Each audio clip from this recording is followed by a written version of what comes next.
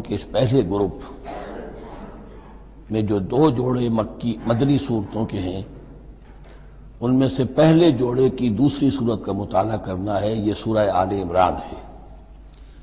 जैसा कि इससे कबल भी मैं आपको बता चुका हूँ कि जोड़े होने की नस्बत यह है कि उन दोनों चीज़ों में गहरी मुशाबहत भी हो, मर्द और औरत, बहुत मुशाबहत भी है, लेकिन कुछ फ़र्क भी हो। और जो फ़र्क हो वो ऐसा हो कि जिससे एक दूसरे के लिए कॉम्प्लीमेंट्री हो, एक दूसरे से मिलकर किसी मकसद की तकमील होती हो। ये नस्बत जौजियत की हकीकत है। अब आप देखेंगे मुशाबहतें जो हैं बहुत नुमाया जो सूरह बकरा में और सूरह आल इमरान में हैं कि दोनों शुरू हुई हैं अलिफ लाम मीम से। दोनों के शुरू में कुरान मजीद की अजमत का बयान है, अगरचे सूरह आल इमरान में उसके साथ ही तौरात और इंजील का बयान भी है। दोनों के अख्ताम पर बड़ी अजीम आयात आई है। वो आयत हम पढ़ चुके हैं जो सूरह बकरा के अख्ताम पर आई है, जो कि एक अजीम दुआ पर मुश्तमिल है। अजीम तरीन दुआओं में से उसको शुमार किया जा सकता है। रब्बाना ला तो आखिजना नसीना वख्ताना सूरह आल इमरान के आखिरी रुकू में भी एक जाम दुआ आई है। वो तीन चार आयतों में फैली हुई है बहुत बड़ी जाम दुआ है। फिर जैसे मैंने आपको बताया कि सूरह बकरा में भी ये सूरतुल उम्मतैन है, दो उम्मतों से बहस कर रही है, गुफ्तगु कर रही है, खिताब कर रही है। यही मामला सूरह आल इमरान का भी है। लेकिन ये फ़र्क है कि सूरह बकरा में ज़्यादा गुफ्तगु है यहूद के बारे में। और सूरह आल इमरान में ज़्यादा गुफ्तगु है आल इमरान के नसारा के बारे में। तो गोया कि इस तरह वो तकमील हो रही है। कि अहले किताब का जो एक तबका था और अहमतर तबका था यहूद, दीनी एतबार से उनकी अहमियत ज़्यादा थी, चाहे तादाद में वो कम थे और कम है। लेकिन यह कि दीनी एतबार से उनकी अहमियत ज़्यादा रही है। दूसरा तबका है ये ईसाइयों का। लेकिन यह कि उनका तस्करा वहाँ बहुत कम आया। यहाँ आपको इस सूरह आल इमरान में ज़्यादा खिताब उनसे मिलेगा। फिर जैसे सूरह बकरा का पहला निष्ठ जो है वह अट्ठारह रुकुओं पर और एक सौ बावन आयात पर मुश्तमिल था।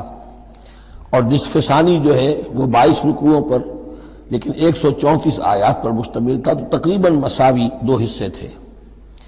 वही कैफियत आपको यहाँ मिलेगी, बल्कि यहाँ वो बतमाम कमाल है। दोनों हिस्से बहुत मसावी हैं। कुल बीस रुकू है, दस रुकू एक निसफ अव्वल में है, दस रुकू निसफ सानी में है। सिर्फ़ एक आयत का फ़र्क है कि पहले दस रुकुओं में एक सौ एक आयात है, और दूसरे दस रुकुओं में निन्यानवे आयात है। फिर जैसे वहाँ तीन हिस्से हैं निसफ अव्वल के, वैसे ही यहाँ भी तीन हिस्से हैं निसफ अव्वल के। लेकिन यहाँ रुकुओं की तकसीम नहीं है, बल्कि आयात की है। पहली बत्तीस आयात में तमहीदी कलाम है, जैसे कि चार रुकू सूरह बकरा की। अगरचे वहाँ रूए सकुन इब्तदाही से यहूद की तरफ़ हो गया था, यहाँ रूए सकुन इब्तदाही से नसारा की तरफ़ है। लेकिन यह कि यहाँ की बत्तीस आयात उसी तरह तमहीदी कलाम पर मुश्तमिल है जैसी कि सूरह बकरा के चार रुकू। फिर यहाँ इकतीस आयात बराह रास्त खिताब है नसारा से, खासतौर पर हज़रत ईसा की वलादत किन हालात में हुई, क्या उनका मकाम और मरतबा था, क्या उनकी असल हैसियत थी। फिर यह कि उनके साथ क्या मामला हुआ, यह हिस्सा नाजिल भी हुआ है सन नौ हिजरी में, जो शामिल यहाँ कर दिया गया है। हालाँकि इस सूरह मुबारक का अक्सर व बेशतर हिस्सा जो है वो सन तीन हिजरी में कस्बा उहद के बाद नाजिल हुआ है। लेकिन यह कि यह हिस्सा जो है, इकतीस आयात पर मुश्तमिल नाजिल हुआ सन नौ हिजरी में। नजरान एक बस्ती थी अरब के जनूब में यमन की तरफ़, और वहाँ ईसाई आबाद थे। तो वहाँ के ईसाइयों के सरदार और उनके जो बड़े लाट पादरी थे, वो कुछ सत्तर ईसाइयों का एक वफद लेकर आए हजूर की खिदमत में मदीना मनवरा में।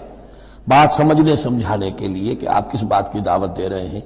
और कई दिन मुकीम रहे और बात पूरी समझ भी ली, खामोश भी हो गए, फिर भी बात नहीं मानी तो हजूर ने मुबाहले की दावत दी, उस चैलेंज को कबूल किए बगैर वहाँ से चले गए।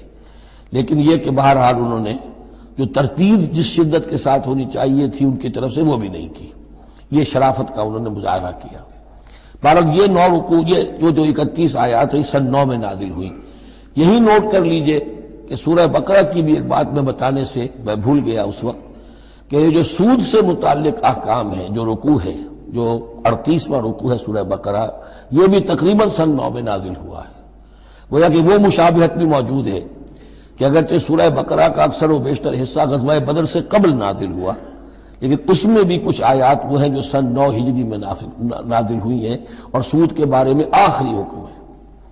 इसी तरीके से यहाँ जो ये नजरान के ईसाइयों से खिताब के लिए जो आयात नाजिल फरमाई गई, ये सन नौ में नाजिल की गई, लेकिन शामिल है सूरह आल इमरान में कि जिसका अक्सर व बेशतर हिस्सा सन तीन हिजरी में गजब उहद के बाद नाजिल हुआ है। फिर जैसे सूरह बकरा के निसफ अव्वल का जो आखिरी तीसरा हिस्सा था, वो पंद्रवा सोलवा सत्रह अठारहवा रुकू, उसमें यह कि हज़रत इब्राहिम का ज़िक्र था खाना काबा का ज़िक्र था, उसी तरीके से वही बात यहाँ मिलेगी आपको।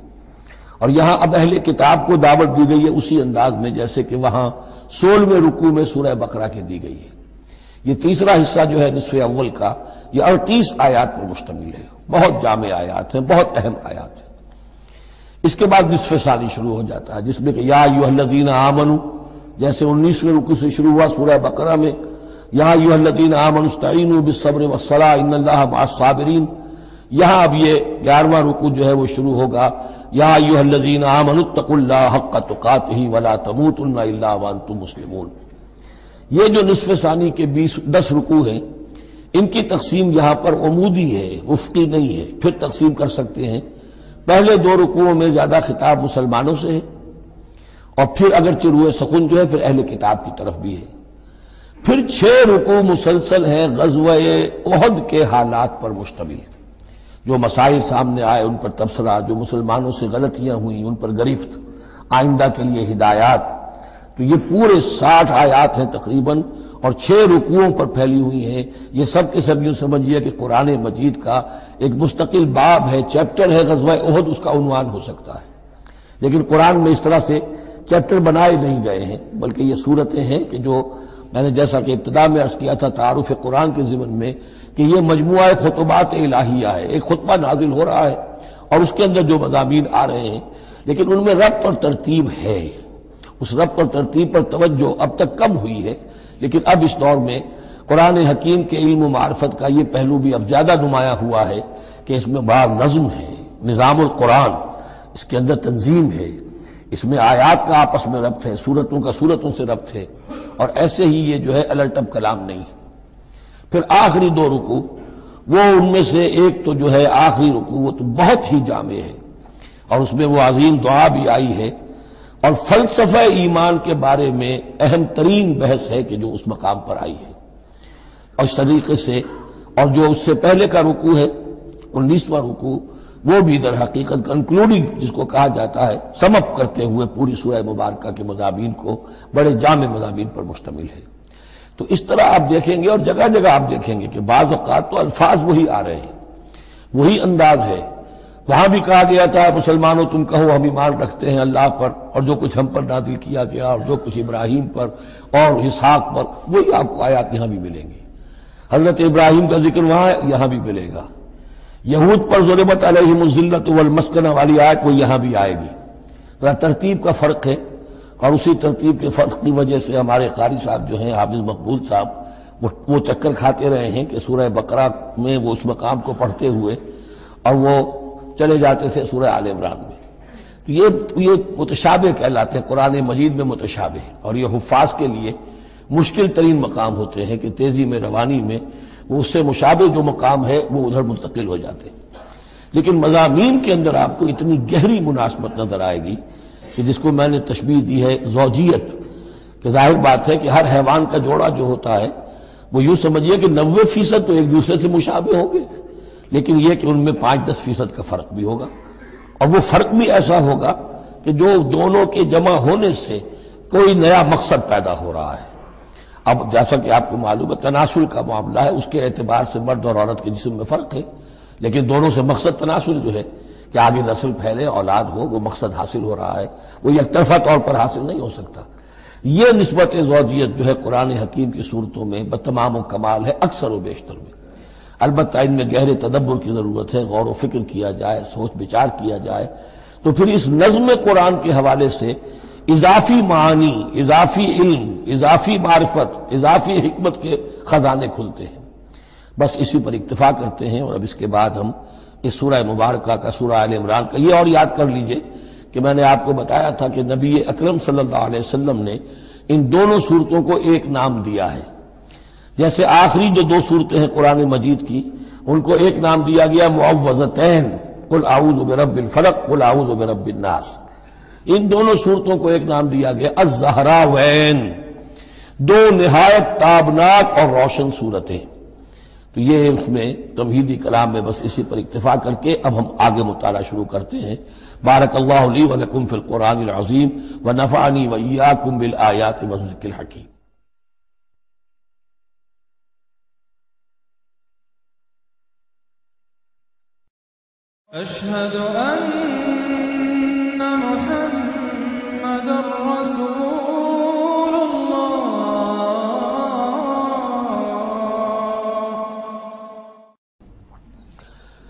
अलिफ्लामीन ये हरूफ मुक़ात हैं जिनके बारे में इजमाली गुफ्तु सूरह बकरा के आगाज़ में हम कर चुके हैं।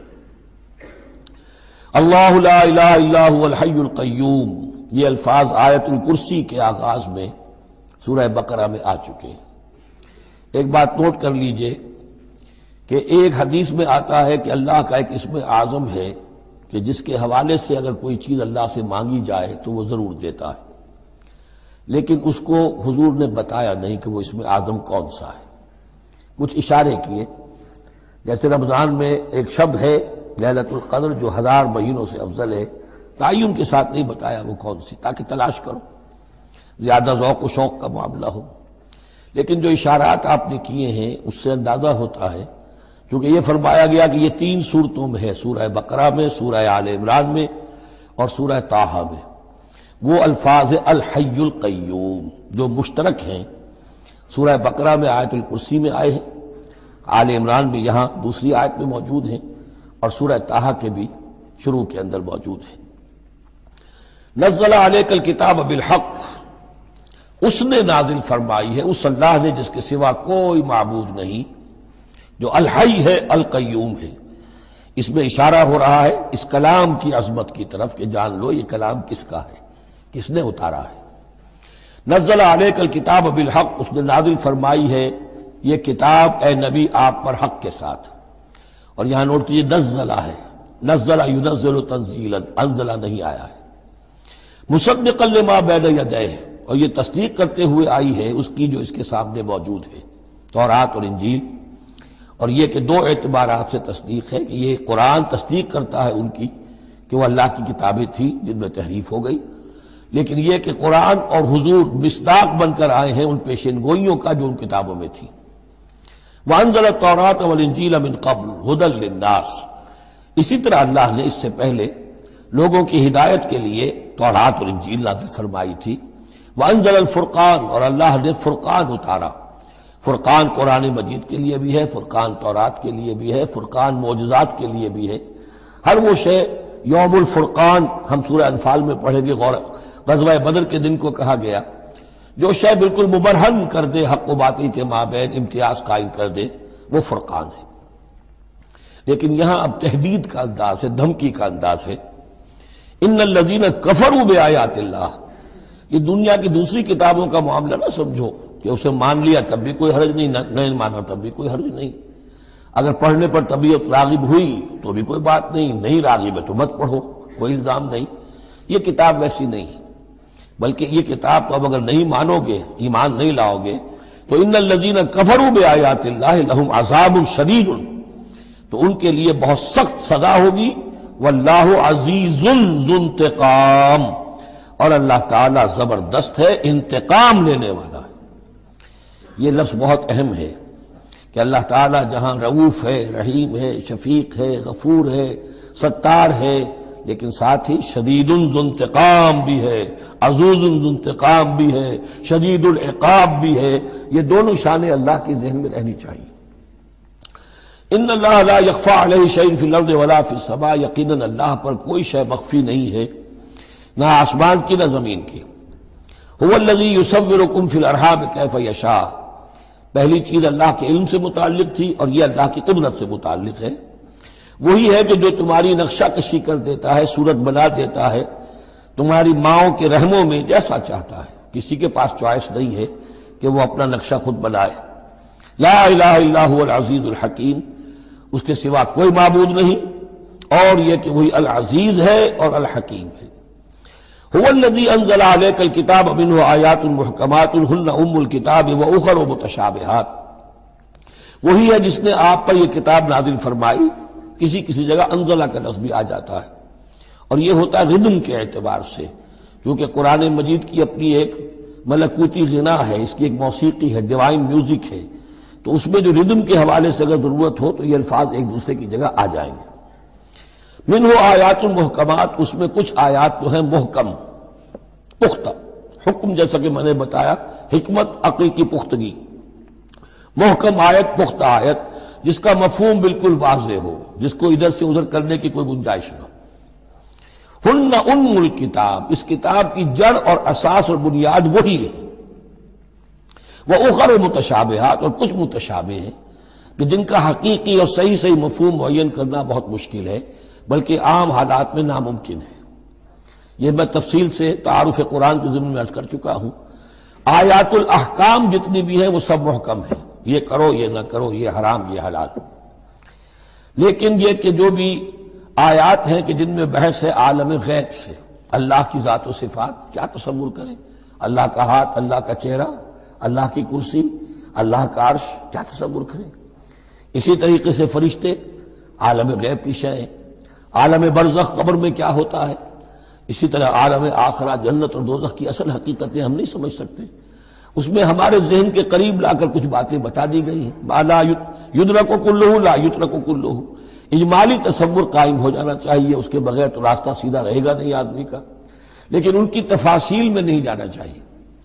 तो दूसरे दर्जे में मैंने आपको बताया था कि कुछ फ़िज़िकल फिनोमिना भी, ये भी एक वक्त तक रहे हैं आयात मुतशाबहात में से। लेकिन रफ्ता रफ्ता, जैसे ये साइंस का इल्म बढ़ता चला जा रहा है उनमें से बहुत सी चीज़ें अब मोहकम होकर सामने आ रही हैं। ये गोया के शिफ्टिंग सैंड्स के मानद हैं कि इनमें से जो चीज़ें, बहुत सी चीज़ें वाजे हो गई जो पहले वाजे नहीं थी। लेकिन अब भी बास चीज़ें हैं, जैसे मैंने अर्ज़ किया, सात आसमान से क्या मुराद है कि जो वाजे नहीं है हम पर। लेकिन हमारा यकीन है कि इंशाला वो वक्त आएगा कि इंसान समझ लेगा कि हाँ यही बात सही थी और यही ताबीर सही थी। हो किताब अबिन हो आयात महकमात उम्मुल किताब। ये बहुत अहम है। असल जो है जड़ किताब की, इसलिए कि किताब के बारे में अर्ज़ कर चुका हूँ कि वह है मजमू अहकाम। किताब जैसा कि हमने सूरह बकरा में देखा, जहाँ हुक्म आया, कोतब आलकुम कोतब तो किताब की जड़ और असास जो है वो वही है। वह उखर मुतशाबहातमल लदीन फ़ी कलूब जैगुन। तो वो लोग जिनके दिलों में कजी होती है। अब वो ये है कि वो कोई खास बात नहीं निकालनी है, ताकि अपनी जहानत और फतानत का जो है डंका बजवाया जा सके। या कोई और फसाद पैदा करना है, कोई फितना पैदा करना है। जहन टेढ़ा हो चुका है, अब उस टेढ़े जहन के लिए कोई दलील चाहिए कुरान से, अब वो मुतशाबहात के चक्कर में लगेंगे, उनके पीछे पड़ेंगे कि किसी के मफहूम को मैं अपने मनपसंद मफहूम की तरफ़ मोड़ सकूँ। फामल नजीर फ़ी कलूबिन जैगुन फैत तबेउन मातशाबहमिन हो तो वो लोग जिनके दिलों में कजी है, वो पीछे लगते हैं उनके कि जो मुतशाबे हैं उनमें से। इब्तगाल फितनत है या तो फितना उठाना चाहते हैं। फितने की तलाश में, वब्तगा तावील और तलाश करने के लिए कि उसकी असल हकीकत, असल मंशा, असल मुराद क्या है। यानी यह भी हो सकता है किसी का इल्मी जौक ही ऐसा हो जाए। और यह भी हो सकता है कि एक शख्स की फितरत में कजी हो। वमायालम तावील हालाँकि उनका हकीकी हकीकी मफहूम अल्लाह के सिवा कोई नहीं जानता। वह रासिखून फिल यकूलून। और जो लोग इल्म में रासिक हैं, पुख्ता हैं, जिनकी जड़ें गहरी हो चुकी हैं इल्म में, वो क्या कहते हैं? यकूल आमन्ना भी कुल्लु मिन इंद रबना हम ईमान लाए इस किताब पर, कुरान पर। ये कुल का कुल हमारे रब की तरफ़ से है। जो बात साफ़ समझ में आ गई है, उस पर अमल करेंगे। जो बात पूरी तरह समझ में नहीं आ रही है, इंतज़ार करेंगे। लेकिन ये इजमाली यकीन रखेंगे कि यह है अल्लाह की किताब। आमन्ना भी कुल्लु मिन इंद रबना वबा यजक करो अल्बाब। लेकिन ये सही रविश और ये नसीहत नहीं हासिल कर सकते, मगर वही के जो होशमंद है, अक्लमंद है। और सबसे बड़ी होशमंदी यह है कि इंसान अपनी अकल की लिमिटेशंस को जान ले। मेरी अकल की हदूद क्या है? अकल कहाँ तक जा सकती है? अगर इंसान अपनी अकल की हदूद को नहीं जानता तो वो फिर उलुल अलबाब में से नहीं है। अकल बड़ी शय है, लेकिन ये कि इसकी हदूद हैं। एक हद से आगे ये अकल तजावज नहीं कर सकती। गुजर जा अकल से आगे कि ये नूर चिराग राह है, मंजिल नहीं है। मंजिल तक पहुँचाने वाली शय जो है, वो अकल नहीं है। वो कल पहुंचाएगा। लेकिन यह कि बहरहाल अकल एक रोशनी देती है, हकीकत की तरफ़ इशारे करती है। रबना ला तुझ कुलूबना बाद और उनका यह कौल होता है उलुल अलबाब का ए रब, हमारे हमारे दिलों को कज न होने दीजो। इसके बाद कि तूने हमें हिदायत दे दी है। वह हमलना मिल्लदुन का रहमा। और हमें तो खास अपने खजाना फजल से रहमत अता फरमा इन का अंतल वहाब। यकीन तू ही सब कुछ देने वाला है, तेरी ही बारगाह से मिलेगा। रबना इन का जाम उन्नास रहे बफी अरब हमारे यकीन तू जमा करने वाला है लोगों को उस दिन जिस दिन में कोई शक नहीं है। क़यामत का दिन, यौमुल क़यामा। इन अल्लाह युखलिफुलमियाद यकीन अल्लाह ताला उस वादे के खिलाफ नहीं करेगा, अपने वादे की खिलाफ वर्जी नहीं करता। लिहाजा जो उसने बताया है कि वो दिन आएगा, वो आकर रहेगा। इन लदीन कफरू इन अल्लाह शया अब ये जरा तहदी का अंदाज है, चैलेंज का अंदाज है। जमाना नजूल के एतबार से आपने नोट कर लिया कि ये सन तीन में नाजिल हो रही है, सूरह मुबारक, गजवा ओहद के बाद। लेकिन यह कि ये रुकू जो है, इसके बारे में गुमान गालिब है कि ये गजवा बद्र के बाद नाजिल हुई है। गजवा बद्र जो है, उसमें एक तरफ़ मुसलमानों को बड़ी ज़बरदस्त फतह हासिल हुई थी तो मुसलमानों का मोराल बहुत बुलंद था। लेकिन ऐसी रिवायात भी मिलती है कि जब मुसलमान बदर से कामयाब होकर, गाजी बनकर फतेह याब होकर वापस आए तो जो यहूदी कबीले थे मदीने के, उनमें से बाद लोगों ने कहा कि मुसलमानों, इतना ना इतराओ, ये कुछ कुरैश के ना तजर्बेकार छोकरे थे जिनसे तुम्हारा मुकाबला पेश आया है। अगर हमसे कभी बात उसका मुकाबला पेश आया तो मालूम होगा तब दिन में तारे नज़र आएँगे, वगैरह वगैरह। तो उस पस मंजर में ये अल्फाज कहे जा रहे हैं कि नहीं, तमाम कुफार इसी तरीके से आखिरकार जेर होंगे और अल्लाह के दीन को गालिब होना है। वल्लाह गालिब अला अमर ही वलाकिन नासलमून इन लदीन वला यकीन जिन लोगों ने कुफर की रविश इख्तियार की, हरगिज न बचा सकेंगे उन्हें, ना उनके माल, न उनकी औलाद, अल्लाह से कुछ भी। उला व उलाय और वो तो सब के सब आग का ईंधन बनेंगे। कदाब आल फिर तुम्हारी तो हैसियत ही क्या है? चिपिंदी चिपिंदी का शोरबा। आल फिर का मामला याद करो, उनके साथ क्या हुआ था? शहनशाह और बड़े लाओ लश्कर वाला, व फिर नजील औताद। कदाब आल फिर वजीन अमिन कबल हिम और उसी पर क्या, इससे पहले सबूद और आज जैसी कौम ज़बरदस्त जो है, इसी जजीरा नुमाए अरब में रही हैं। कजबू में आयात ना उन्होंने भी हमारी आयात को झुटलाया था। फ़ाखद अल्लाह बेजुनूब हिम तो अल्लाह ने पकड़ा उनको उनको गुनाहों की पादाश में। अल्लाह शदीदुल्क़ाब और अल्लाह सजा देने में बहुत सख्त है। कुल्लजीन कफरू। ए नबी, कह दीजिए, उन लोगों से जो कुफर की रविश इख्तियार कर रहे हैं सतुलबून व तो शरून अला जहन्नम। तुम सब के सब मगलूब होकर रहोगे। दुनिया में मगलूब होगे। और फिर जहन्नम की तरफ़ घेर कर ले जाए जाओगे। वह बेसल हाद और वो बहुत बुरा ठिकाना है। कद कान लकुम आयतुल फिलफीफियतैन तकता तुम्हारे लिए एक निशानी आ चुकी है इन दो ग्रोहों में जो आपस में जिन्होंने जंग की, यानी बद्र की जंग हुई। इसमें एक तरफ़ मुसलमान थे, एक तरफ़ मुशरकिन मक्का थे। तुम्हारे लिए निशानी मौजूद है। कद कान लकुम आयतुल फ़ी फियतैन तकता फियतुन तुकातिल फ़ी उसमें से एक जमात वो थी, एक ग्रोह वो था। जो अल्लाह की राह में जंग कर रहा था, वह उखरा काफिरत और दूसरा ग्रोह जो है वह काफिर था। यराउ नहम मिसलहिम रायल वो देख रहे थे अपनी आँखों से कि उनसे दुगने हैं। अब इसके कई मानिल किए गए हैं। एक ये भी है कि मुसलमानों को तो खलब खुल्लम खुल्ला नज़र आ रहा था कि हमसे दुगनी फौज है, बल्कि तीन गुनी थी। बाद रिवायात में ऐसा भी आता है कि अल्लाह ताला ने कुफार पे ऐसा रोक तारी कर दिया था गजब बद्र में कि उन्हें नज़र ही आ रहा था कि मुसलमान हमसे दुगने हैं। तो ऐसा हो जाता है इंसान की समात और बसारत पर ऐसा असर हो जाए। तो अल्लाह ताला ने यह किया, वो भी बाज रिवायात है। वल्लाहनसर ही मैशा और अल्लाह ताइद फरमाता है अपनी नुसरत से जिसकी चाहता है इन नफीज़ाल इबरतन इसमें यकीनन एक इबरत है, सबक आमोजी है। ले उलिल अबसार।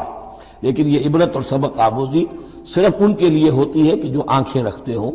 जिनके अंदर जो है देखने की सलाहियत मौजूद हो। अब यह आज बड़ी अहम आ रही है फितरत इंसानी के एतबार से। ज़ाहिर बात है कि चूँकि यहाँ खासतौर पर मैंने अर्ज़ किया था कि यहूद की तरफ़ एक जो है वो एक रूए सकुन मौजूद है अहल किताब की तरफ़ और इस वाक़े के अंदर तो ख़ास तौर पर जिन लोगों के अंदर के ये दुनिया की मोहब्बत ज़्यादा शदीद होती है तो उसका एक असर बता रहे हैं कि ये तो अल्लाह ने फितरत इंसानी में रखी है। इसलिए कि ये दुनिया जो है इसे अल्लाह ने चलाना है। इसकी रौनकें रखनी है जब तक उसकी मर्ज़ी है। क्यामत तक तो इसे आबाद रखना है। औलाद पैदा होगी तो दुनिया कायम रहेगी, नस्ल चलेगी। मर्द और औरत की एक दूसरे के साथ कशिश होगी तो औलाद पैदा होगी। और ये तमाम चीज़ें जो है, दौलत की कोई तलब होगी तो आदमी मेहनत करेगा, मुशक्कत करेगा, कमाएगा। तो इसलिए ये चीज़ें फितरत इंसानी में है। ये बेसिक एनिमल इंस्टिंक्ट्स है। बस ज़रूरत इस बात की होती है कि इंस्टिंक्ट्स को दबा कर रखा जाए, अल्लाह की मोहब्बत, अल्लाह की शरीयत को उससे बाला तर रखा जाए। बस। ये नहीं है कि इनको खत्म कर दिया जाए। सेल्फ एनिहिलेशन इस्लाम में नहीं है, ये रहबानियत है कि अपने नफ्स को कुचल दो, खत्म कर दो। नहीं। सेल्फ कंट्रोल, अपने आप को कंट्रोल में रखो। ये मुँह ज़ोर घोड़ा है नफ्स इंसानी का, लेकिन जितना ताकतवर घोड़ा होगा, उतना ही आपके लिए तेज दौड़ना जो है, वो आसान होगा। लेकिन जितना मुँह और ताकतवर घोड़ा है, उतना ही उसे काबू में रखने की ज़रूरत भी है। वरना अगर उसके रहमो करम पर सवार आ गया तो जहाँ चाहेगा पटखनी दे देगा। तो इस एतबार से सेल्फ कंट्रोल हो, घोड़ा पूरा काबू में हो। अलबत् यह है कि सेल्फ को, अपने नफ्स को, इसको कुचल डालना सेल्फ एनिहिलेशन ये इस्लाम में नहीं। जुयन से हब शहवात मिन निसा। मुजयन कर दी गई है लोगों के लिए एक तो मोहब्बत जो है, शहवत की मोहब्बत खातन के बारे में। अब देखिए, यहाँ भी कुरान मजीद गोया के एक तरह से तायद कर रहा है, फ्राइड की। उसके नज़दीक सबसे पोर्टेंट फैक्टर जो है, सबसे पोर्टेंट जो मोटिव है इंसान का, वो सेक्स है। और यहाँ भी अल्लाह ताला ने सबसे पहले उसी का ज़िक्र किया है। अगरचे मेरे नज़दीक ज़रूरी नहीं है, इसलिए कि दूसरी जगहों पर पेट जो है, माशी ज़रूरत उससे भी सख्त हो जाती है। लेकिन यह कि वाकता ये हजूर ने भी फरमाया है सल्लल्लाहु अलैहि वसल्लम, मा तरक तो बादी आदर रिदाल बिन निसा. मेरे बाद अब मर्दों के लिए औरतों के फितने से बड़ा फितना और कोई नहीं है। इनकी मोहब्बत जो है, वो इंसान को कहाँ से कहाँ ले जाती है। बलआम बिन बाउरा यहूद के अंदर एक बहुत बड़ा आलिम और फादिल शख्स था। एक औरत के चक्कर में आकर और वो शैतान का पैरों बन गया। वो किस्सा आएगा सूर्य आराफ के अंदर। तो वाकया ये है लेकिन एक फितरत के अंदर है तो सही, मोहब्बत तो है। जुयना से और बेटे, इंसान को बहुत पसंद है, बेटे हों, उसका नाम चलता रहे, बुढ़ापे का सहारा बने, वल कनातीन मुकल और ये कि खजाने हो जमा किए हुए, सोने के और चांदी के, वल खैर मुसवमत और घोड़े हों बड़े नस्ल वाले घोड़े जो हैं, जिन पर के निशान लगे हुए होते हैं, पेडिग्री होती है उनकी वल अनाम और मवेशी हूँ, माल जो है, पंजाब में और सरायकी के इलाके में माल माल कहते ही जानवरों को है, इन हैवानात को है, माल मवेशी। वल अनाम वल हर्स और खेती। जाल का मताउल हयाती दुनिया। बस जो नुकता एतदाल है वो ये है कि जान लो ये सारी चीज़ें इस दुनिया की ज़िंदगी का साजो सामान है। इस जिंदगा, इस ज़िंदगी के लिए जरूरियात की हद तक इनसे फ़ायदा उठाना इसमें कोई बुरी बात नहीं। लेकिन वल्लाह इन हसनुल माब लेकिन अल्लाह के पास है अच्छा लौटना। वो जो है, जो अल्लाह के पास है, उसके मुकाबले में ये कुछ भी नहीं। अगर ये ईमान बिल आखिरा है तो फिर तो इंसान इन तमाम चीज़ों को, अपने तमाम जज्बात मैलानात को एक हद के अंदर रखेगा, उससे आगे नहीं आने देगा। लेकिन अगर इनमें से कोई एक शय भी इतनी जोरदार हो गई, उसकी मोहब्बत कि आपके दिल के ऊपर उसका कब्जा हो गया तो बस आप गए, अब वही निध है। वही अब आपका मबूद है, चाहे वो दौलत हो, चाहे वो कोई और शय हो, वो अब आपका मबूद बन जाएगी। कुल अनबुम बखैर मिनजालिकुम इनसे कहिए कि क्या मैं तुम्हें बताऊँ कि इन तमाम चीज़ों से बेहतर शय कौन सी है? लिल्लजीन तको इंदा जन्नात उन तजरीब खालिदीन फीहा। वो लोग के जो अपने रब का तकवा इख्तियार करते रहे तकवा यही है कि अपने नफ्स का भी हक है, दो। इन नफ्स का आलय का हक्कन, लेकिन नाजायज रास्ते से नहीं। तुम्हारे पेट का भी हक है, उसका अदा करो, लेकिन अकल हलाल से। तुम्हारी औलाद का तुम पर हक है। इन नफ्स का आलय का हक्कन, व इन जौज का आलय का हक्कन, व इन जौर का आलय का हक्कन, तुम्हारे मुलाकाती आते उनका भी तुम पर हक है। वह हकूक अदा करो। लेकिन अल्लाह से ऊपर किसी हक को फाइक न कर देना, बस ये है असल बात। अगर तो ये, अगर हिफ्ज मरातब न कुनी ज़िंदगी, अगर ये हिफ्ज मरातब नहीं होगा तो गोया कि अब आप गए, दीन और दुनिया सब गई। तो लिल्लजीन तको इन दरबिम जन्नात। उनके लिए ऐसे बागात हैं तजरीम इंतात अनहार, जिनके दामन में नदियाँ बहती होंगी, खालिदीन फीहा, उसमें वो हमेशा रहेंगे। वाजवाज मुतहरतुन और बड़ी ही पाक औरतें होंगी। व रिजवान मिन अल्लाह, और अल्लाह की रजवान होगी, अल्लाह की रजा होगी, जो सबसे बड़ी शय है। वल्लाह बसीर बिलबाद और यकीन अल्लाह ताला अपने बंदों को देख रहा है। अल्लाजीना, वो कौन से बंदे हैं उसके खास? अल्लाजीना यकून रबना आ इन नना आ मन्ना जो ये कहते रहते हैं, परवरदिगार, हम ईमान ले आए। फिर लना, बस हमें बख्श दे। जुलू बना हमारे गुनाह। वक़ना अजाबन्नार, और हमें आग के अजाब से बचाइयो। अब उनकी बदा हमें अल्फाज इस्तेमाल हो रहे ये कौन लोग हैं जो ये दुआ करते हैं? उनके ये औसाफ हैं। और इसमें गोया कि तलकीन है, अगर अल्लाह से ये दुआ करना चाहते हो कि अल्लाह तुम्हें तुम्हारे गुनाह बख्श दे और तुम्हें जहन्नम के अजाब से बचाए तो ये औसाफ अपने अंदर पैदा करो। असाबरीन व सादिकीन वल कानतीन वल मुनफिकीन वल मुस्तफ़रीन बिल असहार सब्र करने वाले और राष्ट्रबाज। राष्ट्रबाजी में राष्ट्र गोई भी है राष्ट्र किरदार भी है। अमल भी आपका सही सेहत पर हो, दुरुस्ती पर हो और कौल भी सही और दुरुस्त हो। वल कानतीन फरमा बरदार वल मुनफिकीन, अल्लाह की राह में खर्च करने वाले, वल मुस्तफ़रीन बिल असहार। और जो जिसको आप कहते हैं small hours of the morning वो जो शहर का वक्त है शहरी का वक्त है, उसमें इस्तफार करने वाले। एक तो नमाजें हैं, जो पाँच नमाजें हैं, लेकिन खास वो वक्त जो है, उसमें जबकि फरमाया गया है कि रात के आखिरी हिस्से में अल्लाह ताला नजूल फरमाता है समाए दुनिया तक। और फिर एक निदा होती है, हल मिन मुस्तफ़िर फ़ुफ़िर हल साइल फ़ोतिया है कोई इस्तफार करने वाला कि मैं उसे माफ़ कर दूँ? है कोई कुछ मांगने वाला कि मैं उसे अता कर दूँ? हम तो माइल बकरम है, कोई साइल ही नहीं। राह दिखलाएँ किसे? रहरवी मंजिल ही नहीं। शायद अल्लाहमलाकतबिलकिस्त अल्लाह खुद गवाह है कि उसके सिवा कोई मबूद नहीं। सबसे बड़ी गवाही तो अल्लाह की है। वल मलायकत और सारे फरिश्ते गवाह हैं। वह उलुल इल्म और उलुल इल्म भी इस पर गवाह है। ये उलुल इल्म जो है, उलुल अलबाब, उलुल इल्म, अल्लजीन याकिलून, ये वो लोग हैं जो इन कायनाती आयात के हवाले से अल्लाह को पहचान लेते हैं और उसको मान लेते हैं कि वही महबूद बरहक है। जो हमने बीसवें रुकू की पहली आयत पढ़ी थी, सूरह बकरा की इन नफ़ीखल के समावत वल्लर्द वख्तिलाफ़िल्नहार वलफुल की लती तजरी फिलबाहर बिमायनफ़ाउन्नास और उसके तमाम बहुत से फिनमिन ऑफ़ द नेचर बयान करके लायातिल कौमी याकिलून। तो जो याकिलून है, जो उलुल अलबाब हैं, उलुल इल्म है, वो भी गवाह है कि अल्लाह के सिवा कोई मबूद नहीं लेकिन यहाँ जो अहम तरीन लफ्ज है, वो अब आ रहे हैं कायम बिल किस्त। वो किस्त और अदल का कायम करने वाला है। वो जो मैंने कल अर्ज़ किया था कि हम भी समझते हैं कि अल्लाह अदल कायम करता है और अदल करेगा। अलबत् यह कि अहल सुन्नत के नज़दीक ये कहना जो है, सुए अदब है कि अल्लाह पर अदल करना वाजिब है। अल्लाह पर किसी शय का वजूब नहीं। लेकिन अल्लाह को अदल पसंद है। अल्लाह को अल्लाह यहबुलमुखसतीन अल्लाह खुद भी अदल फरमाएगा। लाजीजुल हकीम। उसके सिवा कोई मबूद नहीं है। वो ज़बरदस्त है, कमाल हमत वाला। इन दीन इस्लाम।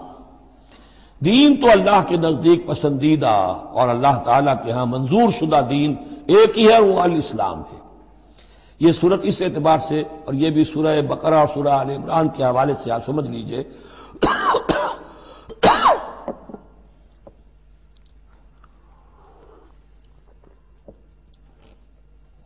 सूरह बकरा में ईमान पर ज़्यादा ज़ोर है। आमन रसूल ईमानियात। शुरू में भी ईमानियात, दरमियान में आया बिर में ईमानियात। इस सूरह मुबारक में इस्लाम पर ज़्यादा ज़ोर है। अब इन दोनों में भी एक नस्बत है खास, जिसको भी तफसील में जाने का मौका नहीं है।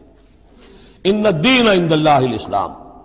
आगे चलकर आयत आएगी वह मैं यब तक गैर इस्लामी दीनन फलन युकबल अमीन हो अगर कोई शख्स इस्लाम के सिवा किसी दीन को कबूल करेगा, वो उसकी जानिब अल्लाह के यहाँ मंजूर नहीं होगा।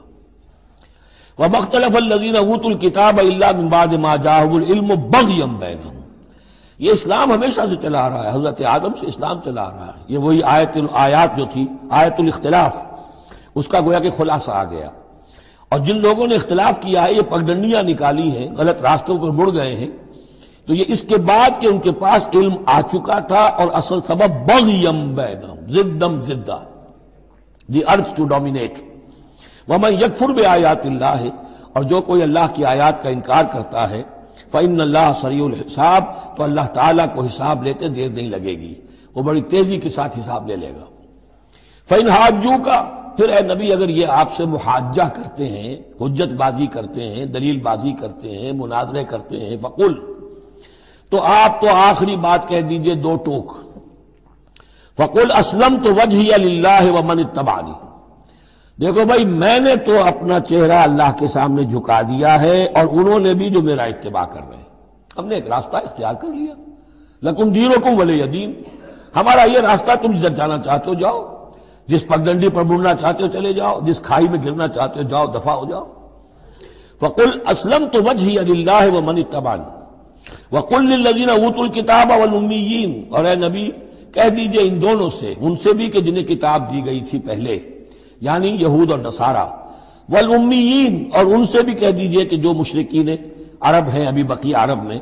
आसलम तुम तुम भी इस्लाम लाते हो या नहीं? दावे होते हो कि नहीं? अल्लाह के सुपुर्द अपने आप को करते हो कि नहीं? फ़ैद असलम फ़कत अगर वो भी इसी तरीके से इस्लाम ले आए तो हिदायत पर हो जाएँगे। वही तवल्ला फ़ैन नमा अलकल बलाग। फिर अगर वो रुख फेर ले, मुँह मोड़ ले तो नबी, आप पर कोई ज़िम्मेदारी नहीं है सिवाय पहुँचा देने की। आला को यहाँ पर पहचान इन नमा अलकल बलाग। आपके जिम्मे है, पहुँचा देना। आपने हमारा पैगाम पहुँचा दिया, हमारी दावत उन तक पहुँचा दी, हमारी आयात उन्हें पढ़कर सुना दी। अब आगे चॉइस उनका है, आप पर ज़िम्मेदारी नहीं है कि ये लोग ईमान क्यों नहीं लाए? वला तुसलवाना साबिल जहीम, ये सूर्य बकरा में हम पढ़ाए हैं। वल्लाह बसीर बिलबाद बाकी अल्लाह ताला अपने बंदों को देख रहा है, वो उनसे हिसाब किताब कर लेगा। वो मामला उसका इनसे निबट लेगा। आपके जिम्मे जो फ़र्ज़ था, आप उस फ़र्ज़ को अदा करते रहिए। इन लदीन यकफरून बेआयात व यकतुल नबीन बगैर हक़िन यकीन वो लोग जो अल्लाह की आयात का कुफ्र करते हैं और अम्बिया को कत्ल करते रहे हैं नाहक। व यकतुल लजीन यामरून बिलकिस्त मिनन्नास। और कत्ल करते रहे हैं या कत्ल करते हैं, उन लोगों को इंसानों में से जो अदल का हुक्म देते हैं। इसलिए कि इंसाफ की बात तो पसंद नहीं होती किसी को। सच्ची बात अलहक को मुर्रुन। तो बहुत से मौाक़े पर ऐसा होता है कि हक गोई की पादाश में कोई हक गो इंसान जो है, उसे अपनी जान से हाथ धोने पड़ते हैं। तो यहाँ पर देखिए, किस्त का मामला आया है। अदल। अल्लाह कायम बिलकिस्त है और अल्लाह के महबूब बंदे वही है कि जो अंबिया के अलावा वो लोग कि जो अदल का हुक्म दें, इंसाफ का डंका बजाने की कोशिश करें तो फरमाया वह यकतुल लजीन यामरून बिलकस्त मिनन्नास तो ऐसे लोग जिन्हें के, जो कि ऐसे लोगों को कत्ल करें वह बशर हूँ बेअजाब नलीम तो है नबी, उन्हें बशारत सुना दीजिए, दर्दनाक अजाब की। इसमें तंज है बशारत, अजाब की बशारत, ये तंजिया कलाम है। उलायक लजीन हबत अमाल हूँ फिर दुनिया वाल आखिरा। ये वो लोग हैं कि जिनके तमाम अमाल दुनिया और आखिरत में हब्त हो गए। कुरैश को यह जोम था कि हम खादी में काबा हैं और हमारे पास जो है ये लोग आते हैं, हज करते हैं, हम उनकी दावत करते हैं, खाना खिलाते हैं, पानी पिलाते हैं, सिकाया है। तो हमारी इतनी खिदमतें हैं, अल्लाह ताला के यहाँ जो है, हमें बहरहाल इन खिदमतों के हिसाब में हमें बख्श दिया जाएगा। फरमाया, वो सारे अमाल हफ्त हो जाएँगे, अगर वो शक्ल नहीं है। अगर तो सही सही पूरे दून को इख्तियार करोगे तो ठीक है। वरना ये कि वलाय का लजीन हब तक अमाल हो फिर दुनिया वाला आखिरा। बड़े से बड़े चैरिटी के काम किए हों, चैरिटेबल इंस्टीट्यूशन कायम कर दी हों, कोई हैसियत नहीं रखती, अल्लाह के निगाह में। वमा लहुम नासरीन, और उनका फिर कोई मददगार नहीं होगा। अलम तरा लजीन ऊतू नसीबम मिनल किताब। क्या तुमने गौर नहीं किया उन लोगों की हालत पर, जिन्हें किताब का एक हिस्सा दिया गया था, ऊतू, मजहूल का सीगा?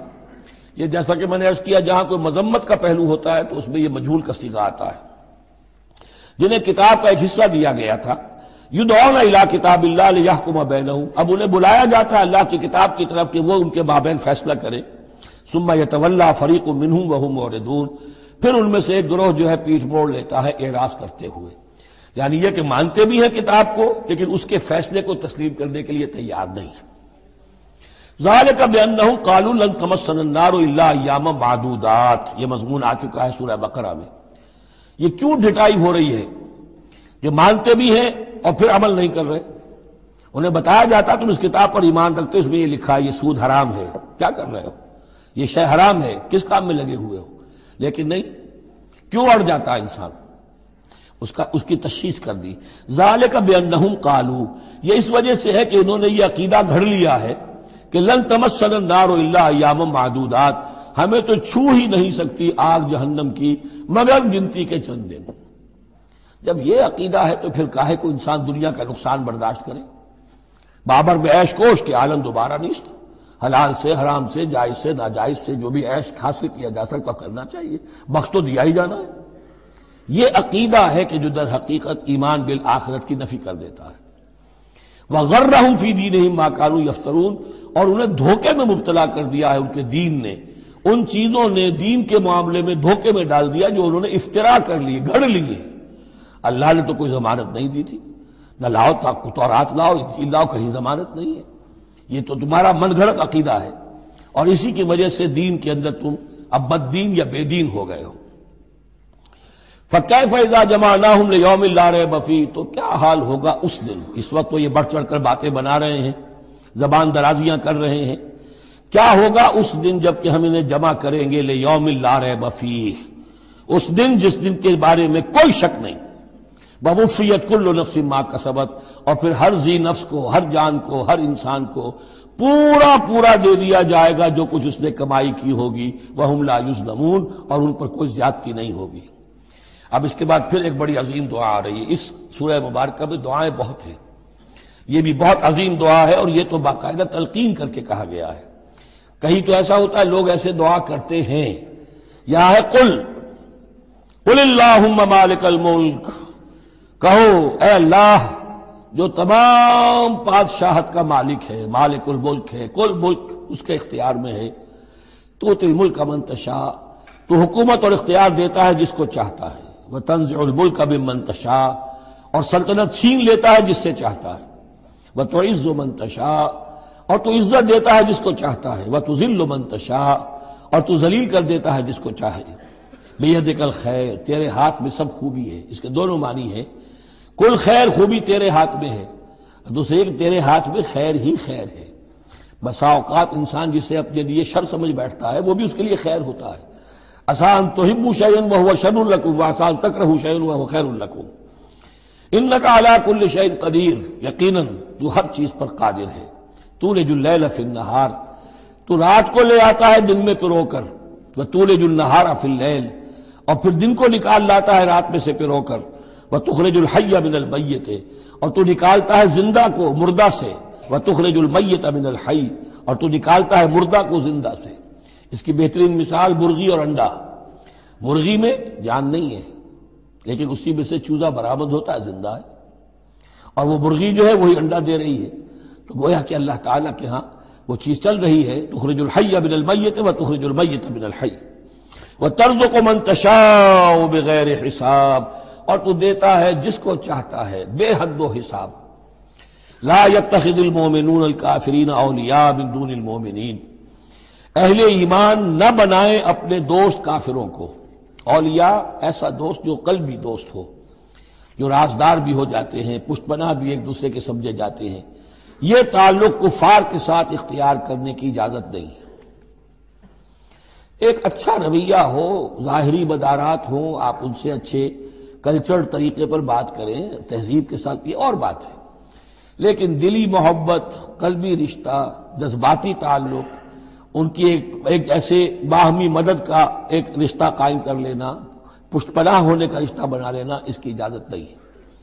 लातखिलमोमिन काफरीन अलिया मोमिन अहले ईमान को छोड़कर उनके साथ ये रिश्ता कायम करना अल्लाह को पसंद नहीं। वमन यफल जाले का फलैसा अल्लाह फ़ीशे और जो कोई भी ये हरकत करेगा, फिर उसका अल्लाह के यहाँ कोई बकाब नहीं होगा। कोई रिश्ता अल्लाह का फिर उसके साथ नहीं रहेगा। अल्लाह के दुश्मनों के साथ तुम्हारी दोस्ती है तो ज़ाहिर बात है कि फिर अल्लाह के साथ तुम्हारा कोई ताल्लुक नहीं रहा। इल्ला तको मिनहुम तो कहा सिवाय ये कि तुम उनसे बचाव करना चाहो, बचाए, बचाव के लिए। अवत ऐसे हालात होते हैं कि खुले मुकाबले का अभी मौका नहीं है। तो आप तरह दे रहे हैं, आप वक्त जो है यू आर बाइंग टाइम तो उसमें कोई जाहिरी खातिर मदारात का मसला भी हो जाए तो कोई हर्ज नहीं है। लेकिन यह कि मुस्तकिल वाकई कल भी मोहब्बत कायम कर लेना, ये ये जायज़ नहीं है। वैसे यह कि इसी फिर आयत के इसी अल्फाज को हमारे यहाँ अहले तशैयों ने तकैय की जड़ बना दिया है। लेकिन उन्होंने इसे पहुँचा दिया इस हद तक कि झूठ भी बोलो, अपने अकायद भी छुपा लो और उसके लिए दलील यहाँ से लाते हैं। लेकिन ये बिल्कुल एक दूसरी शक्ल है कि ये सिर्फ़ एक जाहिरी मुदारात की हद तक, एक हद तक, ये नहीं कि आप झूठ बोलने पर आ जाए और आप एक चीज़ को छुपाने पर आ जाए। बस ये है कि आप इस वक्त तक, जैसे हम पढ़ चुके हैं सूरह बकरा में, कि अगरचे ये यहूदी जो है, उनके दिलों के अंदर आग भरी हुई है तुम्हारे खिलाफ, लेकिन ये फसफहू, फाफू वसफहू, अभी जरा दरगुजर करते रहो, अभी फौरी तौर पर। इनके साथ जो है मामला कोई मुकाबले वगैरह का शुरू करना मुनासिब नहीं इस हद तक मसला बीनी तो सही है। लेकिन यह नहीं कि झूठ बोला जाए माजल्ला वह युहजर नफसा।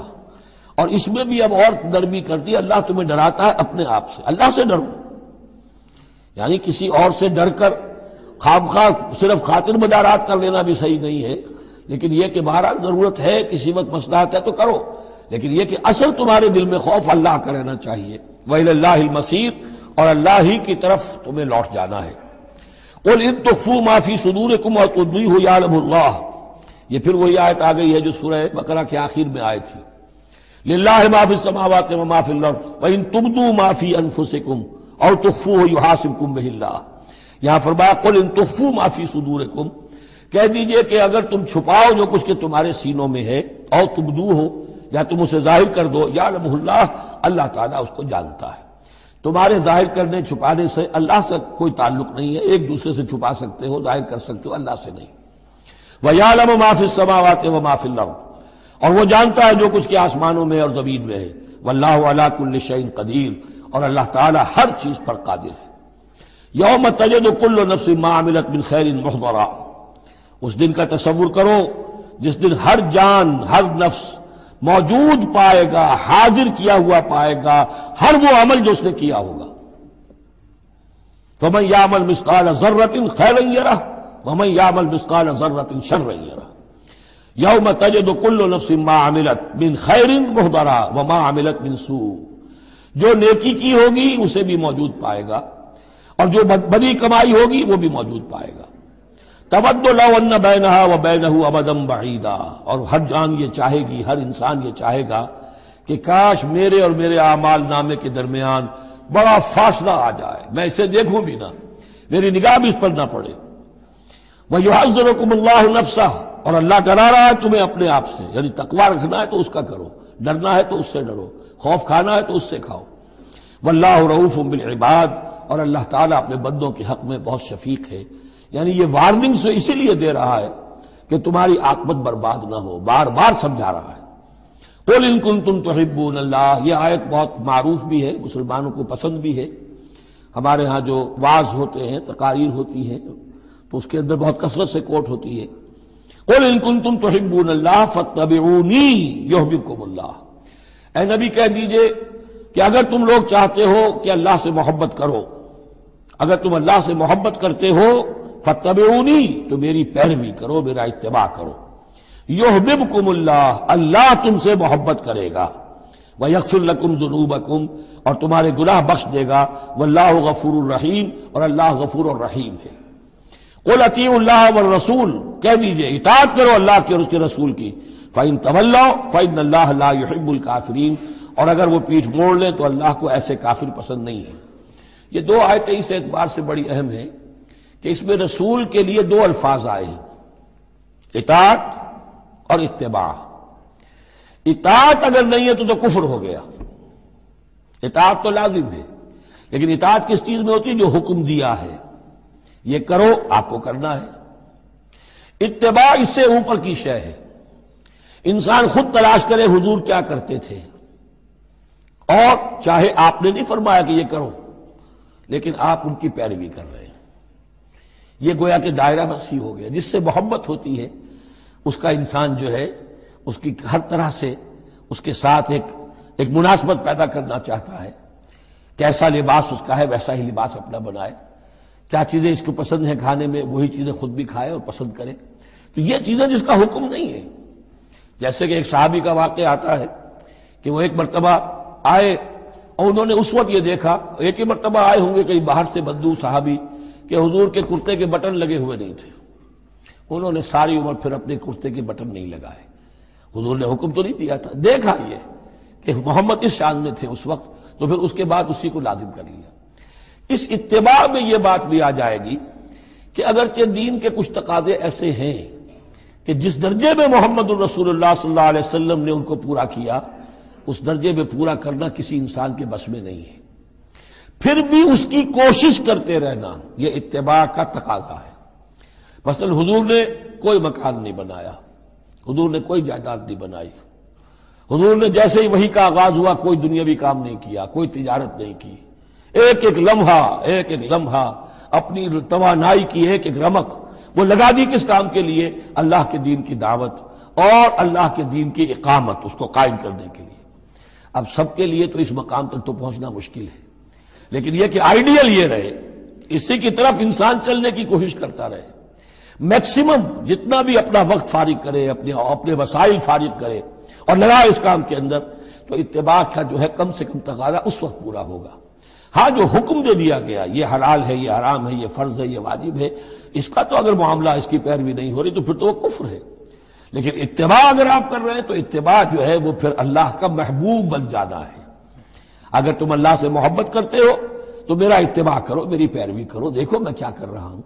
मेरा क्या, मेरे क्या शब रोज है, किन कामों में मेरी तोानाइयाँ लग रही हैं, क्या दिलचस्पियाँ हैं मेरी दुनिया के अंदर, उन चीज़ों के अंदर तुम मेरी पैरवी करो। फतबूनी युहबिबकुमुल्लाह तुम अल्लाह के मुहिब नहीं महबूब बन जाओगे। अल्लाह गफुर रहीम, और अल्लाह गफुर और रहीम है। बाकी दूसरा दर्जा जो निचला है, कुल अतील्लाह रसूल। इतात तो अल्लाह और उसके रसूल की करनी ही करनी फाइन तवल्लो, और अगर इस इतात से भी मोड़े फाइन अल्लाहबुल काफरीन। तो अल्लाह को ऐसे काफिर तो पसंद नहीं है, क्योंकि फिर इतात रसूल का इनकार तो कुफर हो गया।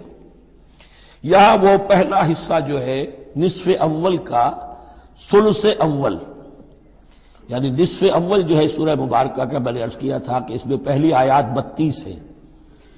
जनरल है, तबहीदी हैं, दीन के बड़े जो गहरे उसूल हैं, वो है दुआएँ तलकीन की गई हैं, महकमात और मुतशाबहात का फ़र्क वाजे किया गया है। लेकिन अब दूसरे हिस्से में सारा खिताब जो है, वो बराह रास्त ईसाइयों से है। और उन्हें बताना यह है कि हज़रत ईसा को जो तुमने महबूद बना लिया, या तो तसलीस की शक्ल दे दी, ट्रिनिटी, या गॉड इनकारनेट बना दिया। तसलीसें भी दो तरह की रही हैं, अल्लाह भी और मरियम भी और ईसा भी। और दूसरी तसलीस जो है, जो अब दुनिया में आम है, वो है अल्लाह और रूहुल कुदस और हज़रत ईसा। तो ये जो तसलीसें तुमने ईजाद कर ली कि कोई बुनियाद नहीं है। ये तुम्हारी कजरवी है, तुमने गलत शक्ल इख्तियार की है। ईसा सलाम बहुत बरगुजीदा पैगंबर थे। हाँ उनकी विलादत मौजाना तरीके पर हुई है, लेकिन अगर उनकी विलादत मौजाना तरीके पर हुई है तो उनसे मुतसिलन कबल याहिया की जो विलादत हुई है, वो भी मौजाना हुई है। वो भी कोई कम मौजा नहीं था। तो मौजे, और फिर आदम की जो विलादत हुई या आदम को जो पैदा किया अल्लाह ने तो ज़ाहिर बात है कि वो अपनी जगह पर जहाँ से नस्ल इंसानी का आगाज़ हुआ तो यही बात अगर दलील हो जाए उलूहियत की तो ये तो फिर आदम को भी इलाह मानो। और और याया को भी इलाह मानो। तो सारी बहस इस पर हो रही है। इन अल्लाफा आदम वनूहन व आला इब्राहिम व आला इमरान आलमीन। यकीन अल्लाह ने चुन लिया आदम को और नूह को और आल इब्राहिम को और आल इमरान को तमाम जहान वालों पर। तमाम जहानों पर नहीं, तमाम जहान वालों पर। हज़रत आदम का भी इस्तीफा हुआ है। इसमें कुछ उन लोगों के लिए दलील बनती है जो समझते हैं कि जो तखलीक आदम है, इसमें पहले कोई स्पीशीज वजूद में आई थी और उस स्पीशीज उस नौ के एक फर्द को अल्लाह ने चुनकर उसमें फिर अपनी रूह फूकी है तो वो आदम बन गए। तो वो भी सिलेक्टेड थे। इस्तीफा के मानी होता है, किसी में से चुन लेना। बहरहाल, एक आम मानी भी हो जाते हैं, पसंद कर लेने के मानी भी हो सकते हैं। इन आदम व नूहन। और फिर नूह को पसंद किया, आला इब्राहिम। इब्राहिम के घर को, उनके खानदान को, व आला इमरान। इमरान जो है, बनी इसराइल की तारीख में दो अजीम शख्सियतों के नाम हैं। एक तो हज़रत मूसा के वालिद का नाम भी इमरान था, और एक हज़रत मरियम के वालिद का नाम भी इमरान था। हज़रत ईसा के नाना इमरान हुए, और हज़रत मूसा के वालिद इमरान थे। यहाँ पे गालिबन हज़रत मूसा के वालिद मुराद है। लेकिन चूँकि आगे सारा मामला हज़रत मरियम का आ रहा है तो शायद ऐन मुमकिन है कि यहाँ पर इशारा उनके नाना की तरफ़ हो। जुर्रियतन बाद में बाद, और ये सब जो है एक दूसरे की नस्ल से है, एक दूसरे की औलाद से है। नूह हज़रत आदम की औलाद से हैं, इब्राहिम हज़रत नूह की औलाद से हैं, फिर उनके पूरा खानदान, बनी इसमाइल, बनी इसराइल, ये उनकी औलाद में से हैं। वल्लाह समी अलीम, अल्लाह समी और अलीम है। इस कालत इमरात इमरान रब इन्नी नज़र तो लका माफ़ी बतनी मुहर्रन फतकबल मिन्नी। अब ये जो इमरान की बीवी है, यानी हज़रत मरियम की वालदा, ये बहुत नेक औरत थी, बहुत ही मुतकी नेक, जाहिद। उनको हमल हुआ तो उन्होंने परवरदिगार से एक मिन्नत मानी, नज़र पानी रब इन्नी नज़र तो लका माफ़ी बतनी, जो मेरे पेट में, जो भी बच्चा अल्लाह तू पैदा फरमा रहा है, मैं तेरी ही नज़र करती हूँ। यानी दुनियावी कोई जिम्मेदारियों का बोझ उस पर नहीं हम डालेंगे। और हैकल की खिदमत के लिए, दीन की खिदमत के लिए, तौरात की खिदमत के लिए उसको वक्त कर देंगे। हम अपना भी कोई बोझ उन पर नहीं डालेंगे। इस तवक्को में कि अल्लाह बेटा अता करेगा। मुहर्रन के मतलब है उसे आज़ाद कर देंगे। तहरीर आज़ाद कर देना हुर से कि कोई ज़िम्मेदारी उस पर नहीं होगी, उसे हम खालिश कर देंगे तेरे दीन की खिदमत के लिए और हैकल की खिदमत के लिए। फतकबल मिन्नी तो अल्लाह मेरी इस नज़र को तू कबूल फरमा, ले शर्फ कबूल अता फरमा। इन का अंत समीउल अलीम यकीन तू सब कुछ सुनने वाला और सब कुछ जानने वाला है। फलम्मा वजात हा कालत रब इन्नी वजात हा उनसा। अब जब वज हमल हुआ तो फिर उसने कहा अल्लाह, ये तो मैं एक बेटी जन्म गई हूँ, यानी मेरी तो यहाँ बेटी हो गई है। मैं तो बीज बच्ची के बेटा आएगा तो उसको उसको जो है मैं वक्फ कर दूँगी। उस वक्त तक हैकल के खादमों में किसी खातून को, लड़की को कबूल नहीं किया जाता था। वल्लाह आलम बिमावजात अल्लाह फरमा रहे कि अल्लाह बेहतर जानता है, जानता था कि क्या उसने जना है। उसे क्या पता कैसी बेटी जनी है। वह लैस जकर कल उनसा। और कहा कौन, कहीं, कहा होगा कोई बेटा उस बेटी जैसा? इसके दोनों मानी किए गए। एक तो ऐसा कि ये गोया कि कौल माना जाए हज़रत मरियम की वालदा का। कि लड़का तो लड़की की तरह नहीं होता। अब लड़का होता तो मैं उससे खिदमत के लिए वक्त कर देती, ये तो लड़की हो गई। और एक ये भी है कि अल्लाह की तरफ़ से इसको माना जाए, वल्लाह आलम बिमा कोई बेटा ऐसा हो ही नहीं सकता जैसी बेटी तुम्हें दी है। वह इन्नी सब मैं तो हा मरियम, और वही अब उनका कलाम शुरू हुआ, उनकी वालदा का मरियम की। मैंने उसका नाम मरियम रखा है। वह इन्नी वही जुहाबे का और अल्लाह मैं उसे तेरी पनाह में देती हूँ वजुर्रियत और जो भी उसकी औलाद हो, नस्ल हो, उसको भी तेरी पनाह में देती हूँ मैंने शैतान रजीम, मरदूद शैतान के हमले से, कि अल्लाह इनको, मरियम को भी, और इसकी आने वाली औलाद को भी तो बहुत ही अपनी हिफाजत में रखियो, शैतान से बचाइयो। फतकबलहा रबहा कबूल हसन। तो कबूल फरमा लिया उन्हें, यानी हज़रत मरियम को उनके रब ने बड़ी ही उमदगी के साथ। कबूल हसन। शर्फ कबूल अता फरमाया, बड़ी ही खूबसूरत अंदाज में। वहम्बता नबातन हसना। और उनकी परवरिश की बहुत ही उमदा तरीके पर, बहुत आला तरीके पर। वह कफ़लहा जकरिया। और उनको किफालत में दे दिया, तरबियत में दे दिया हज़रत जक्रिया के। ये हज़रत जक्रिया जो है, ये खालू थे हज़रत ईसा के, हज़रत मरियम के, हज़रत मरियम के खालू। तो हम उनकी तहवील में, और वो उस वक्त के चीफ काहिन थे, chief priest of the temple हैकल सुलेमानी के, वही नबी भी थे, और वही वहाँ के सबसे बड़े जो है, जो आजकल हम समझते हैं मुजाविर वगैरह तो वो मकाम उनका काहिनों का होता था। वह कफ़ला जकरिया, कुल्लमा दखल अलहा जकरियल मेहराब, जब कभी भी जकरिया उनके पास जाते थे मेहराब में, वजदा इंदहा रिश्ता वो देखते थे, मेहराब हुजरों की शक्ल के अंदर, जो जैसे बने होते हैं मस्जिदों के साथ तो ऐसे एक हुजरा उनको दे दिया गया कि अल्लाह के लिए नज़र की गई है और उनको कबूल कर लिया गया है तो अब उनके लिए यहाँ पर ये ये हुजरा है, इसमें वो रहती हैं। लेकिन जब भी वो हुजरे में जाते थे तो देखते थे उनके पास खाना, मेवे रखे हैं बगैर मौसम के, और बाद लोगों की राय यह भी है कि यहाँ से मुराद मादी खाना नहीं है, बल्कि इल्म हिकमत। कि जब हज़रत जक्रिया उनसे बात करते थे तो ये कि उन्हें हैरान रह जाते थे कि इस लड़की को ये, इस कदर हिकमत कहाँ से मिल गई, इतनी मार्फत कहाँ इसको हासिल हुई। काला, या मरियम, अन्ना लके हाजा? वो पूछते, है मरियम, ये तुम्हें कहाँ से चीज़ें मिलती हैं? ये खाने कहाँ से आ जाते हैं? ये बेमौसमी फल कहाँ से आ जाते हैं? या ये इल्म हिकमत की बातें तुम्हें कैसे मालूम होती हैं? कालत हुआ बिन इंदिल्ला तो वो कहती थी ये सब अल्लाह की तरफ़ से है, उसका फजल है, उसका करम है। इन यर्जुकमन यशाओ बगैर हिसाब यकीन अल्लाह ताला जिसको चाहता बगैर हिसाब अता करता है। हुनाल का दा जकरिया रब्बा हुनाल का ये बिल्कुल उस तरह से देर एंड डन। जब ये मुशाहिदा हुआ हज़रत जक्रिया को तो उन्होंने भी एक दुआ की अपने परवरदिगार से। हुनाल का दा जकरिया रब्बा रब, काल रब हबली मिल्लदुन का जरूरियतन तो ये अल्लाह, मुझे भी बड़ी कोई पाकिजा औलाद अता कर दे। बहुत बूढ़े हो चुके थे।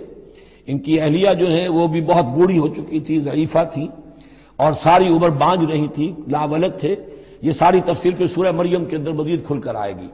इसलिए कि यही मजामी वहाँ बयान हुए थे, मक्की दौर में, जबकि हिजरत हबशा के लिए मुसलमान गए थे।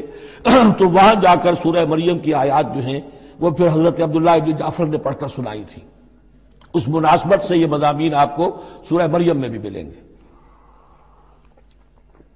सारी उम्र बूढ़े रहे और और बे औलाद रहे, लेकिन अब वो एक दबी हुई ख्वाहिश, चिंगारी, वो भड़क उठी अल्लाह, इस बच्ची को तो ये कुछ दे सकता है? तो तेरी कुदरत है मुझे भी जुर्रियत तय्यबा, पाकिजा औलाद अता फरमा। इन कसमी दुआ यकीन तू दुआ का सुनने वाला है। फनादत मलाय का तो तो फरिश्तों ने उन्हें पुकारा, पुकार कर कहा, निदा की। वह हुआ कायम युसली फिल मेहराब। और वो खड़े हुए नमाज़ पढ़ रहे थे अपनी मेहराब में। उनका भी हुजरा था। अल्लाह युबशरों का भी याहिया। अल्लाह ताला तुम्हें बशारत देता है जक्रिया याहिया की। मुसद्दकम बेकलमतिल्लाह जो तस्दीक करेगा एक ऐसे शख्स की जो अल्लाह का खास कलमा होगा, यानी हज़रत ईसा। कलमत मिन हूँ ये बाद में बातें आएँगी। वह सैदन और सरदार होगा, वह हसूरन और तजरुद की ज़िंदगी गुजारेगा, वह नबीयम मिन सालहीन और नबी होगा सालहीन में से। यहाँ नोट कर लीजिए कि आखिरी मदह का लफ्ज जो हज़रत याहिया के लिए आया है, वो नबी है, नबीयम मिन सालहीन। काल रब अन्ना गुलाम। अभी खुद दुआ कर रहे थे, लेकिन गालिबन उसकी बड़ी तोसीक चाह रहे हैं अल्लाह से। रीएश्योरेंस कहा, परवरदिगार, मेरे यहाँ कैसे बेटा हो जाएगा? वक़द बलग नियल के बरो जबकि मैं इंतहाई बुरा हो चुका हूँ। वह अमराती आखिर और मेरी बीवी जो है बांझ रही है। काल कजाल अल्लाह यफलमा यशा। तो उन्होंने कहा कि अल्लाह ने फरमाया कि अल्लाह करता है इसी तरह, या फरिश्तों ने जवाब दिया, जो चाहता है करता है, उसे असबाब की एहतियाज नहीं है। असबाब उसके मोहताज हैं, अल्लाह असबाब का मोहताज नहीं है। काल रबी जाली आया। उन्होंने अर्ज़ किया, परवरदिगार, मेरे लिए कोई निशानी मुकर कर दे, मुझे मालूम हो जाए कि वाकई ऐसा होना है, और वाकई ये कलाम जो मैं सुन रहा हूँ तेरी तरफ़ से है। काल आयत का अल्लाह तो कल मन्ना सलासता याबिन रमजा। अल्लाह ने फरमाया कि अब निशानी यह है तुम्हारे लिए कि अब तीन दिन तक तुम लोगों से गुफ्तगु नहीं कर सकोगे, सिवाय इशारे किनाए के। यानी कुत गोयाई सल्ब हो गई उनकी। अब वो बोल नहीं सकते थे, तीन दिन तक। वस्को रब का कसीरन। अपने दिल में, अपने रब को याद करते रहो कसरत के साथ। वह सब बिल अशी ये वलिबकार और तस्वीर किया करो शाम के वक्त भी और सुबह के वक्त भी। वह इस कालत मलायक तो या मरियम इस्तफा के। अब देखिए ये हज़रत जक्रिया और हज़रत याहिया का किस्सा आ गया कि बांझ बूढ़ी औरत के बतन से शदीद ज़यीफी की उम्र में हज़रत जक्रिया को अल्लाह ने याहिया जैसा बैठा दे दिया। तो क्या यह आम कानून के मुताबिक है? यह भी तो मौजूदा था। इसी तरीके से इससे जरा बढ़कर एक मौजूदा है कि जो हज़रत मसीह का है, कि वहाँ बाप का मामला नहीं है। फरमाया बस्कालत मलाय का तो या मरियम, और याद करो जबकि कहा फरिश्तों ने, ए मरियम इन के व तहर के वस्तफ़ा के अलासाइल आलमीन। यकीन अल्लाह ने तुम्हें चुन लिया है, और तुम्हें खूब पाक कर दिया है, और तुम्हें चुन लिया है तमाम जहान की खातन पर। या मरियम उकनोतील रब के ए मरियम, अब अपने रब की फरमा बरदारी करती रहो।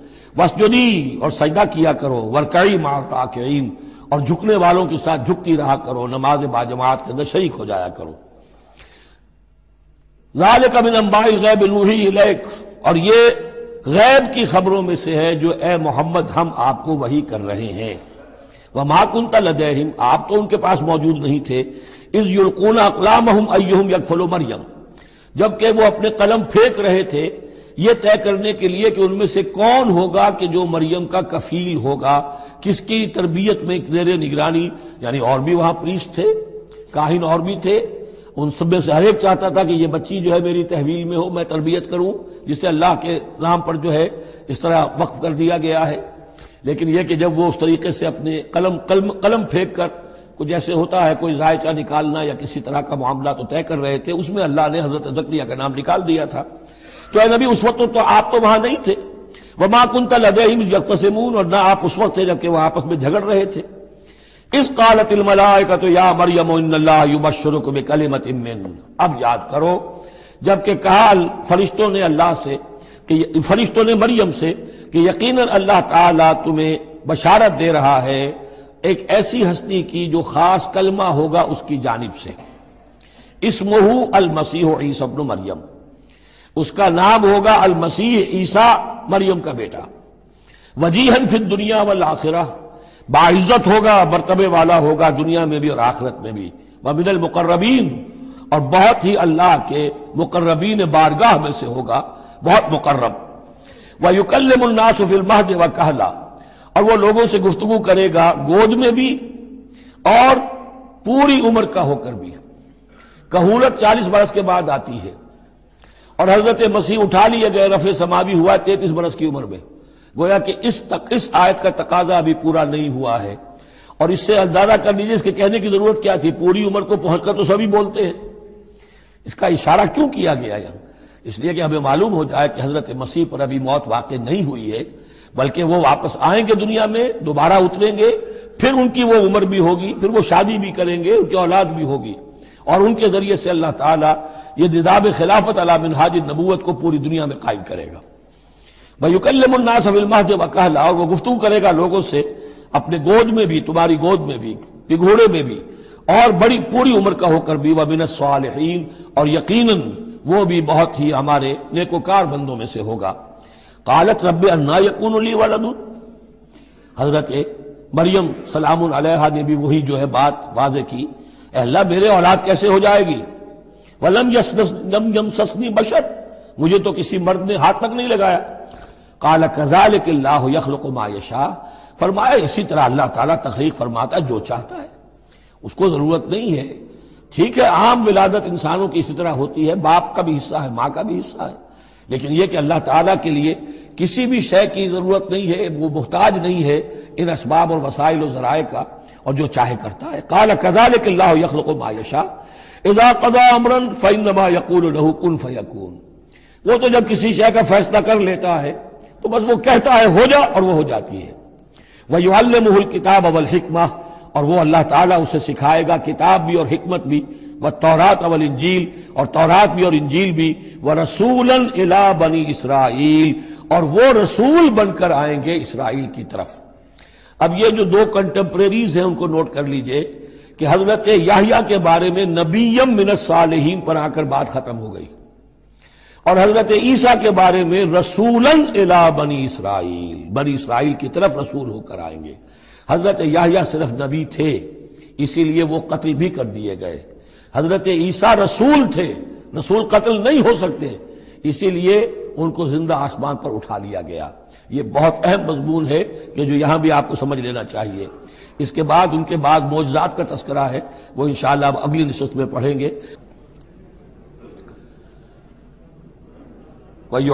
किताब वलहकमत व तौरात वलंजील व रसूलन इला बनी इसराइल। सदक़ल्लाज़ीम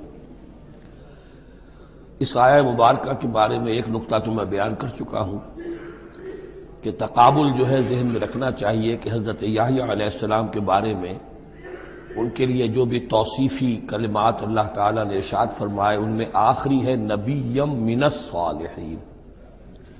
और हज़रत ईसा के लिए यहाँ पर जो अल्फाज आए हैं रसूलन इला बनी इसराइल। इसको नोट कर लीजिए, फिर आइंदा चलकर इसके और भी हवाले आएँगे। दूसरी बात जो नोट करने की है वो ये कि किताब और हिकमत और तौरात और इंजील, इन चार चीज़ों के माबेन जो तीन वाव आए हैं, उनमें से दो वाव अतफ है, एक वाव तफसीर है। अल्लाह उनको सिखाएगा किताब और हिकमत, यानी तौरात और इंजील। ये दरमियानी वाव जो है, ये यानी के मानी में है। इसलिए कि जैसा कि मैं कई मरतबा पहले बता चुका हूँ तौरात में सिर्फ़ अहकाम थे, हिकमत नहीं थी। इंजील में सिर्फ़ हिकमत है अहकाम नहीं है। और इसी नुकते को समझ लेने से सारी गुत्थी हल होती है, और अगर इसी को नहीं समझा है लोगों ने तो फिर बहुत उनके जहनों में परेशानियाँ रहती हैं। तो इस मकाम को नोट कीजिए युल किताब अवल हमत अल्लाह उसे सिखाएगा, किताब भी और हिकमत भी। वत तौरात अवल इंजील, यानी तौरात भी और इंजील भी। व रसूलन इला बनी इसराइल। अन्नी कज्जे तो कुम बे आयत रब अभी तक गुफ्तु हो रही थी कि हज़रत मरियम सलाम को ये सारी खुशखबरियाँ अल्लाह ताला की तरफ़ से दी गई। अब यूँ समझिए to cut a long story short दरमियान का वक्फा, उनकी विलादत हुई, वो पले, बढ़े, वो सारी तारीख बीच में से हजफ करके नक्शा खींचा जा रहा है अब, कि हज़रत मसीह ने अब अपनी दावत का आगाज़ कर दिया है। अन्नी कज्जे तो कुंभ आयत में रब कुम मैं तुम्हारे पास आया हूँ, तुम्हारे रब की तरफ़ से निशानी लेकर। अन्नी अखल को लकुम नकीन कहे अतितर, कि मैं तुम्हारे सामने या तुम्हारे लिए बनाता हूँ गारे से एक परिंदे की शक्ल। फान फकूफी है फिर मैं उसमें फूक मारता हूँ। फयकून कैरम बेजल्ला तो वह बन जाता है उड़ता हुआ परिंदा अल्लाह के हुक्म से। यहाँ आप नोट करते जाइएगा, हर मुआवजे के बाद बेइज्ला बेइज्ला बेइज्ला यानी ये मेरा कोई दावा नहीं है, मेरा कोई कमाल नहीं है, ये जो कुछ है वो अल्लाह के हुक्म से है। वब्रकमह वल अबरसा वहील मोता बेइज्ला और मैं शिफा दे देता हूँ, मादरजात अंधे को भी और कोढ़ी को भी, और मैं मुर्दा को ज़िंदा कर देता हूँ बेइज्ला अल्लाह के हुक्म से।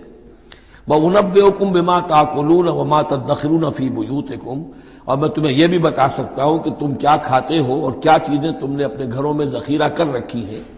इन नफीजा लेकर आयत अल्लकुम इसमें तमाम चीज़ों में तुम्हारे लिए निशानी है इनकुल तुम मोमिन अगर तुम ईमान वाले हो या ईमान लाना चाहो। यानी यह कि अपनी रिसालत के, सदाकत और हकानियत के, दलील के तौर पर यह मौजाद पेश फरमाए। वह मुसद माँ बैन यदैया मिनत तौरात। और मैं तस्दीक करते हुए आया हूँ उसकी कि जो मेरे सामने मौजूद है तौरात में से।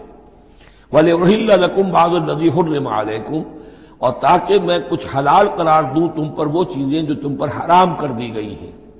ये असल में इशारा है सब्त के हुक्म के बारे में कि जैसे हमारे यहाँ भी बाज जो मजहबी मिजाज के लोग होते हैं, उनमें फिर बड़ी सख्ती पैदा हो जाती है, गुलूब करते चले जाते हैं दीन के अहकाम में। तो सब्त के हुक्म में यहूदियों ने इस हद तक गुरू कर लिया था कि किसी मरीज़ को दुआ करना उसके लिए कि अल्लाह उसको शिफा दे दे, ये भी नहीं करना, कुछ नहीं करना। कोई काम गोया कि यह भी दुनिया का काम है। लिहाजा इसकी एक इंतहा तक वो पहुँच गए थे जिनको आके हज़रत मसीह ने फिर उस, उसकी वजाहत की कि यह चीज़ के, उसकी तकाजों में शामिल नहीं है। वजह तो कुंभ आयत मिर रब और मैं तुम्हारे पास लेकर आया हूँ। निशानी तुम्हारे रब की तरफ़ से फतकुल्लाह वातीउल बस अल्लाह का तकवा इख्तियार करो और मेरी इतात करो। इन अल्लाह रब्बी व रबुकुम फाबदू यकीन अल्लाह ही मेरा भी रब है और तुम्हारा भी रब है। बस उसी की बंदगी करो।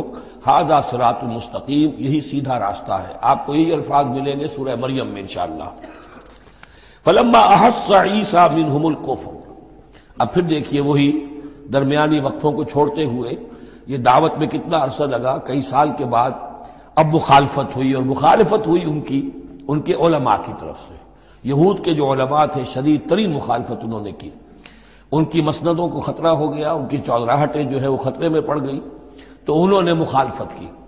और उस वक्त तक ज़ाहिर बात है कि यहूदियों पर उनके ओलमा का जो है असर रसूख बहुत ज़्यादा था। फलम्मा अहसा फलम्मा अहसा ईसा बिन कुफरा।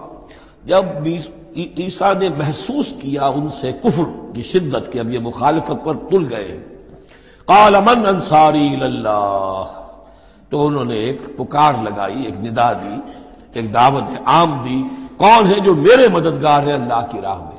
यानी अब जो कशाकश होने वाली है, जो तसादुम होने वाला है, इसमें एक हिजबुल्लाह बनेगी और एक हिजबुल हिजबुल शैतान होगा। कौन है जो मेरा मददगार हो? इल्लाह अल्लाह के काम में। यही असल असास है, दीन में काम करने के लिए कि इसी बुनियाद पर कोई शख्स उठे तो मैं दीन का ये काम करना चाहता हूँ, कौन है जो मेरा साथ दे? ये एक बिल्कुल तभी तरीका होता है जमात साजी का। एक दाई, और दाई पर एतबाद करने वाले, दाई से इतफाक करने वाले लोग उसके साथी बन जाते हैं। साथी उसके जाती एतबार से नहीं होते। उसकी हुकूमत कायम करने के लिए नहीं, अल्लाह की हुकूमत कायम करने के लिए। उसकी सरदारी के लिए नहीं, अल्लाह ताला के दीन के गलबे के लिए। काल हवारीयून नहन अंसारुल्लाह। कहा हवारीन ने कि हम हैं अल्लाह के मददगार। हवारी जो है असल में, इसके मानी है धोबी, जो कपड़े को धोकर साफ़ कर देता है। ये लफ्ज फिर आगे बढ़ा है, अपने किरदार को साफ़ करना, अपने अखलाक को साफ़ करना। लेकिन चूँकि हज़रत मसीह की बहुत सी जो तबलीग थी, वो गलीली झील के किनारों पर होती थी।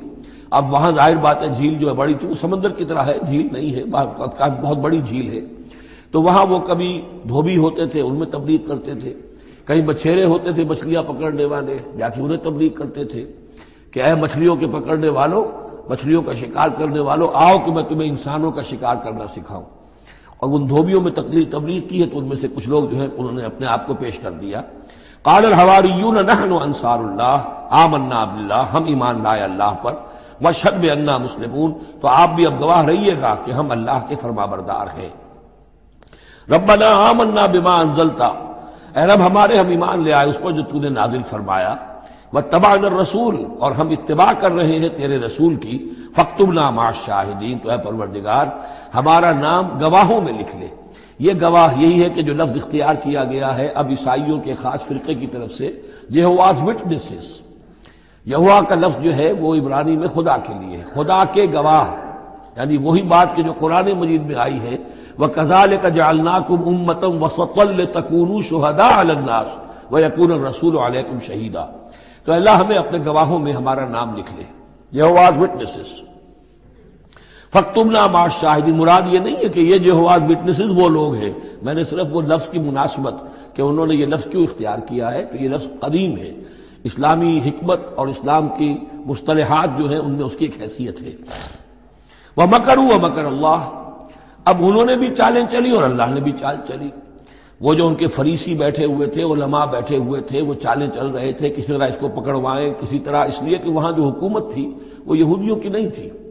अगरचे यहूदी एक बादशाह था पपेट किंग जैसे किंग फारूक होते थे, मिस्र के अंदर असल हुकूमत अंग्रेज़ों की थी, लेकिन किंग किंग फारूक बैठे हुए हैं। इसी तरह का वो पपेट किंग था कि जो यहूदियों में से था। असल हुकूमत थी रोमियों की। और रूमी गवर्नर पायलट स्पॉन्टिस वो वहाँ पर मौजूद था। और इस तरह की कोई कैपिटल पनिशमेंट जो है, वो यहूदी खुद नहीं दे सकते थे, जब तक कि वो जो असल गवर्नर है, उसकी तरफ़ से उसका हुक्म सादिर ना किया जाए। लेकिन इनकी मजहबी अदालतें थी, उसमें बैठकर ये इनके मुफ्ती, इनके फरीसी, इनके ओलमा बैठ के फैसले करते थे। और अगर वो फैसला दे देते थे तो उन फैसलों की एग्जीक्यूशन जो है, वो फिर रोमन गवर्नमेंट के थ्रू और वो होती थी उसकी जो तनफीस जो है, वो पायलट पायलट स्पॉन्टिस के ज़रिए से। लिहाजा इनके हाथ बंधे हुए थे। अब किसी तरीके से फंसवाएँ इसको। सवाल उल्टे, सीधे करने, ऐसे सवाल करने के जवाब दें तो उसमें बगावत की बू आ जाए। तो कहें, देखो ये, रूमियो, ये तुम्हारा बागी है। इस तरह की वो चालें चल रहे थे। वह मकर व मकर अल्लाह। अल्लाह की अपनी चाल थी। अब अल्लाह की चाल क्या थी? अब उसकी तफसील कुरान में नहीं है। यानी यह कि उस, उनके हवारीन में से ही एक ने धोखा दिया और हज़रत मसीह को गिरफ़्तार करवाया। अब उसके बाद अल्लाह ताला ने जो कुछ इंजील बरनबास में है, कुरान में नहीं है, हदीस में नहीं है, हमारे अव्वलीन जो मुफसरीन हैं, उनके यहाँ भी नहीं है। लेकिन ये इंजील बरनबास, इवंजिलियम बरनाबे, जो पोप की लाइब्रेरी से बरामद हुई है, उसके अंदर ये तफसील है कि जिस हवारी ने आपको गद्दारी करके पकड़वाया था, गिरफ़्तार करवाया था, उसकी शक्ल हज़रत मसीह की बदल बदल बदल दी अल्लाह ने। और वो पकड़ा गया, सूली वो चढ़ा है। और हज़रत मसीह पर वो हाथ डाल ही नहीं सके, बल्कि जिस बाग में आप वो रोपोश थे, जैसे एक कोठड़ी सी बनी हुई थी, जिसमें वो आलात वगैरह रख देते हैं, उस बाग में वो दो पोस्ट थे और उस कोठड़ी में इबादत कर रहे थे। बाकी जो उनके हवारी हैं, बारह वो बाहर थे। उस वक्त वो सुटक गया, एक शख्स वहाँ से चुपके से गया कि अब मैं पकड़ पाऊँगा और जाकर जो है, वो सिपाहियों को ले आया, रात के वक्त नीले लेकर आए। उसने कहा, मैं अंदर जाऊँगा, जिसे मैं कहूँ, ऐ हमारे उस्ताद बस पकड़ लेना, कोई मसीह है। इसलिए कि रूमियों को क्या पता था वो मसीह कौन है? वो तो यहूदी है। लिहाजा जैसे हमारे यहाँ पुलिस वालों को क्या पता है? वो आए हैं, आइडेंटिफाई कौन करेगा? तो उसने कहा कि मैं कहूँगा ऐ मेरे आका, मेरे उस्ताद, बस पकड़ लेना। अब ये जब अंदर दाखिल हुआ तो जैसे ही कमरे में दाखिल हुआ, उस कोठड़ी में उसकी छत फटी, चार फरिश्ते नाजिल हुए, हज़रत मसीह को लेकर वो चले गए। और इस शख्स की शक्ल जो है, वो बदल दी गई हज़रत मसीह वाली। अब ये घबरा कर बाहर निकला तो दूसरे हवारीन जो थे, उन्होंने कहा है हमारे उस्ताद। और उधर से वो सिपाही जो है दाखिल हो गए, उन्होंने उसी को काबू किया, सूली वो चढ़ाया असल में, हज़रत मसीह नहीं। लेकिन ये सारी तफासिल जो है, ये कुरान में भी नहीं है, हदीस में भी नहीं है। जब हदीस में नहीं है, कुरान में नहीं है तो हमारे मुफसरीन के पास भी नहीं हो सकती थी। लेकिन यह कि यह शहादत जो है, ये दर हकीकत उन्हीं के घर से हमें मिली है, और ये पूरी तरीके से फिट इन करती है, पूरी तरीके से। कुरान का जो बयान है, उसमें ये पूरी तरह फिट होती है। वह मकर व मकर अल्लाह, उन्होंने अपनी सी चालें चली, अल्लाह ने अपनी चाल चली, वल्लाह खैरुल माकरीन, और अल्लाह ताला जो है वो बेहतरीन चाल चलने वाला है। इस काल अल्लाह, या ईसा, इन्नी मुतवफ़ी का व राफ़ का इलैया। याद करो जबकि अल्लाह ने ईसा से कहा, ईसा, मैं तुम्हें अब ले जाने वाला हूँ। यह लफ्ज है कि जिसको कादियानियों ने असल में बहुत बड़ी बुनियाद बनाया है अपने गलत अकीदे की, कि वफात मसीह हो चुकी है। इस लफ्ज को अच्छी तरह समझ लीजिए। वफा। वफा के मानिए पूरा करना। वादा वफा करो। वफा। अब इससे जब कहा जाए किसी को पूरा देना तो बाब तफरील में आएगा, वफ़ा युवफ़ी तोफ़ीतन वो हम पढ़ चुके हैं वह मुफियत कुल्लो नफसिन। फ़कै फ़ैज़ा जा, जब वो दिन आएगा वह मुफियत कुल्लो नफसिन माँ आमिलत जो कुछ उन्होंने किया होगा पूरा पूरा उनको दे दिया जाएगा। ये देख लीजिए आयत नंबर पच्चीस। फ़कै फ़ैज़ा जमा ना हम योमिल्ला बफ़ी व मुफियत कुल्लो नफसिन माँ कसबत व हमला युजलमून। हर एक को भरपूर पूरा पूरा बदला उसके अमाल का दे दिया जाएगा। यह है किसी को पूरा पूरा देना, किसी से पूरा पूरा ले लेना यह बाब तफाउल होगा। तवफ़ा या तवफ़ा किसी को पूरा ले लेना। तो पूरा ले लेता है अल्लाह ताला ने यह लफ्ज जो है, पूरा बतमाम कमाल ये गोया के मुंतबिक होता है हज़रत मसीह पर कि हज़रत मसीह को उनके जिस्म और जान समेत अल्लाह ले गया। हम जब कहते वफात पा गया तो यह है इश्तारतन जिस्म यही रह गया, सिर्फ़ जान गई है। और यही लफ्ज कुरान में आता है, नींद के लिए भी। अल्लाह यतवफ़ल अनफुसहीना मौतहा। इसलिए कि नींद में भी यह होता है कि खुद शौरी निकल जाती है इंसान में से। अगरचे ज़िंदा है, अब उसको अगर कोई च्यूटी काट रही है तो जाग जाएगा। लेकिन वैसे उसकी खुद शौरी खत्म हो चुकी है। और रूह का ताल्लुक है खुद शौरी के साथ। तो नींद में भी अल्लाह ताला रूह को कब्ज कर लेता है। उसके लिए भी तवफ़ी का लफ्ज है। फिर जब इंसान मरता है तो रूह और जान दोनों चली गई। और सिर्फ़ जिस्म रह गया, ये भी तवफ़ी है। और सबसे ज़्यादा मुकम्मल तवफ़ी क्या है कि अल्लाह ताला हज़रत मसीह को उनके जिस्म, जान और रूह तीनों समेत समोचे हज़रत मसीह को ज़िंदा जू का तू ले गया। ये है अकीदा जो मुसलमानों का है, और जहाँ तक लफ्ज का ताल्लुक है, उसमें कतरन कोई बात जो है, इसमें ऐसी नहीं है कि जिससे कोई शख्स दलील पकड़ सके, सिवाय इसके कि उन लोगों को बहकाना आसान है जिन्हें अरबी जबान की ग्रामर से वाकफियत नहीं। वो एक ही वफात जानते हैं। वफात तीन हो गई हैं अजलू कुरान जो मैंने आपको समझाई है। वह इसकार इसकार अल्लाह ईसा इन्नी मुतवफ़ी का, मैं तुम्हें ले जाऊँगा, व राफ़ो का इलैया, और तुम्हें अपनी तरफ़ उठा लूँगा। वह मुतहरों का मैंने लजीना कफरू, और तुम्हें पाक कर दूँगा उन लोगों से जिन्होंने तुम्हारे साथ कुफर किया है। वह जाइन तबाऊ का फ़ौकल लजीन कफरुयाम और जो लोग भी तेरी पैरवी करेंगे, उन्हें अब हमेशा हमेश के लिए क्यामत तक उनके ऊपर रखूँगा कि जिन्होंने कुफर किया है तेरे साथ। जो तेरा इनकार कर रहे हैं, यहूदी उसके बाद से जो पिसे हैं, आज तक पिस रहे हैं। हज़रत मसीह सन तीस में उठा लिए गए या तैतीस में? और उसके बाद से आपको मालूम है कि मुसलसल सन सत्तर ईस्वी में हैकर सुलेमानी खत्म हुआ। एक लाख बीस हज़ार या एक लाख तैतीस हज़ार यहूदी एक दिन में टाइटस ने कत्ल किए यरूशलेम में, हज़रत मसीह के रफे समावी के चालीस बरस बाद। इनका हैकल सुलेमानी भी, वो जो है वो खत्म कर दिया गया। अब उसकी एक दीवार है। मैं बता चुका हूँ, उन्नीस सौ सत्ताईस, अट्ठाईस बरस हो गए हैं कि उनका काबा गिरा पड़ा है। 1917 से पहले तक, बल्कि यूँ समझिए, पहले 500 बरस तक तो उनका दाखला भी ममनू था। ये तो हज़रत उमर के हाथों जब फतह हुआ है, ये डायस्पोरा का इनका पीरियड कहलाता है। एक पीरियड इनका कैप्टिविटी का था, जबकि वो नबू नज़र ले गया था इन्हें और बेबीलोनिया में कैद में रखा है। वो है उनका पीरियड ऑफ़ कैप्टिविटी उसके बाद वापस आए हज़रत उजैर के जमाने में, दोबारा दूसरा टेंपल बनाया। उसके बाद ये टेंपल सन सत्तर ईस्वी में खत्म हुआ और डायस्पोरा कहलाता है कि मुंतशिर हो जाना। इन्हें वहाँ से निकाल दिया गया था। कि तुम दफ़ा हो जाओ यहाँ से फिलिस्तीन में तुम नहीं रह सकते। कोई रूस चला गया, कोई हिंदुस्तान चला गया, कोई मिस्र चला गया, कोई और यूरोप चला गया, पूरी दुनिया में फैल गए। ये डायस्पोरा अव्वलन खत्म हुआ है हज़रत उमर रज़ी अल्लाह तु के हाथ से, जब फतह हुआ है यरूशलम। उस वक्त हज़रत उमर ने इसको, यरूशलम को ओपन सिटी करार दिया कि यहाँ ईसाई भी आ सकते हैं, मुसलमान भी आ सकते हैं, यहूदी भी आ सकते हैं, ये सबका मुश्तरक शहर है। लेकिन जो ईसाई थे यरूशलेम के, उन्होंने जब हैंड ओवर किया था, फतह नहीं किया था मुसलमानों ने यरूशलेम, एक ट्रीटी के तहत, एक माहदे के तहत हैंड ओवर किया था। उस माहदे में यह शर्त उन्होंने लिखवाई थी कि यहूदियों को यहाँ आबाद होने की इजाज़त नहीं देंगे। चुनाचे ये इजाज़त तो हो गई हज़रत उमर के जमाने से कि आ सकते हैं, जियारत कर सकते हैं। लेकिन यहाँ रह नहीं सकते प्रॉपर्टी परचेज नहीं कर सकते, कोई मकान नहीं बना सकते सेटल नहीं हो सकते। ये रहा है जब तक के मौजूद रही है इस्लामी खिलाफत। तुर्कों ने भी इजाज़त नहीं दी। बड़ी से बड़ी रिश्वतें यहूदियों ने देनी चाहिए उन्हें। और दरहकीकत खिलाफत का खात्मा जो करवाया यहूदियों ने, वो इसलिए कि उन्हें यह नज़र आता था कि इस खिलाफत के होते हुए हमारे लिए मुमकिन नहीं रहेगा कि हम किसी तरह भी फिलिस्तीन में दोबारा आबाद हो सके।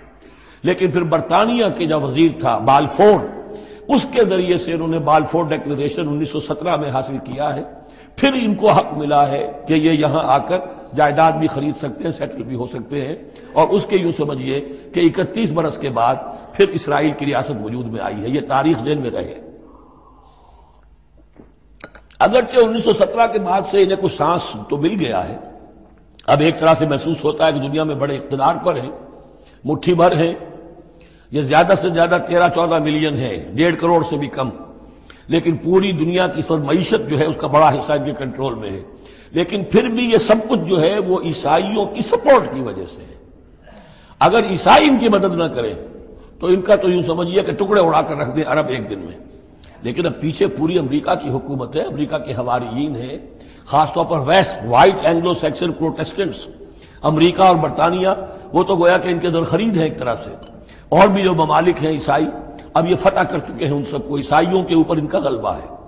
इसलिए अब जो शक्ल है वो भी ये है कि इनका वजूद है यही कि ईसाई है ऊपर और ये मानवी तौर पर साजिशी अंदाज में उन्हें कंट्रोल कर रहे हैं। इस काल अल्लाह ईसा इन्नी मुतवफ़ी का वराफ़े का इलैया व मुताहिर का व मुताहिर का मिन लजीन कफरू व जायल लजीन तबाऊ का फ़ौकल लजीन कफरू इलायोमिल क़यामा। सुम्मा इलैया बरजो कुम फ़ाह कुम बैन कुम फ़ी फिर तुम सब जो है, तुम्हारा लौटना मेरी ही तरफ़ है, और फिर मैं तुम्हें बता दूँगा और फैसला कर दूँगा तुम्हारे माबेन उन बातों में जिनमें तुम इख्तलाफ कर रहे थे। फ़ामल लदीन कफरू फ़वाज़बहम अजाबन शदीदन फिर दुनिया वल आखिरा। तो वो लोग के जो कुफर की रविश इख्तियार करेंगे, मैं उन्हें अजाब दूँगा, बहुत सख्त अजाब, दुनिया में भी और आखिरत में भी। वमा लहम नासरीन, और नहीं होंगे उनके लिए कोई मददगार। लदीन आमन आमिर और जो ईमान लाएँगे और नेक अमल करेंगे फ़युवफ़ी अब देखिए, वफ़ा युवफ़ी देना, पूरा पूरा देना। तो उनको वो पूरा पूरा देगा उजूर हम उनका अजर। वल्लाहिबुलमीन अल्लाह को पसंद नहीं करता। जाल का नतलू आयात हकीम। ये वो चीज़ें हैं जो हम आपको पढ़कर सुना रहे हैं। गोया कि यहाँ भी पस मंजर में हज़रत जब्राईल सलाम है कि अल्लाह ताला की आयात है और ज़िक्र हकीम है जो हम आपको पढ़कर सुना रहे हैं। इन्ना मसला ईसा इंदल्ला का मसल आदम। ईसा की मिसाल अल्लाह के नज़दीक आदम किसी है। खलक मिन तुराबिन सुम खलक खुम काल लहुकुन फयकून। उसे बनाया मिट्टी से, फिर कहा, हो जा, वो हो गया। अब इस ये आयत वो है कुरान मजीद में कि जो लोग भी स्पेशल क्रिएशन के कायल हैं कि हज़रत आदम किसी एवोल्यूशन के नतीजे में, किसी स्पीशीज के वजूद में आने के बाद उसके एक फर्द की हैसियत से नहीं उनका इस्तीफा हुआ, बल्कि वो स्पेशली क्रिएट किए गए हैं मिट्टी से बराह रास्त। उनके हक में ये आयत दलील है। तो ये जो भी नजरियात हैं अभी, चूँकि एवोल्यूशन भी है तो वो भी नज़रिया है। Three of theory of special creation है, वो भी नज़रिया है। नजरियों के बाद में इंसान इधर उधर कोई राय रख सकता है। अभी ये कोई तयशुदा हकाइक नहीं है। इनमें हम गौर कर सकते हैं कि कुरान मजीद में किस मकाम पर किस चीज़ के लिए कोई ताहीद या कोई कोई थोड़ी सी तोसीक निकलती है। तो अल्लाह अल्लाह के नज़दीक तो ईसा की मिसाल ऐसे ही है, जैसे आदम उसे मिट्टी से बनाया और कहा, कौन फयाकून? तो अब अगर आदम, अगर स्पेशल क्रिएशन का मामला है तो ना बाप, न माँ। बगैर बाप और बगैर माँ के तो क्या वो इलाह बन गए? बनाने वाला तो अल्लाह है। हज़रत ईसा, माँ तो है, बाप नहीं है। हमल तो हुआ है, नौ महीने माँ के पेट में तो रहे हैं। तो वो तो आदम से कम मामला हुआ तखलीक में एजाज के एतबार से।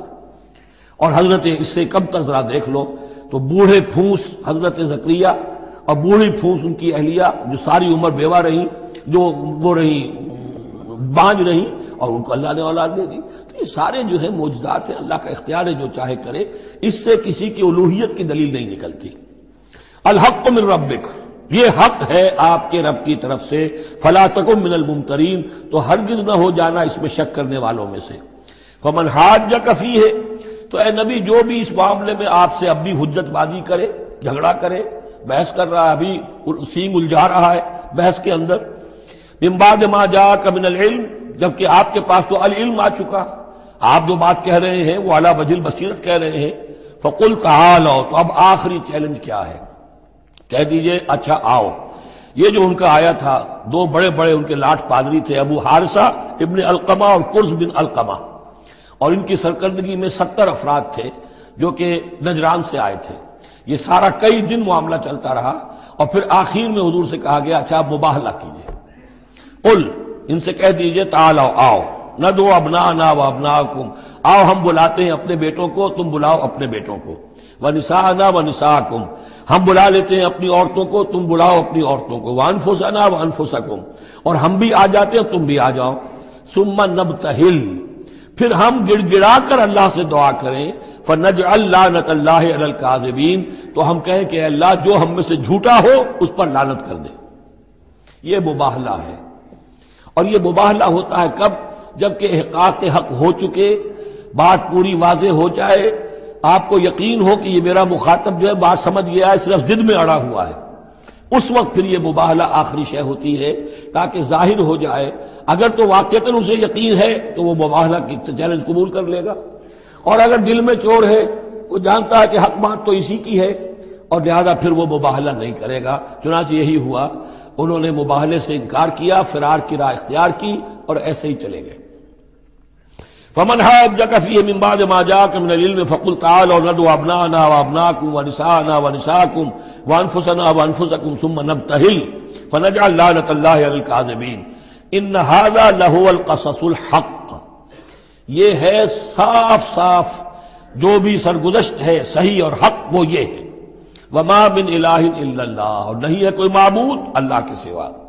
व इन अल्लाह अजीज़ुल हकीम और यकीन अल्लाह ताला ही है ज़बरदस्त और कमाल हिकमत वाला। यहाँ अब दूसरा हिस्सा खत्म हो गया। ये इकतीस आयात हैं। बत्तीस और इकतीस मिलकर ये तिरसठ आयत पर। फ़ैन तवल्लो फिर अगर वो पीठ मोड़ ले फ़ैन अल्लाह अलीम बिलमुफसदीन यहाँ आकर तिरसठ आयात हुई। फिर अगर वो पीठ मोड़ ले तो अल्लाह ताला खूब जानता है मुफसदों को कि ये मानने वाले नहीं है। लिहाजा वो पूरा काफिला वापस चला गया। अब ये जो तीसरा हिस्सा विश्व अव्वल का आ रहा है ये फिर उन्हीं चार रुकुओं के बहुत मुशाबे हैं कि जो सूरह बकरा में आए थे पंद्रहवें से लेकर अठारहवें से लेकर और बीसवें रुकू तक। पंद्रहवें से लेकर अठारहवें रुकू तक। जिसमें तहवील किबला हज़रत इब्राहिम का ज़िक्र काबे का ज़िक्र फिर अहले किताब को दावत वो वो कैफियत आप, आपको यहाँ मिलेगी।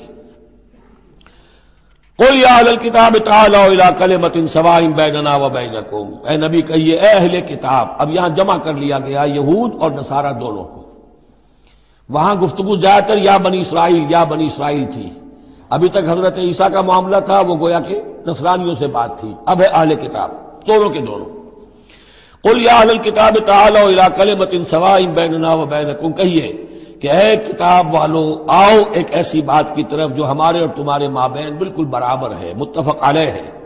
वो क्या है? अल्लाह नाबुदा अल्लाह के सिवा किसी की बंदगी ना करे। वला नुस्र का भी शयन उसके साथ किसी चीज़ को शरीक न ठहराएँ। वला बादन अरबाब और हम में से कोई एक दूसरे को अल्लाह के साथ रब ना बना ले। इससे मुराद क्या है? जैसे कि पोप को इन्होंने रब बना लिया। कि पोप को इख्तियार है जिस चीज़ को चाहे हलाल करार दे दे, जिस चीज़ को चाहे हराम करार देते ये गोया कि उनको, उसको, पोप को भी रब मान लेना है। चुनाचे ये वाक़ है कि मशहूर जो सखी थे, हातिम ताई, उनके बेटे अदी इबन हातिम नजी अल्लाह तारान वो ईमान लाए, ईसाई थे पहले। तो उन्होंने एक मरतबा हजूर से कहा कि ये कुरान ये कहता है कि हमने अल्लाह के सिवा किसी और को रब बना लिया तो ये बात कुछ समझ में नहीं आई, हमने तो किसी को रब नहीं बनाया। तो हजूर ने फरमाया क्या ये सही नहीं है कि तुम्हारे जो पादरी कह दें जो पोप कह दें कि ये हक है ये सही है ये ये जायज़ है उसको तुम जायज़ मान लेते हो जिसको वो कह दें हराम है हराम मान लेते हो? कि जी हाँ, ऐसा तो है।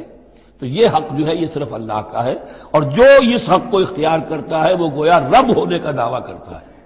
अब ये सारी कानून साजी जो शरीयत के खिलाफ की जा रही है ये खुदाई का दावा है जो लोग कर रहे हैं बैठे हुए। और उन हाउसेज में पहुँचने के लिए जो बेताब होते हैं और उसके लिए करोड़ों रुपया खर्च करते हैं। जहाँ जाकर या तो पहले तय हो जाए यहाँ कोई कानून साजी किताब सुन्नत के मुनाफी नहीं हो सकती। फिर जाइए, फिर वहाँ पर जाकर कानून साजी किताब सुन्नत के दायरे के अंदर अंदर कीजिए। लेकिन जहाँ ये नहीं है तो वो जो फरमाया यहाँ पर नोट कर लीजिए, ताला कलमतिन बिही शैयन वला फिर अगर वो मुँह मोड़ ले फकूलू, ए मुसलमानों, तुम कहो, फकूल शदू अन्ना मुस्लिम अच्छा भाई, आप लोग गवाह रहे, हम तो मुसलमान हैं। हमने तो अल्लाह की इतात कबूल कर ली, हम इन तीनों बातों पर कायम रहेंगे। आपको अगर पसंद नहीं है तो आपकी मर्ज़ी। या अहल किताब, ए किताब वालो लिमत हाजू नफी इब्राहिम? तुम इब्राहिम के बारे में क्यों झगड़ते हो? वमा उनजलत तौरात वल इंजीलो इलामिनबादी हालाँकि तुम भी मानते हो कि तौरात भी उनके बाद नादिल हुई, इंजील भी बाद में नादिल हुई। यहूदियत बाद की पैदावार है और नसरानियत भी बाद की पैदावार है। तो माँ काना इब्राहिम यहूदीम वला नसरानियन वला किन काना हनीफम मुस्लिम वो तो मुसलमान थे, वो तो अल्लाह के फरमा बरदार थे, यहूदी या नसरानी तो नहीं थे। अफला ताकिलून तो क्या तुम अक्ल से काम नहीं लेते? हान तुम हाउला हाजज तुम फ़ी मा लकुम भी इल्म। देखो ये तुम लोग अब तक जो बातें करते रहे हो, तुमने मुबासा किया है वो उन चीज़ों के बारे में भी है जिसका तुम्हें कुछ इल्म है। फलेमा तो हाजूना फीमा लैसा लकुम भी इल्म। ऐसी चीज़ों के बारे में हुज्जतबाजी क्यों करते हो जिनके लिए तुम्हारे पास कोई दलील ही नहीं, कोई बुनियाद नहीं, कोई इल्म नहीं? इब्राहिम को क्या करार दोगे? नसरानी या यहूदी? वल्लाम अल्लाह जानता है, तुम नहीं जानते। माँ काना इब्राहिम यहूदीम वला नसरानिया।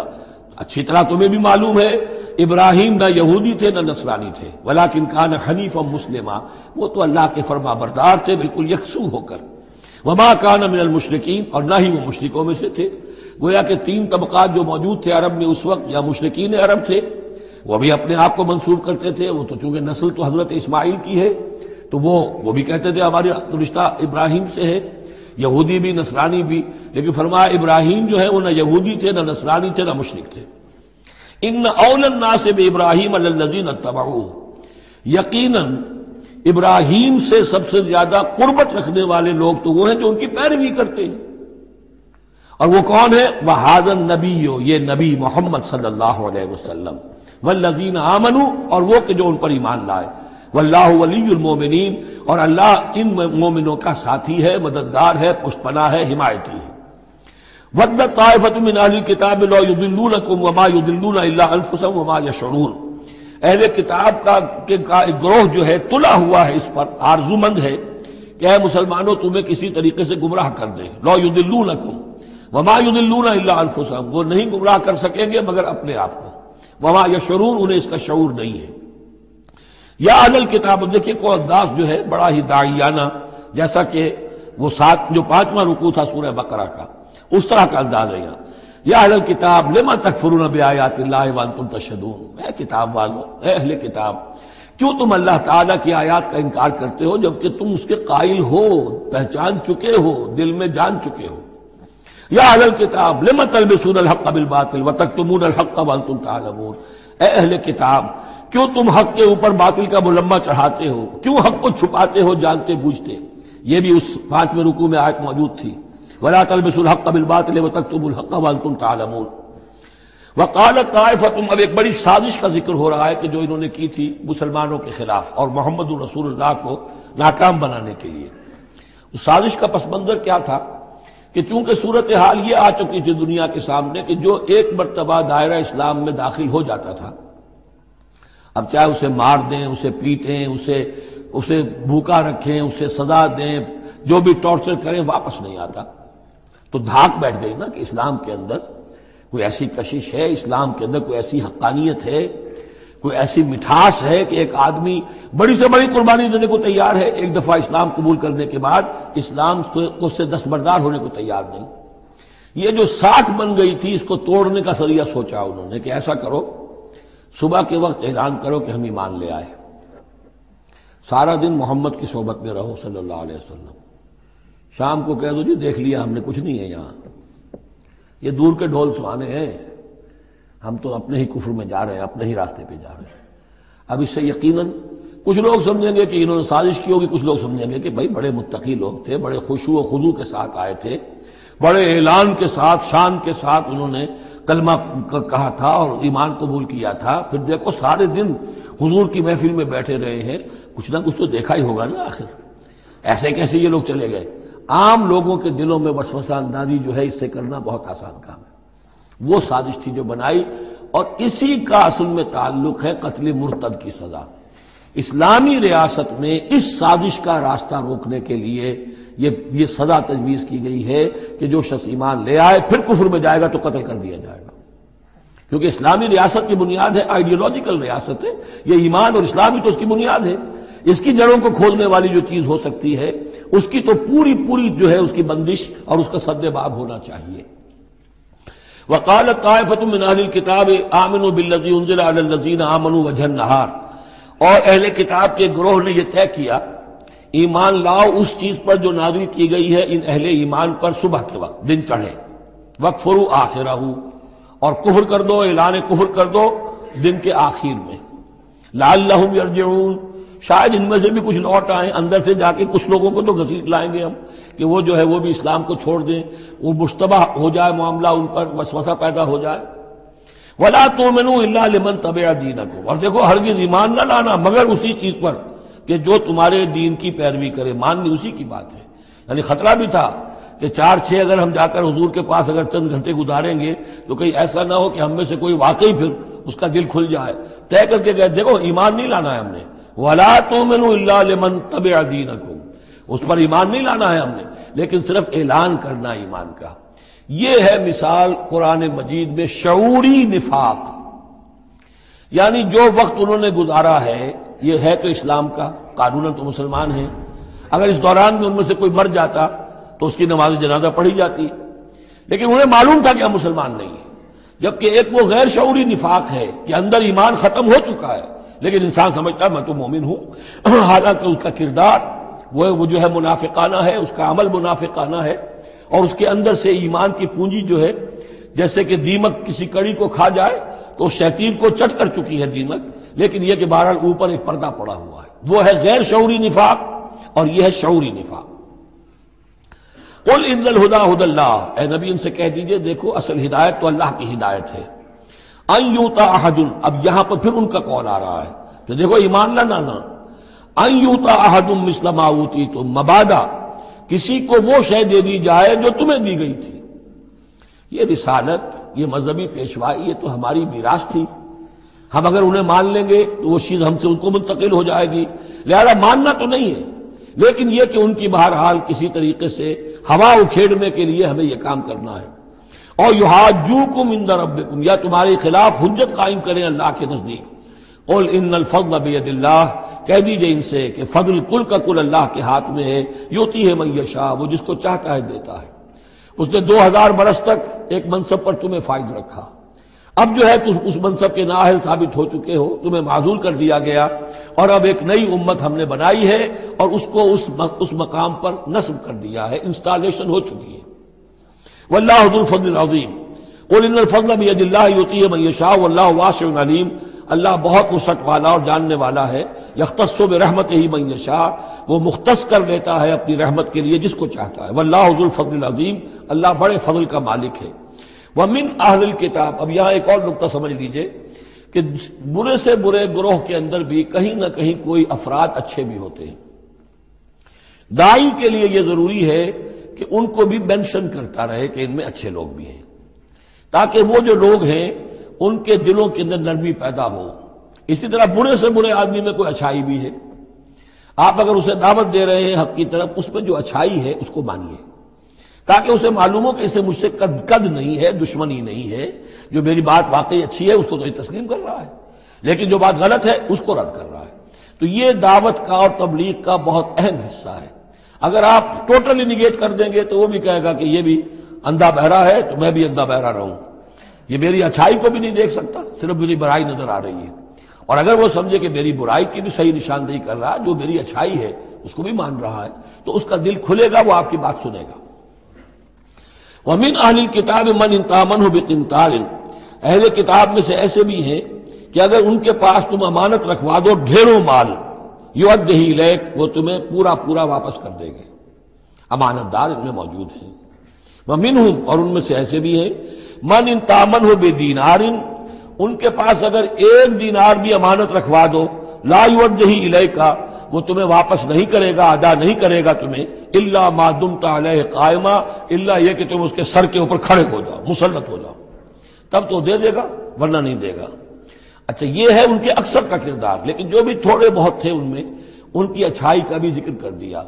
और बिलफेल इस किस्म के किरदार के लोग जो है, वो ईसाइयों में थे, यहूदियों में तो ना होने के बराबर थे। लेकिन आहले किताब का मसला हो रहा है, उसमें ये दोनों ग्रुप मौजूद हैं। जाल का बेअन और यहूदियों में यह किरदार क्यों आ गया है? क्यों बेईमानी, ख्यालत क्यों आ गई?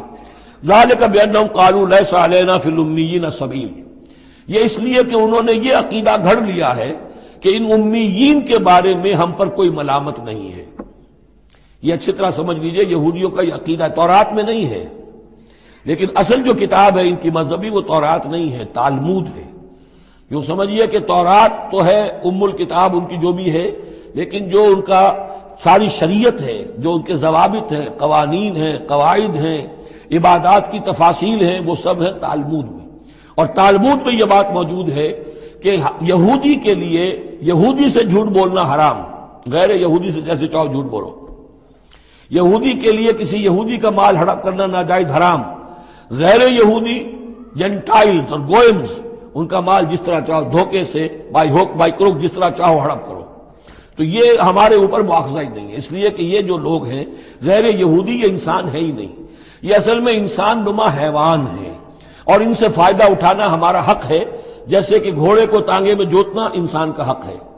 बैल को अपने हल के अंदर जोत लेना, ये इंसान का हक है। तो हमारा हक है इन हैवानों से, हम जो चाहे लूट लें खसूट लें, उनकी रजामंदी से ले लें, जुल्म करें। इसमें हम पर कोई पकड़ नहीं होगी, कोई मुआसबा नहीं। ये तालमूद में बाकायदा लिखा हुआ है। लाल का बयान कालू, इसलिए कि एक पिक्चर भी इस पर बनी है जो अमेरिका के ईसाइयों ने बनाई है the other side of Israel जिसमें कि उन्होंने एक शख्स ने, एक यहूदी कुतुब खाने में जाकर किताबें निकाल निकाल कर, फिर उसके ऊपर निशान लिखाकर, ये ये चीज़ें लिखी हुई हैं क्या यहूदियत का जो असल चेहरा है, वो उस उस उस उस डॉक्यूमेंट्री के अंदर वीडियो के अंदर वाजे कर दिया गया है, उनकी किताबों के हवाले से।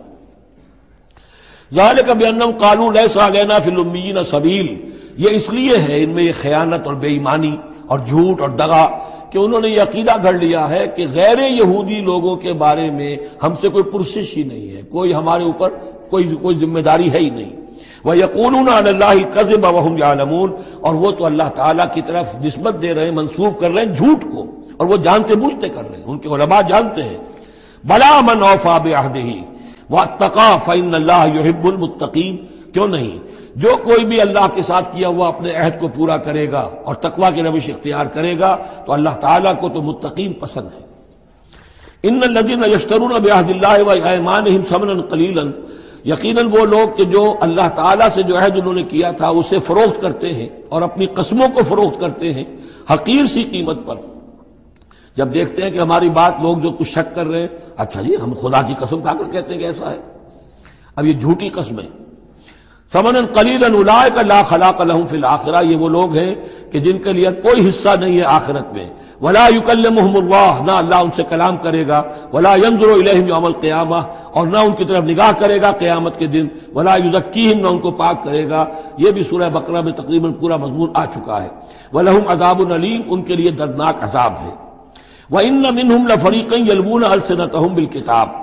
और इनमें से एक ग्रोह ऐसा भी है जो अपनी जबान को तोड़ता मरोड़ता है किताब को पढ़ते हुए।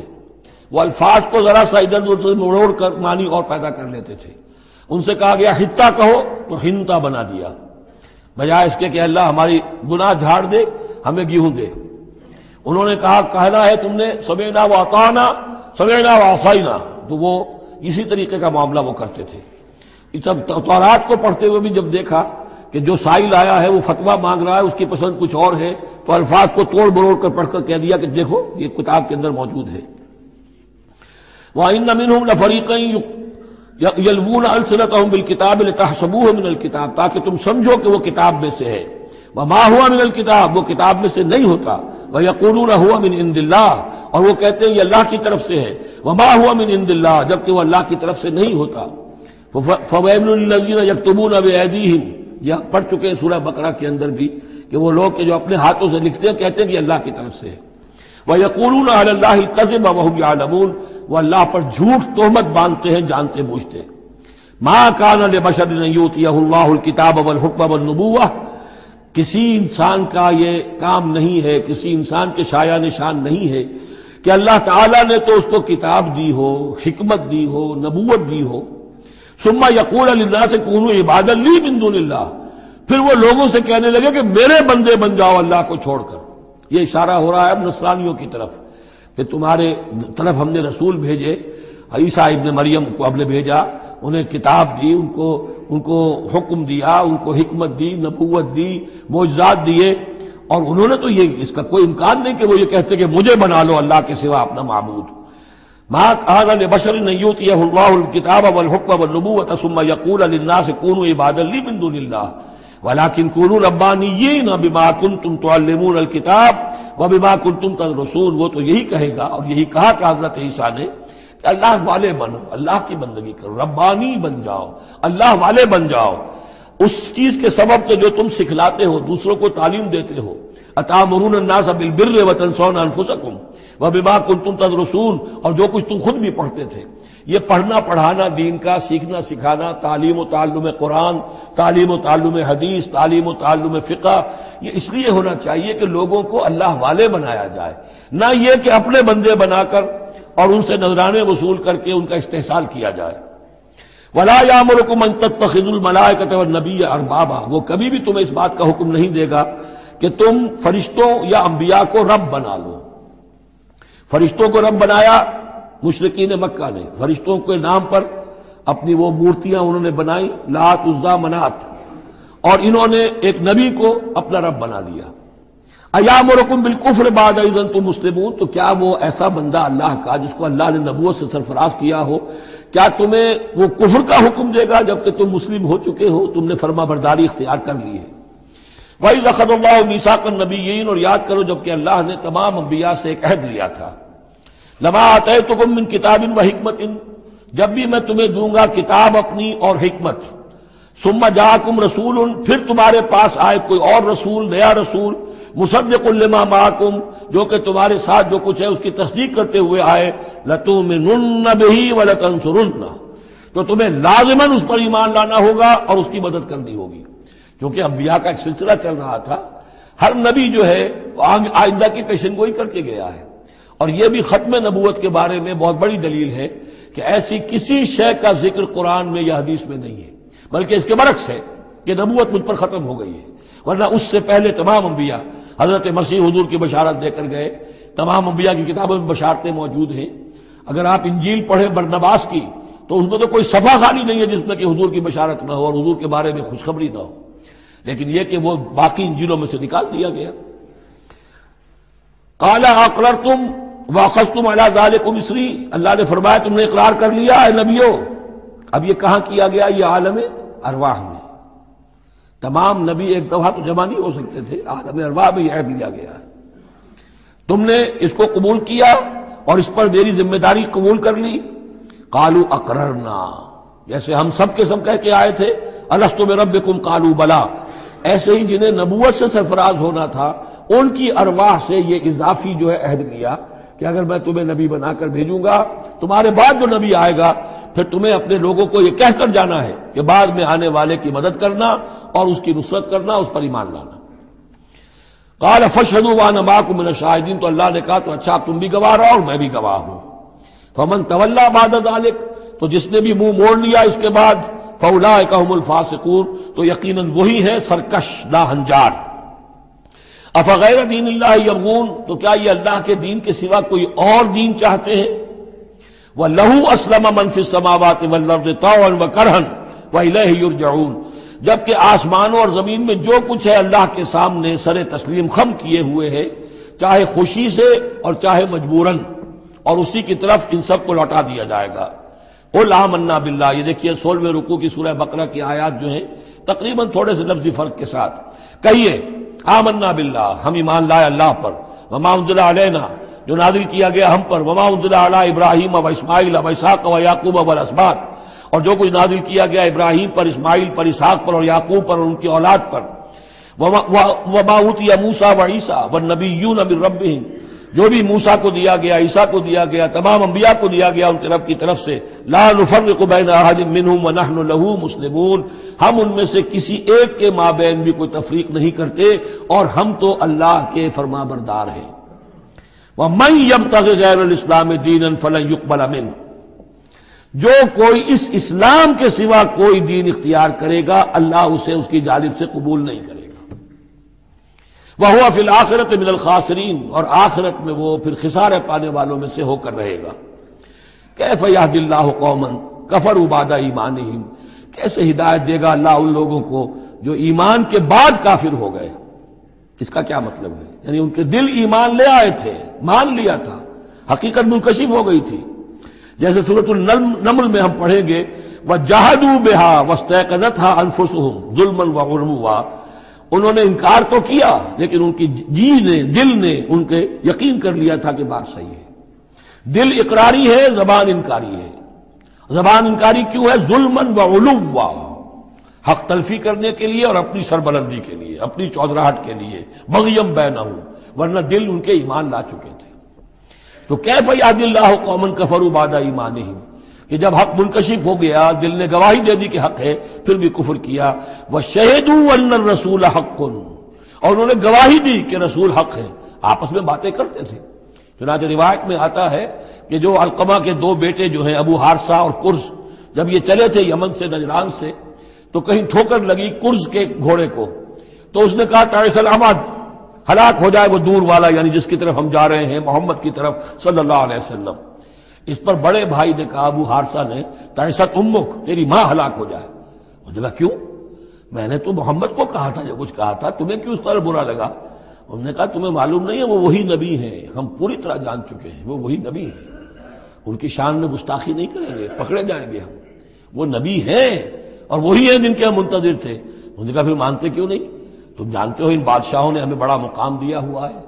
रोमन एम्पायर के तहत थे ये लोग।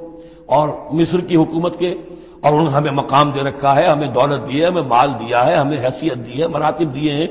अगर हमने मोहम्मद को मान लिया तो सब छिन जाएँगे। ये बाकायदा रिवायत में मौजूद है। अभी आते हुए तो जाते हुए क्या हाल होगा? आप उसका अंदाज़ा कीजिए, जबकि मुबाहले से फरार करके गए हैं।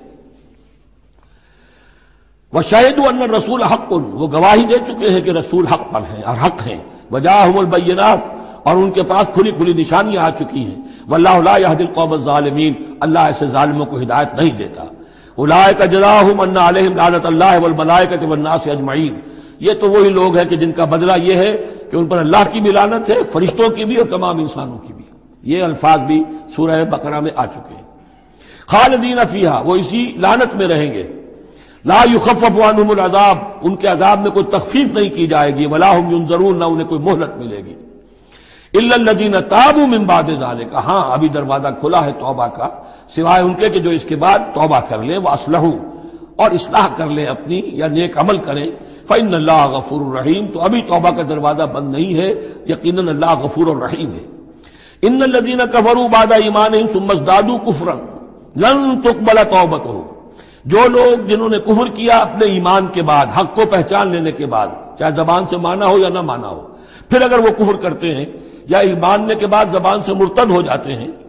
सुमजदादू कुफरन, फिर वो अपने कुफर में बढ़ते चले गए। लन तुकबला तौबत हम उनकी तौबत, तौबा कभी कबूल नहीं होगी। वह उलाय का हमून और वो तो यकीन गुमराहों में से हैं। इन लजीन कफर हुआ मातु वह कुफार यकीन वो लोग के जिन्होंने कुफर किया और फौत हो गए, मर गए, इसी हाल में कि वो काफिर थे। फलन युकबला मिन अहदबन वला भी तो उनमें से किसी एक से ज़मीन की मकदार के मुताबिक सोना भी फिदिये में कबूल नहीं किया जाएगा अगर वो पेश कर सके। अब ज़ाहिर बात है, ये मुहाल है, नामुमकिन है, लेकिन ये कि बात समझाने के लिए कि वहाँ पर कोई फिदिया नहीं है। ज़मीन के हुजूम के बराबर भी सोना देकर और कोई छोड़ना, छुटना चाहेगा तो नहीं छुटेगा। ये वही बात है वतकू यौमन, ला तजी नफसन नफसिन शयन वला युकबल मिनहा शफात वला यू खजो मिनहा अदल कोई फिदिया नहीं लिया जाएगा। वला हम सरून न उनकी मदद होगी। उलाय का लहम अजाबुल अलीम, ये वो लोग हैं कि जिनके लिए है दर्दनाक अजाब। वमा लहम नासरीन, और नहीं होंगे इनके लिए मदद करने वाले। तुहिब्बून, वमा शैइन फ़इन अल्लाह अलीम। इस आयत का हवाला मैं दे चुका हूँ आया बिर के जिमन में, कि ये जो नेकी है, मजाहिर नेकी में से, अमली नेकी में सबसे बड़ी, सबसे पहली, सबसे मुकदम इंसानी हमदर्दी। और इंसानी हमदर्दी में अपना माल खर्च कर सकना। और माल भी वो कि जो महबूब हो। रद्दी हो, दिल से उतर गया हो, बोसीदा हो गया हो, वो किसी को देकर और समझा जाए कि हातिम ताई की कबर पर लात मार दी मैंने तो वो हिमाकत है अपनी जगह पर। लल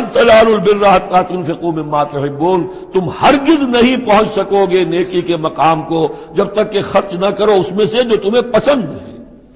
वमा तुम फिको मिन शहीन फ़ैन अल्लाह अलीम और जो कुछ भी तुम खर्च करोगे अल्लाह को उसका इल्म है कुल्लु ताम कान बनी इसराइल माहर्रमा इसराइल अला नफसी बिन कबल तौराह यह भी एक झगड़ा था यहूदी करते थे कि उनकी शरीयत में ऊँट का गोश्त हराम था हुजूर ने आकर जो हराम चीज़ों का ऐलान किया उसमें ऊँट का गोश्त हराम नहीं है उनका अगर शरीयत ये वही है अगर शरीयत मूसवी है तो यह तगैर कैसे हो गया उसकी हकीकत बताई है कि तौरात के नजूल से कबल।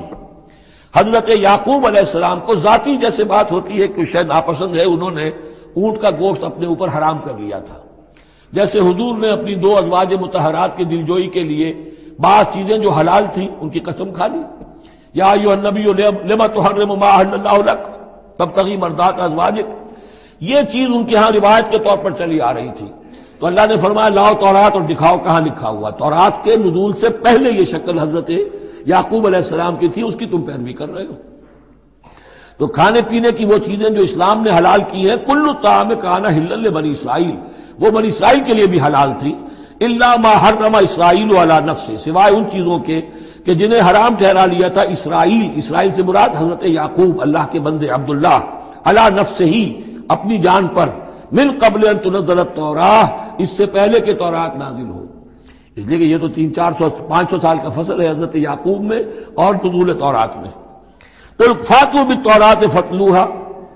ए नबी, इनसे कहिए, तुम जो इतराज हम पर कर रहे हो तो लाओ तौरात और पढ़ो और दिखाओ। इनको तुम सादकीन, अगर तुम सच्चे हो। शरीयत तौरात के अंदर कहीं भी ऊँट के गोश्त की हुरमत नहीं है। फमन इफ्तरा कहमून और जो लोग इसके बाद भी अल्लाह की तरफ़ झूठ मंसूब करते रहे तो ये लोग जालिम हैं। अब उनसे क्या आदमी गुफ्तगु करे? कुल सदक अल्लाह कह दीजिए, अल्लाह ने जो कुछ कहा, सही फरमाया। फतब मिल्लत इब्राहिम हनीफा। बस पैरवी करो मिल्लत इब्राहिम की, जो यकसू थे, या यकसू होकर। ये हनीफा का लफ्ज दोनों तरफ़ जा सकता है। इब्राहिम की सिफत यह हाल हनीफा। और ये इतबा का हाल भी हो सकता है। फतब मिल्लत इब्राहिम हनीफा। यकसू होकर, बाद की तमाम तकसीमत से बलंतर होकर जो इब्राहिम का तरीका है, उसकी पैरवी करो। वमा का न मिनल मुशरकिन, और मुशरकिन में से नहीं थे। इन अव्वल बैतुलनजीब बक्का। यकीन पहला घर जो लोगों के लिए बनाया गया, अल्लाह की इबादत के लिए, वो वही है जो बक्का में है।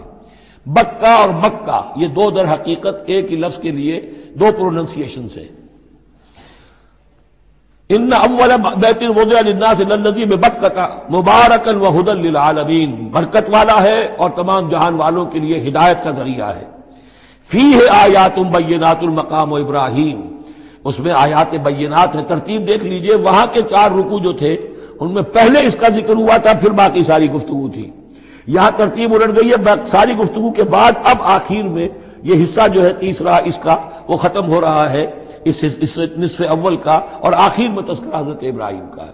मजामी वही है तरतीब बदल गई है। फ़ी आयात मैनात इसमें तो बड़ी रोशन निशानियाँ मौजूद हैं मकाम इब्राहिम जैसे मकाम इब्राहिम।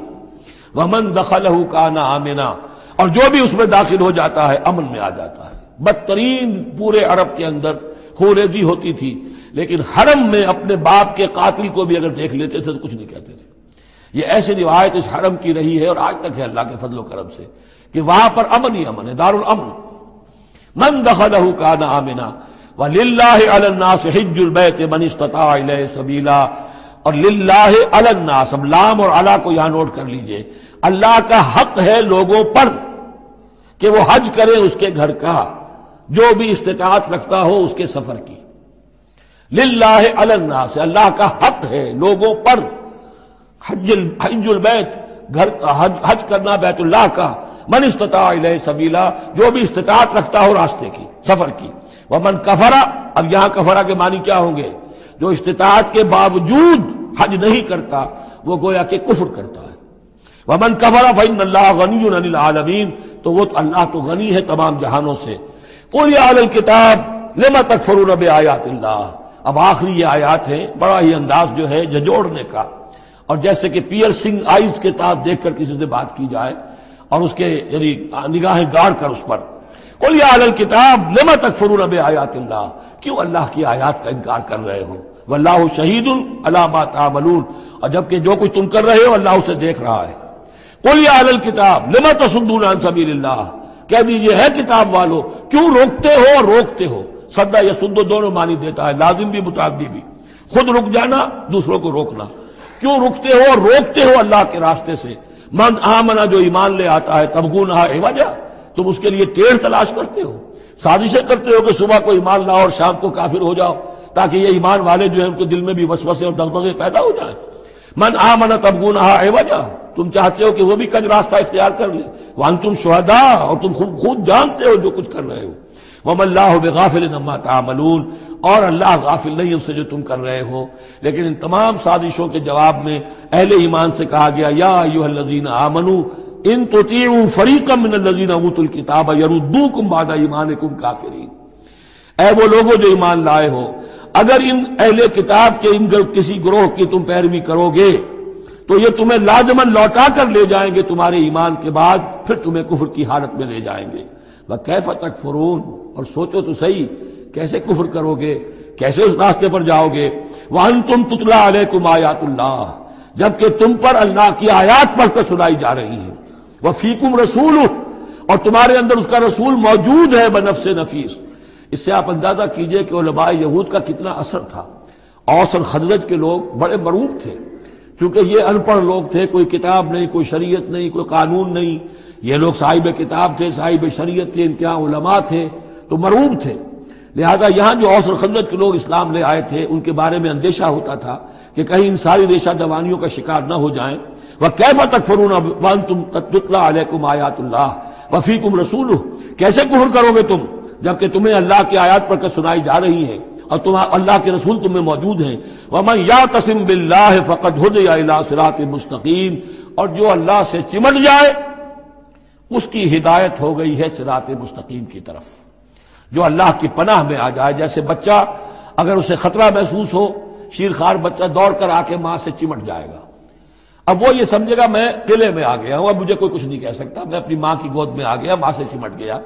उसे क्या पता कि कोई दरिंदा सिफत इंसान उसे खींचे, माँ की गोद से उछाले और किसी किसी बल्लम के ऊपर, किसी नेजे की अन्नी के अंदर पिरो ले एक बच्चा ये समझता है कि मैं माँ के पास आ गया तो बस मैं अब पनाह हूँ। ऐसे ही मैया तसिम बिल्ला जो अल्लाह की पनाह में आ गया, फ़कत हुदया सरात मुस्तकीम, उसकी हिदायत तो हो गई सीधी राह की तरफ़। अल्लाह रबन जल्लामिन हम अल्लाह रबन जल्लामिन हम आमीन, या रब्बल आलमीन। यादीन आमनुत्तकुल्लाह हक़ तुकातिही, वला तबूतुन्न इल्ला व अंतुम मुस्लिमून। वातसमू बहबल्लाह जमीअन वला तफर्रकू वस्कुरू नेमत अलैकुम इसकुंतुम आदान फ़ल्लफ़ बैन क़ुलूबिकुम फ़अस्बहतुम बिनिअमतिही इख़वाना वकुंतुम अला शफा हुफ़रतिम मिनन नार फ़अनक़ज़कुम मिनहा कज़ालिक युबय्यिनुल्लाहु लकुम आयातिही लअल्लकुम तहतदून। वलतकुम मिनकुम उम्मतुन यदऊन इलल खैर व यअमुरून बिल मारूफ व यनहौन अनिल मुनकर व उलाइका हुमुल मुफ्लिहून सदक़ल्लाहुल अज़ीम रब इशरह ली सदरी व यस्सिर ली अमरी वहलुल उक़दतम मिन लिसानी यफ़क़हू क़ौली सूरह आल इमरान का जो निसफ़ सानी अब शुरू हो रहा है तो आपने ये मुशाबियत भी नोट कर ली होगी कि निसफ अव्वल में सूरह बकरा में भी एक मरतबा याजीन आमनू से खिताब था। याजीन आमनू ला तकूल रायना वक़ूल जुलना वसमाऊ। इसी तरह सूरह आल इमरान के निसफ अव्वल में भी एक आयत वो ऊपर आ चुकी है कि याजीन आमनू इन तुती फ़रीक़म मिन वतुल किताब यरुद्दू कुम बाद ईमान काफिरीन। लेकिन असल खिताब जो है, मुसलमानों से शुरू हो रहा है, वो ग्यारहवें रुकू से। और यहाँ पर असल में एक सह निकाती लाए अमल दिया जा रहा है उम्मत को। ज़ाहिर बात है कि ये उम्मत अब हमेशा हमेशा कायम रहने वाली है क़यामत तक। और इसमें जवाल भी आएगा और अल्लाह ताला लोगों, बाहिम्मत लोगों को भी पैदा करेगा, उलुल आज़म लोगों को पैदा करेगा। जैसा कि हमें मालूम है मुजद्दीन उम्मत उठते रहे हर सदी के अंदर। लेकिन जब भी कोई काम दीन की तजदीद का हो, दीन को असर नौ ताज़ा करने की कोशिश हो, दीन को कायम करने की जिद्दोजहद हो तो उसका एक लाया अमल होगा। वो लाया अमल है जो इन तीन आयात में जो अभी मैंने आपको पढ़कर सुनाई है, नहायत जामियत के साथ सामने आया है। और ये हुसन इतफाक के लिए ये तीन आयात हैं, जैसे सूरत असर तीन आयात हैं, ऐसे ये तीन आयात हैं। नहायत जामे। इस पर अब मेरी एक किताब भी मौजूद है, उम्मत मुस्लिमा के लिए सेह निकाती लाया अमल और इसका अंग्रेज़ी में भी तर्जुमा हो गया है, ये मुझे मालूम नहीं कि अभी वो किताबी शक्ल में शाया हुआ या नहीं। इसमें पहला नुकता क्या है? जब भी कोई काम करना है, सबसे पहले अफराद की शख्सियत साजी, किरदार साजी। या युहल्लदीन आमनुत्तकुल्ला हक का तुकाते। अहले ईमान, अल्लाह का तकवा इख्तियार करो जितना कि उसके तकवा का हक है। वला तमूतुल्ला तुम मुस्लिमून। और देखना, हरगिज मौत ना आने पाए, मगर फरमा बरदारी की हालत में। ये सबसे गाढ़ी आयत है कुरान मजीद में तकवा की तलकीन के लिए। अल्लाह का हक जितना है, उतना तकवा। इस पर साहबा घबरा गए कि यार रसूल अल्लाह अल्लाह का हक कौन अदा कर सकता है? फिर जब आयत उतरी है सूरह तगाबुन की, कि फतकुल्ला मस्तता तुम अपनी इम्कानी हद तक तकवा इख्तियार करो, तब उनकी जान में जान आई। साथ ही कि मत मरना मगर हालत फरमा बरदारी में। क्या मानी है? कोई पता नहीं किस लम्हे मौत आ जाए। कोई लम्हा ना फरमानी में ना गुजरे, मबादा मौत का हाथ उसी वक्त आकर तुम्हें दबोच ले। इस तरह की शख्सियतें अगर पहले न बनी हो तो कोई काम नहीं हो सकता। पहले किरदार साजी अफराद की। अब जब यह किरदार साजी हो, दूसरा मरहला क्या है? वाह तस्मू बहबल्ला ज़मीन वला तफर रखो एक इज्तमाहीत इख्तियार करो।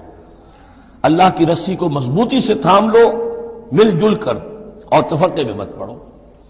यहाँ चूँकि इससे पहले जो रुकू खत्म हुआ है वह मैं या तसिम बिल्ला जो अल्लाह ताला से चिमट जाए, अल्लाह की हिफाजत में आ जाए फ़कत हुदयाती मुस्तकीम। और सूरह हज की आखिरी आयत में भी ये लफ्ज आया है फ़ाकीम सलात वात ज़क़ात वा तसिम बिल्ला अब अल्लाह की हिफाजत में कैसे आए? अल्लाह से कैसे चिमटे? उसके लिए फरमाया वहाँ तसीमू बहबल्ला अल्लाह की रस्सी से चिमट जाओ। अल्लाह की रस्सी को मजबूती से थाम लो। और ये अल्लाह की रस्सी कौन सी है? मुताद अहादीस के ज़रिए से वाज होता है कि यह है कुरान। एक तरफ़ है इंसान में तकवा, एक तरफ़ उसमें इल्म आना चाहिए। कुरान का फहम पैदा होना चाहिए। कुरान के नजरियात को समझना चाहिए। कुरान की हिकमत को समझना चाहिए। इंसानों में इज्तमाहीत जो है वो जानवरों के गल्लों की तरह नहीं हो सकती कि भेड़ बकरियों का एक बड़ा रेवड़ है और एक चरवाहा जो है वो लकड़ी लेकर उनको सबको एक, एक डिसिप्लिन में लिए हुए है। इंसानों को जमा करना है तो उनके जहन एक बनाने होंगे इनकी सोच एक बनानी होगी। ये हवान आकिल है बाशूर लोग हैं। इनकी सोच एक हो नजरियात एक हो मकासद एक हो हम आहंगी हो नुक़ नज़र एक हो तभी तो ये जमा होंगे। उसके लिए वो चीज़ चाहिए जो उनमें यकरंगी ख्याल यकरंगी नज़र यकजहती, मकासद की हम आहंगी पैदा कर दे और वह कुरान है। हबल्ला हो हबल्लामतीन हज़रत अली से रिवायत है। हज़रत अब्दुल्ला इबन मसूद से है। हजूर ने फरमाया अल कुरान हबल्लाममदूद बिन समार्द अल्लाह की मज़बूत रस्सी है जो आसमान और ज़मीन के दरमियान तनी हुई है। एक और हदीस में फरमाया फस्तब शुरू फ़ैन तरफ़ हो बेदीकुम व तरफ़ हो बेदिल्ला खुशियाँ मनाओ, ये कुरान ऐसी शय है कि जिसका एक सिरा तुम्हारे हाथ में, एक सिरा अल्लाह के हाथ में। तो तकर्रब अल्लाह का ज़रिया भी कुरान और आपस में तुम्हें जोड़कर रखने का ज़रिया भी कुरान। यही वजह है कि हमारी सारी ये तहरीक जो है मेरी, इसका असल जो मंबा है, सर चश्मा है, इसका मबना है, मदार है, वो दावत रजूल कुरान। पूरी ज़िंदगी मैंने अपनी अलहमदिल्ला खपाई है इस काम में। उसी के ज़रिए से अंजुमन खुदामुल कुरान और कुरान अकेडमीज फिर वन ईयर कोर्स, नौजवान जो हैं, तालीम याफ्ता लोग हैं वो पीएचडी भी कर चुके हैं, वो डॉक्टर भी बन गए हैं, वो वो इंजीनियर भी हैं, लेकिन दीन की तरफ़ से जाहिल हैं, कुरान समझ नहीं सकते। वो आए, एक साल रहें हमारे पास, अरबी सीखें, कुरान सीखें, ताकि इस पर अमल हो सके। ये कुरान का जो एक साल कोर्स है, वो इस साल फिर इस अकेडमी में शुरू होने वाला है। इन फरवरी की सोलह तारीख से उसका आगाज़ होगा तो आप लोग इसे नोट करें। और ये कुरान मजीद के साथ आपकी वाबस्तगी होगी तो फिर दीन के सुख पर आगे चलेंगे। तो दूसरा नुकता हुआ, वातसम बहबल्ला ज़मीन वला तफर रकू वस्कुरू नमत अलैकुम इसकुन तुम आदान। जरा याद करो, जो अल्लाह का इनाम तुम पर हुआ कि तुम तो एक दूसरे के दुश्मन थे। फ़ाल्लफ़बैन कुम तो अल्लाह ने तुम्हारे दिलों के अंदर उल्फत पैदा कर दी। फसबाह तुम बेनमत ही इखवाना, तुम अल्लाह के फजल करम से भाई भाई बन गए। ये यहाँ गोया के अवलिन मुखातब यहाँ अंसार हैं। उनके जो दो कबीले थे, औस और खजरज, वो आपस में लड़ते आ रहे थे सौ बरस से। खानदानी दुश्मनियाँ चली आ रही थी। कत्ल के बाद कत्ल, इधर का कत्ल, उधर का कत्ल। लेकिन अब जब ये ईमान आया आपको अल्लाह की किताब आ गई, मोहम्मद रसूलुल्लाह आ गए तो अब वो शीर व शकर हो गए, उनके झगड़े खत्म हो गए। इस तरह पूरे अरब के अंदर गारत गरी होती थी, उसे दारुल अमन बना दिया। वह कुन तुम अला शफा हुफरत मिनन्नार और तुम तो आग के गढ़े के किनारे तक पहुँच गए थे, बस उसमें गिरने वाले थे। फान कजा कुम मिनहा तो अल्लाह ने उससे तुम्हें निकाल लिया और बचा लिया। कजाल का युबैनकुम आयात ही लकुम तातदून इस तरह अल्लाह ताला अपनी आयात तुम्हारे लिए वादे कर रहा है ताकि तुम राह पाओ सही राह पर कायम रहो। ये दो नुक्ते हो गए। पहले अफराद के किरदार की तामीर तकवा और ताबेदारी फरमा बरदारी फिर जमीयत तंजीम जमात। और उसके लिए जो मानवी जो उस, उसके लिए है जो महवर है उस तंजीम का वो मानवी महवर क्या है? कुरान मजीद हबल्लाह एहतसामश कुन के हबल्लाह ऊस्त। मजबूती से थामो, इसको अल्लामा इकबाल कहते हैं कुरान को हबल्लाह ये है। अब ये जो हबल्लाह और जो इसके लिए जाहिरी शक्ल बनेगी, वो भी इस सूरत में हम पढ़ चुके हैं। मन अंसारी अल्लाह कि कोई अल्लाह का बंदा खड़ा हो और कहे कि मैं तो इस रास्ते पर चल रहा हूँ, अब कौन है जो मेरे साथ आता है और मेरा मददगार बनता है? अब ऐसी जमीयत जो वजूद में आई, वो क्या करेगी? ये तीसरी आयत अहम तरीन है। वल तकुम मिनकुम उम्मत यदून खैर व यामरून बिल मारूफ व यनहौन अनिल मुनकर। से निकाती फिर आ गया। तीसरे में तीन काम, ये जमात के करने के काम सिर्फ़ तीन है। दावत खैर, दावत इल खैर, और सबसे बड़ा खैर ये कुरान है। यामरून बिल मारूफ, नेकी का हुक्म देते रहे। वह यनहौन अनिल मुनकर, और बदी से रोकते रहे। वह उलाय का हमल मुफलहून, और यही लोग हैं जो फला पाने वाले वल तकुम मिनकुम उम्मतुन तुम में से एक ऐसी उम्मत वजूद में आनी चाहिए। मिनकुम है, गोया कि एक बड़ी उम्मत है, उम्मत मुस्लिमा। वो तो अब 150 करोड़ है या 140 या 130 करोड़ है। सोए हुए हैं, अपने मनसब को भूले हुए हैं, दीन से दूर हैं। तो अब इस उम्मत के अंदर छोटी उम्मत बने, एक जमात बने। वो जमात अपने जिम्मे ये काम ले ले, जागो और जगाओ, जो हमदर्द का एक, जो नारा है। कि अब जागो और जगाओ, अल्लाह ने तुम्हें जागने की सलाहियत दे दी, अब औरों को जगाओ। और इसके लिए ताकत फराहम करो, एक जमात बनाओ। वल तकुम मिनकुम उम्मत यदून खैर अनिल मुनकर यही लोग फलाह पाने वाले हैं।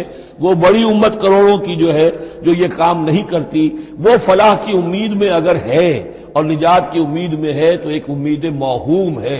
फलाह पाने वाले सिर्फ़ ये लोग होंगे। उलाय का मुफलिहून। अब इसी में आगे चलकर मैंने जो मनहज इनकलाब नबवी है, उसमें यह बात वादे की है कि जब कोई इनकलाब के लिए आखिरी इकदाम होगा, वो भी नहीं मुनकर बिल यद। इसलिए कि हदीस में हजूर ने नहीं मुनकर के तीन मरतबे बयान किए हैं। अबू सईद खुदी रज़ी अल्लाह से रिवायत है, मन रहा बिनको मुनकरन फलीगैर फ़ैलम यस्तत फ़ब लिसानी फ़ैलम यस्तत फ़ब कल्ब ही वजाल का ईमान। रवाह मुस्लिम रहमल्ला तुम में से कोई शख्स किसी मुनकर को देखे, उसका फ़र्ज़ है उसे ताकत से, ज़ोर से, हाथ से बंद करे, रोके, बदले। अगर इसकी ताकत नहीं है तो जबान से तो कहे। इसकी भी हिम्मत नहीं है तो दिल में नफरत ज़रूर रखे और ये ईमान का कमज़ोर तरीन दर्जा है। नफरत भी खत्म हो गई। वाय नाकामी मताए कारवां जाता रहा। कारवां के दिल से एहसास जिया जाता रहा तो अब कोई ईमान नहीं। हाँ दिल में नफरत है तो अगला कदम उठाओ, जबान से कहना शुरू करो, भाई, ये चीज़ गलत है, ये हराम है, या अल्लाह ने इसको हराम ठहराया है, मत ये काम करो, लेकिन साथ ही अपनी ताकत बनाते जाओ जमात बनाओ कुत बनाओ, जब वो ताकत हो जाए, अब कहो कि अब ये नहीं करने देंगे। फिर वो होगा नहीं मुनकर बिल यद, ताकत के साथ। ये होगा इनकलाब का जो है आखिरी मरहला। तो ये तीन आयतों के अंदर अजीम हिदायत है, पूरा लाया अमल है, इसी में मनहज इनकलाब नबवी का जो आखिरी इकदामी अमल है, वो भी पोशीदा है। वला तकून कल्लदीन तफर्रकू वख्तलफू इम्बाद माजाबैनात और उन लोगों की तरह न हो जाना जो जो मुतफरक हो गए, फिरकों में बट गए, और उन्होंने इख्तलाफात पैदा कर लिए, इसके बाद के उनके पास वाज तालीमत आ गई थी। उलाय का लहम अजाब अजीम। ऐसे लोगों के लिए तो बहुत बड़ा अजाब है। यौम तबियत वजूह व तस्वद वजूह। अब ये आखरत का ज़िक्र है। जिस दिन के बाद चेहरे जो है बड़े रोशन और ताबनाक होंगे और बाद चेहरे जो है वो स्याह होंगे। फामल नजीन असवदत वजूह हूँ तो जिन लोगों के उस दिन चेहरे स्याह होंगे वो कौन होंगे? अकफर तुम बादा ईमान कुम ये वही लोग होंगे जो ईमान के बाद कुफर में लौट गए। हिदायत के आने के बाद तफरके में पड़ गए। जिद्दम जिद्दा में पड़ गए। उन्होंने उस अब्दुल्लाह को छोड़ दिया। अकफर तुम बादा ईमान कुम फजूक अजाब बिमाकुन तुम तक फरून तो अब जरा मज़ा चखो उस अजाब का, उस उस कुफर की बाइश जो तुम करते रहे थे। वामल नदीन अब यकबत वजूह हो और वो लोग जिनके चेहरे सफ़ेद होंगे, रोशन होंगे, ताबनाक होंगे। फ़ी रहमत हम फ़ीहा खालिदून, वो अल्लाह की रहमत में होंगे और उसमें हमेशा हमेश रहेंगे। तिल का आयातुल्लाहतलूहा अल कबिल हक ये अल्लाह की आयात हैं जो हम आपको पढ़कर सुना रहे हैं हक के साथ। वमल्लामीन और अल्लाह ताला तो जहान वालों के लिए जुल्म का इरादा नहीं रखता। लोग अपने ऊपर जुल्म करते हैं, खुद गलत रास्ते पर पड़ते हैं और उसकी फिर उनको सदा दुनिया और आखिरत में भुगतनी पड़ती है। वलील्ला माफिसमावात व माफ़ी माफिल जैसा कि मैंने अर्ज़ किया, अक्सर अहम बहसों के बाद फिर ये आयत आती है इस तरह की कि गोया कि ये कंक्लूडिंग रिमार्क अल्लाह ही के लिए है जो कुछ आसमानों और ज़मीन में है। वही अल्लाह तुरजमूर और बिल आखिर सारे मामला अल्लाह ही की तरफ़ लौटा दिए जाएँगे। कुन तुम खैर उम्मतिन उखरियत नास तुम वो बेहतरीन उम्मत हो जिसे लोगों के लिए बर्पा किया गया है। यानी ये पूरी उम्मत मुस्लिमा इसलिए बनाई गई थी। ये दूसरी बात है, उम्मत मुस्लिमा भूल जाए, जब भूल जाए तो फिर जो भी उनमें से जागे, वो दूसरों को जगाकर उस उम्मा विद इन उम्मा, उस उम्मत के अंदर अंदर जमात, पार्टी विद इन पार्टी, उम्मा विद इन उम्मा बनाए और वो काम करें जो ऊपर है। लेकिन हकीकत में तो इस उम्मत मुस्लिमा का एज सच मजमू तौर पर फ़र्ज़ मनसबी यही है। कुन तुम खैर उम्मत देखिए ये इस आयत को रखिए, अब सूरह बकरा में जो आयत थी, व कजाल का जालनाकुम उम्मतम वसतल तकून शहदा अलनास व यकून रसूल अलैकुम शहीदा। उसी के हम वदन ये आयत है सूरह आल इमरान की। कुन तुम खैर उम्मत नखरजत लिन्नास, तुम बेहतरीन उम्मत हो जिसे लोगों के लिए निकाला गया है। दुनिया की और कौमें अपने लिए ज़िंदा रहती हैं, अपनी तरक्की, अपनी बेहतरी, अपनी बहबूद, अपनी दुनिया में इज़्ज़त, अपने दायरे को बढ़ाना। लेकिन मुसलमान को जीना है, हम तो जीते हैं कि दुनिया में तेरा नाम रहे। कहीं मुमकिन है कि साकी न रहे, जाम रहे। ज़्यादा से ज़्यादा लोगों को हिदायत की तरफ़ बुलाना, लोगों को जहन्नम की आग से बचाने की कोशिश करना। तुम जी, तुम्हें जीना है उनके लिए, वो जीते हैं अपने लिए। कुन तुम खैर उम्मत उखरजत लिन्नास, तुम्हें निकाला गया है, बर्पा किया गया है लोगों के लिए। तामरून बिल मारूफ, तुम हुक्म करते हो नेकी का, व तनहाउन अनिल मुनकर, और तुम रोकते हो बदी से, व तू मिनून बिल्लाह, और तुम ईमान रखते हो अल्लाह पर। यह कैफियत थी पूरी उम्मत मुस्लिमा की हुजूर के वक्त। और वो जो पहले बताया गया है, वो उस वक्त के लिए है, जबकि उम्मत सो गई हो। उम्मत भूल गई हो अपने मकसद वजूद को। तो ज़ाहिर बात है, जिनको होश आ जाए, वो लोगों को जगाएँ और एक नई जमीयत फराम करें। वलाउ आमन आहलुल किताब लकान खैर अगर ये अहले किताब ईमान ले आते तो ये इनके हक में बहुत बेहतर था। मिनहुमुल मोमिनून, इनमें है कुछ लोग जो ईमान वाले हैं। यानी उनमें से मुराद वो भी हो सकते हैं जो उस वक्त तक यहूदियों में से या नसरानियों में से ईमान ला चुके थे। और यह भी हो सकता है जिनके अंदर पोटेंशियली ईमान था और कुछ अरसे के बाद कहा जा रहा कि वो ईमान ले आएँगे। वह अक्सर हमल फासिकून, लेकिन इनकी अक्सरियत जो है, अब वो फासिकों और नाफरमानों पर मुश्तमिल है। वही मामला जो उम्मत मुस्लिम का आज हो चुका है, अक्सरियत का हाल क्या है वो देख लीजिए लई अरुकुम अल्लाह मुसलमानों, ये तुम्हें नुकसान नहीं पहुँचा सकेंगे, मगर कुछ थोड़ी सी कोफ्त बहरहाल तुम्हारे लिए, कोफ्त का सबब तो बनते रहेंगे। लेकिन ये तुम्हें कुछ जरफ, बिलफेल पहुँचा नहीं सकेंगे। वही युकातलूकुम युवल्लूकुम अदबार। और अगर ये कहीं तुमसे जंग करेंगे तो पीठ दिखा देंगे। इनमें ज़रूरत नहीं है, इन बुजदिल है, ये तुम्हारा मुकाबला नहीं कर सकेंगे। सुमला सरून फिर इनकी मदद नहीं की जाएगी। ज़ोर बत अलहमुजिल्ला अब वो आयत आ गई सूरह बकरा के। वो जो सातवें रुकू के आखिर में आई थी। बस थोड़ा सा तरतीब का फ़र्क है। ज़ोर बत अलहमुजिल्लत नमास वक़िफू इनके ऊपर जिल्लत थोप दी गई है मुसलत कर दी गई है, जहाँ भी पाए जाए। इल्ला बेहबलिम मिनल्लाह व हबलिम मिनन्नास। सिवाय ये कि अल्लाह का कोई सहारा इन्हें हो, किसी वक्त अल्लाह इन्हें सहारा दे दे, या इनका सहारा बन जाए लोग, जैसे आज पूरी ईसाई दुनिया इनका सहारा बनी हुई है। इसराइल कायम है तो अपने बल पर नहीं। पूरी ईसाई दुनिया की सपोर्ट पर कायम है। अभी जो ये जंग हुई थी, खरीज की जंग तो जो उसका कमांडर इन चीफ था, उसका तो नाम मेरे से उतर रहा है, उसने साफ़ कह दिया था इसलिए कि फौजी लोगों की जबान से निकल जाता है जिनके मुँह से, निकल जाती है जिनके मुँह से सच्ची बात मस्ती में। फकीह मसलहत बी से वो रिंदे बाद खार अच्छा। उन्हें साफ़ कह दिया था, ये पूरी जंग हमने इसराइल के तहफ़ के लिए लड़ी है। किस कदर खूनेजी हुई है, सिर्फ़ इसराइल का तहफ़ पेश नज़र था। तो ये सारी सपोर्ट उनकी है। जुरबत मिनन्नास और ये अल्लाह ताला का गजब जो है और गुस्सा इन्होंने हासिल कर लिया है।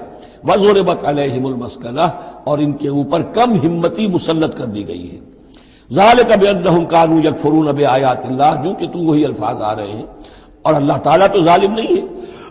तो इनका ये हशर इसलिए हुआ है कि ये अल्लाह ताला की आयात का इनकार करते रहे। वह यख्तलून अम्बिया बगैर हकिन और अम्बिया तक को कत्ल करते रहे नाहक। जाल कब मासव व कानू यातदून। और यह हुआ इसलिए कि उन्होंने नाफरमानी की रविश इख्तियार की और हदूद से तजावुज किया। लहसू सवा, फिर वही बात जो मैं अर्ज़ कर चुका हूँ, ये सब के सब बराबर नहीं है। इनमें से अच्छे भी हैं, बुरे भी हैं। मिन अहल किताब उम्मत कायमत यतलून आयात आना लैल वहम यसजुदून। अहल किताब में ऐसे लोग भी हैं, जो खड़े रहने वाले लोग हैं, सीधे रास्ते पर हैं, अल्लाह की आयात पढ़ते रहते हैं, रात के औकात में, और सजदा भी करते हैं। खास तौर पर चूँकि यहाँ अहले किताब का लफ्ज आ रहा है, जो ईसाई राहिब थे हजूर के जमाने में उन कसीर तादाद जो है वो इस किरदार की हामिल थी। उन्हीं में से एक बुहेरा राहिब था जिसने बचपन में हजूर को पहचान लिया था। तो उनमें ऐसे लोग मौजूद थे। यकीनन कोई छुपे हुए होंगे यहूद में भी, लेकिन अक्सर व बेशतर यहूद में से यह किरदार खत्म हो चुका था। बहुत ही चंद लोग, लेकिन ईसाइयों में बकसरत मौजूद थे। लहसू सवा मिन अहल किताब उम्मत कायमत यतलून आयात आना लैल वहम यसजुदून युमिनून बिल्लाहि वल यौमिल आखिर वो ईमान रखते हैं अल्लाह पर और यौम आखिर पर वह यामरून बिल मारूफ वनहौन अनिल मुनकर, नेकी का हुक्म देते हैं, बदी से रोकते हैं। वह युसार फिल खैरात, और नेकियों में एक दूसरे से आगे निकलने की कोशिश करते हैं। वह उलाए कमिन सालहीन, और यकीन ये सालहीन में से हैं। वमा यफ़लू मिन खैरिन फलन युगफरूह, जो खैर भी ये करेंगे तो उसकी नाकदरी नहीं की जाएगी।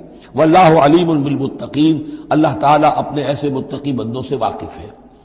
इन लदीन कफरुलतुगनी आनू अम्वाल वला शया इसके बरक्स जो लोग कुफर पर अड़ जाएँगे, उनके काम नहीं आ सकेंगे, ना उनके अमवाल, ना उनके औलाद। अल्लाह से बचाने में कुछ भी।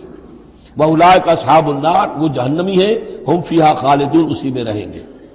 मसल मायूम फ़िकून फ़िहाद हयात दुनिया का मसल रीहन फ़िहा सिर असाबत हर सकौम ज़लम अब ये जो जंगे कर रहे थे कुरैश मक्का। तो ज़ाहिर बात है कि वो भी इंफाक करते थे। फौज तैयार करनी है, ऊँट चाहिए, सवारियाँ चाहिए, हथियार चाहिए तो खर्चा करते थे ना।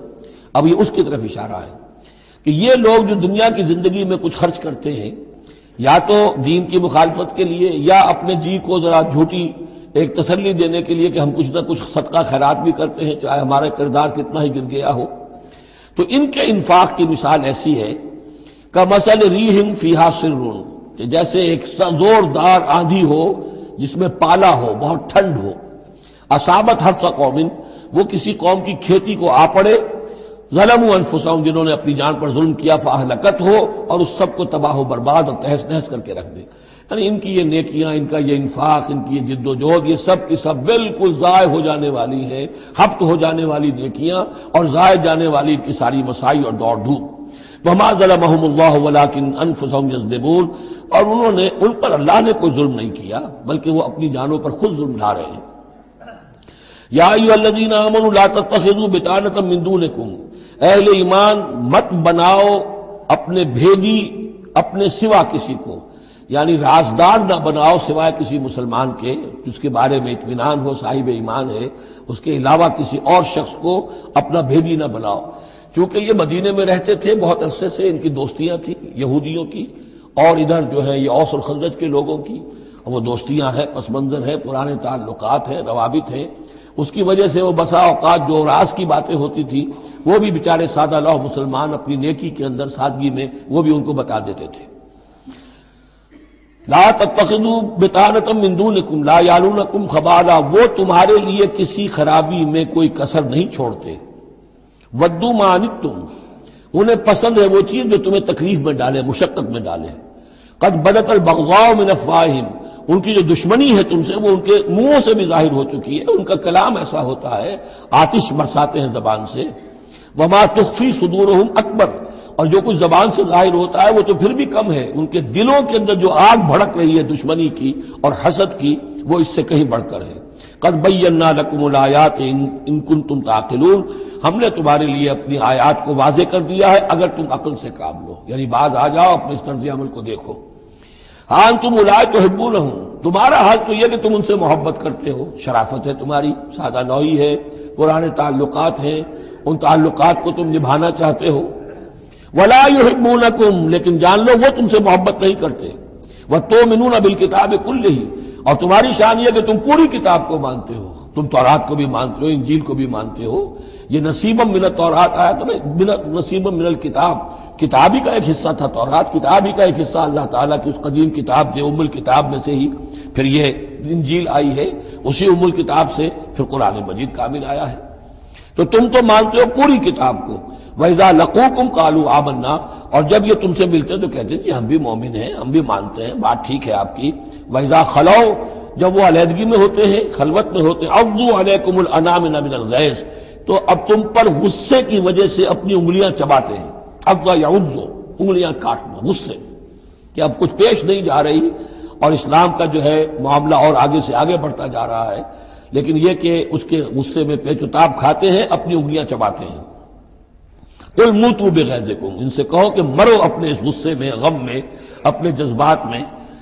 इन अल्लाह बिजात सदूर यकीन अल्लाह ताला जो कुछ सीनों के अंदर मुजबर है, उससे भी वाकिफ है।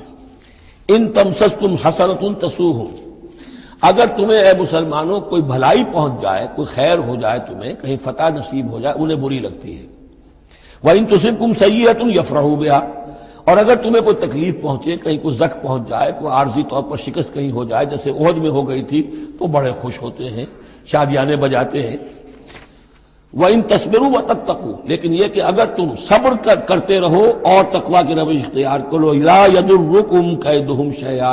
उनकी ये सारी चालें तुम्हें कोई मुस्तकिल नुकसान नहीं पहुँचा सकेगी। लेकिन यह कि सब्र और तकवा ये दो चीज़ें। वस्तीनू भी सब्र व सलाह।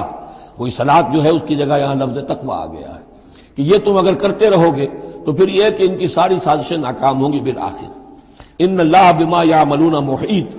जो कुछ ये कर रहे हैं अल्लाह उसका इहाता किए हुए है। ये अल्लाह की अल्लाह के उस दायरे से जो अल्लाह ने एक हद खींची हुई है, उससे आगे नहीं निकल सकते।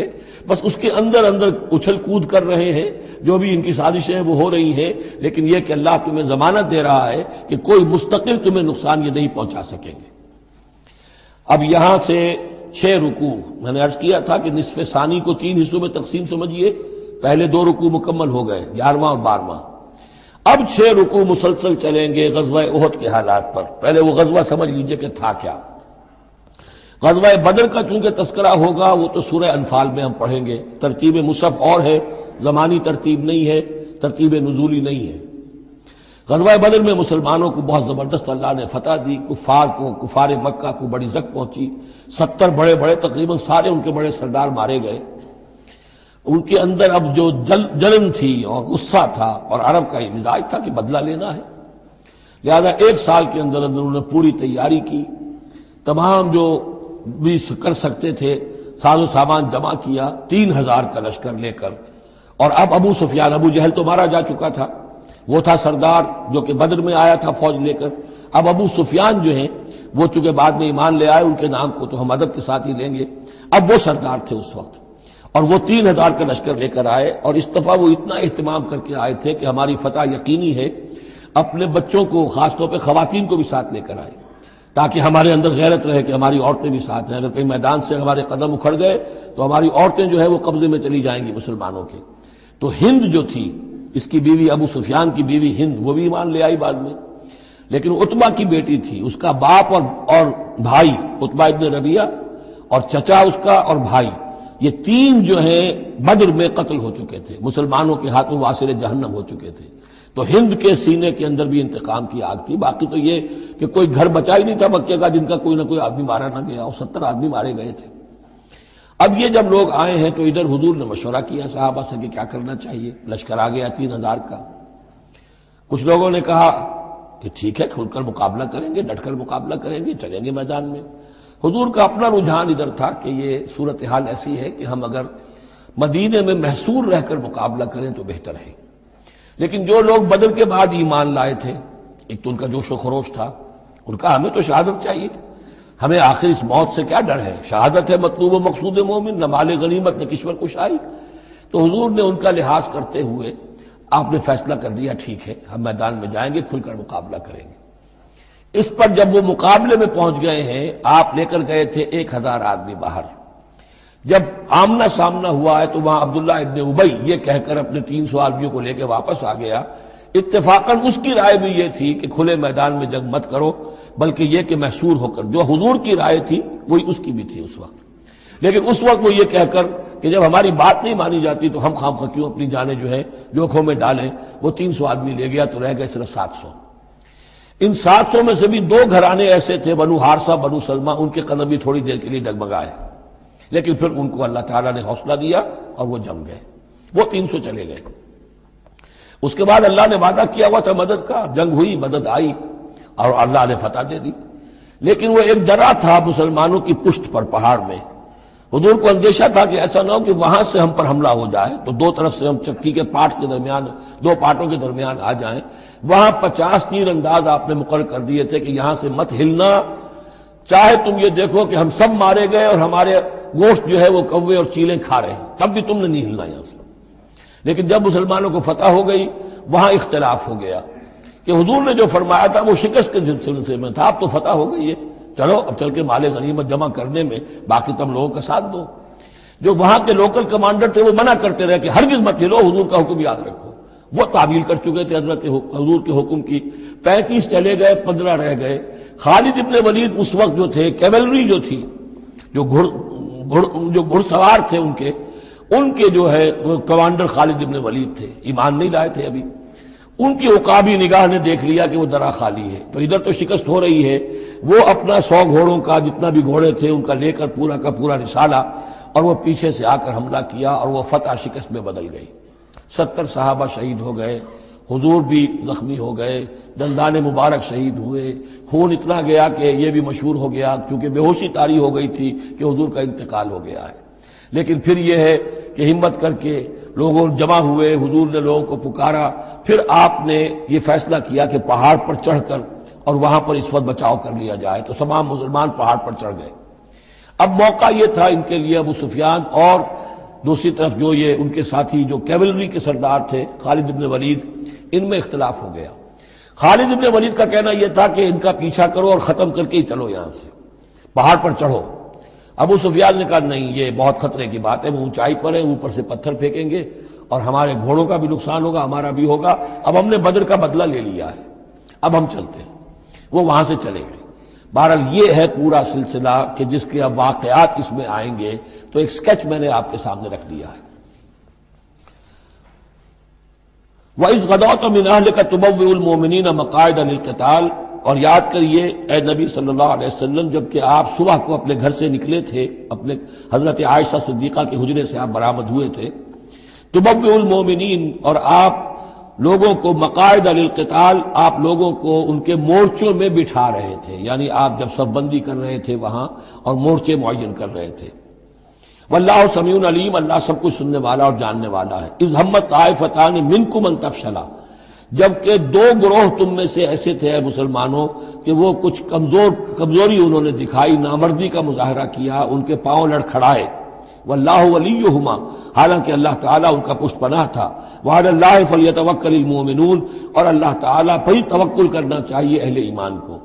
जैसा कि मैंने अर्ज़ किया, ये बनु हारसा, बनु सलमा अंसार के दो घराने थे। आरजी सी इनके अंदर कमज़ोरी आई, बर बनाए तब बशरी, लेकिन फिर वो जम गए। लेकिन उनकी जो है ज़िक्र कुरान में कर दिया गया, और वो इस पर फख्र करते थे कि हम वो लोग हैं कि जिनका ज़िक्र अल्लाह ने कुरान में किया है, वल्लाह वली क्योंकि फिर वो आरजी सी जो उन पर आई थी कमज़ोरी, वो रफा हो गई। और आप गौर करेंगे कि वो जो बदबक थे, तीन सौ जो चले गए एन मैदान जंग से, उनका ज़िक्र भी अल्लाह नहीं कर रहा यहाँ पर। गोया कि वो इस लायक भी नहीं है कि उनका ज़िक्र किया जाए। इनडायरेक्टली उसका ज़िक्र आखिर में आएगा, वरना शुरू में नहीं।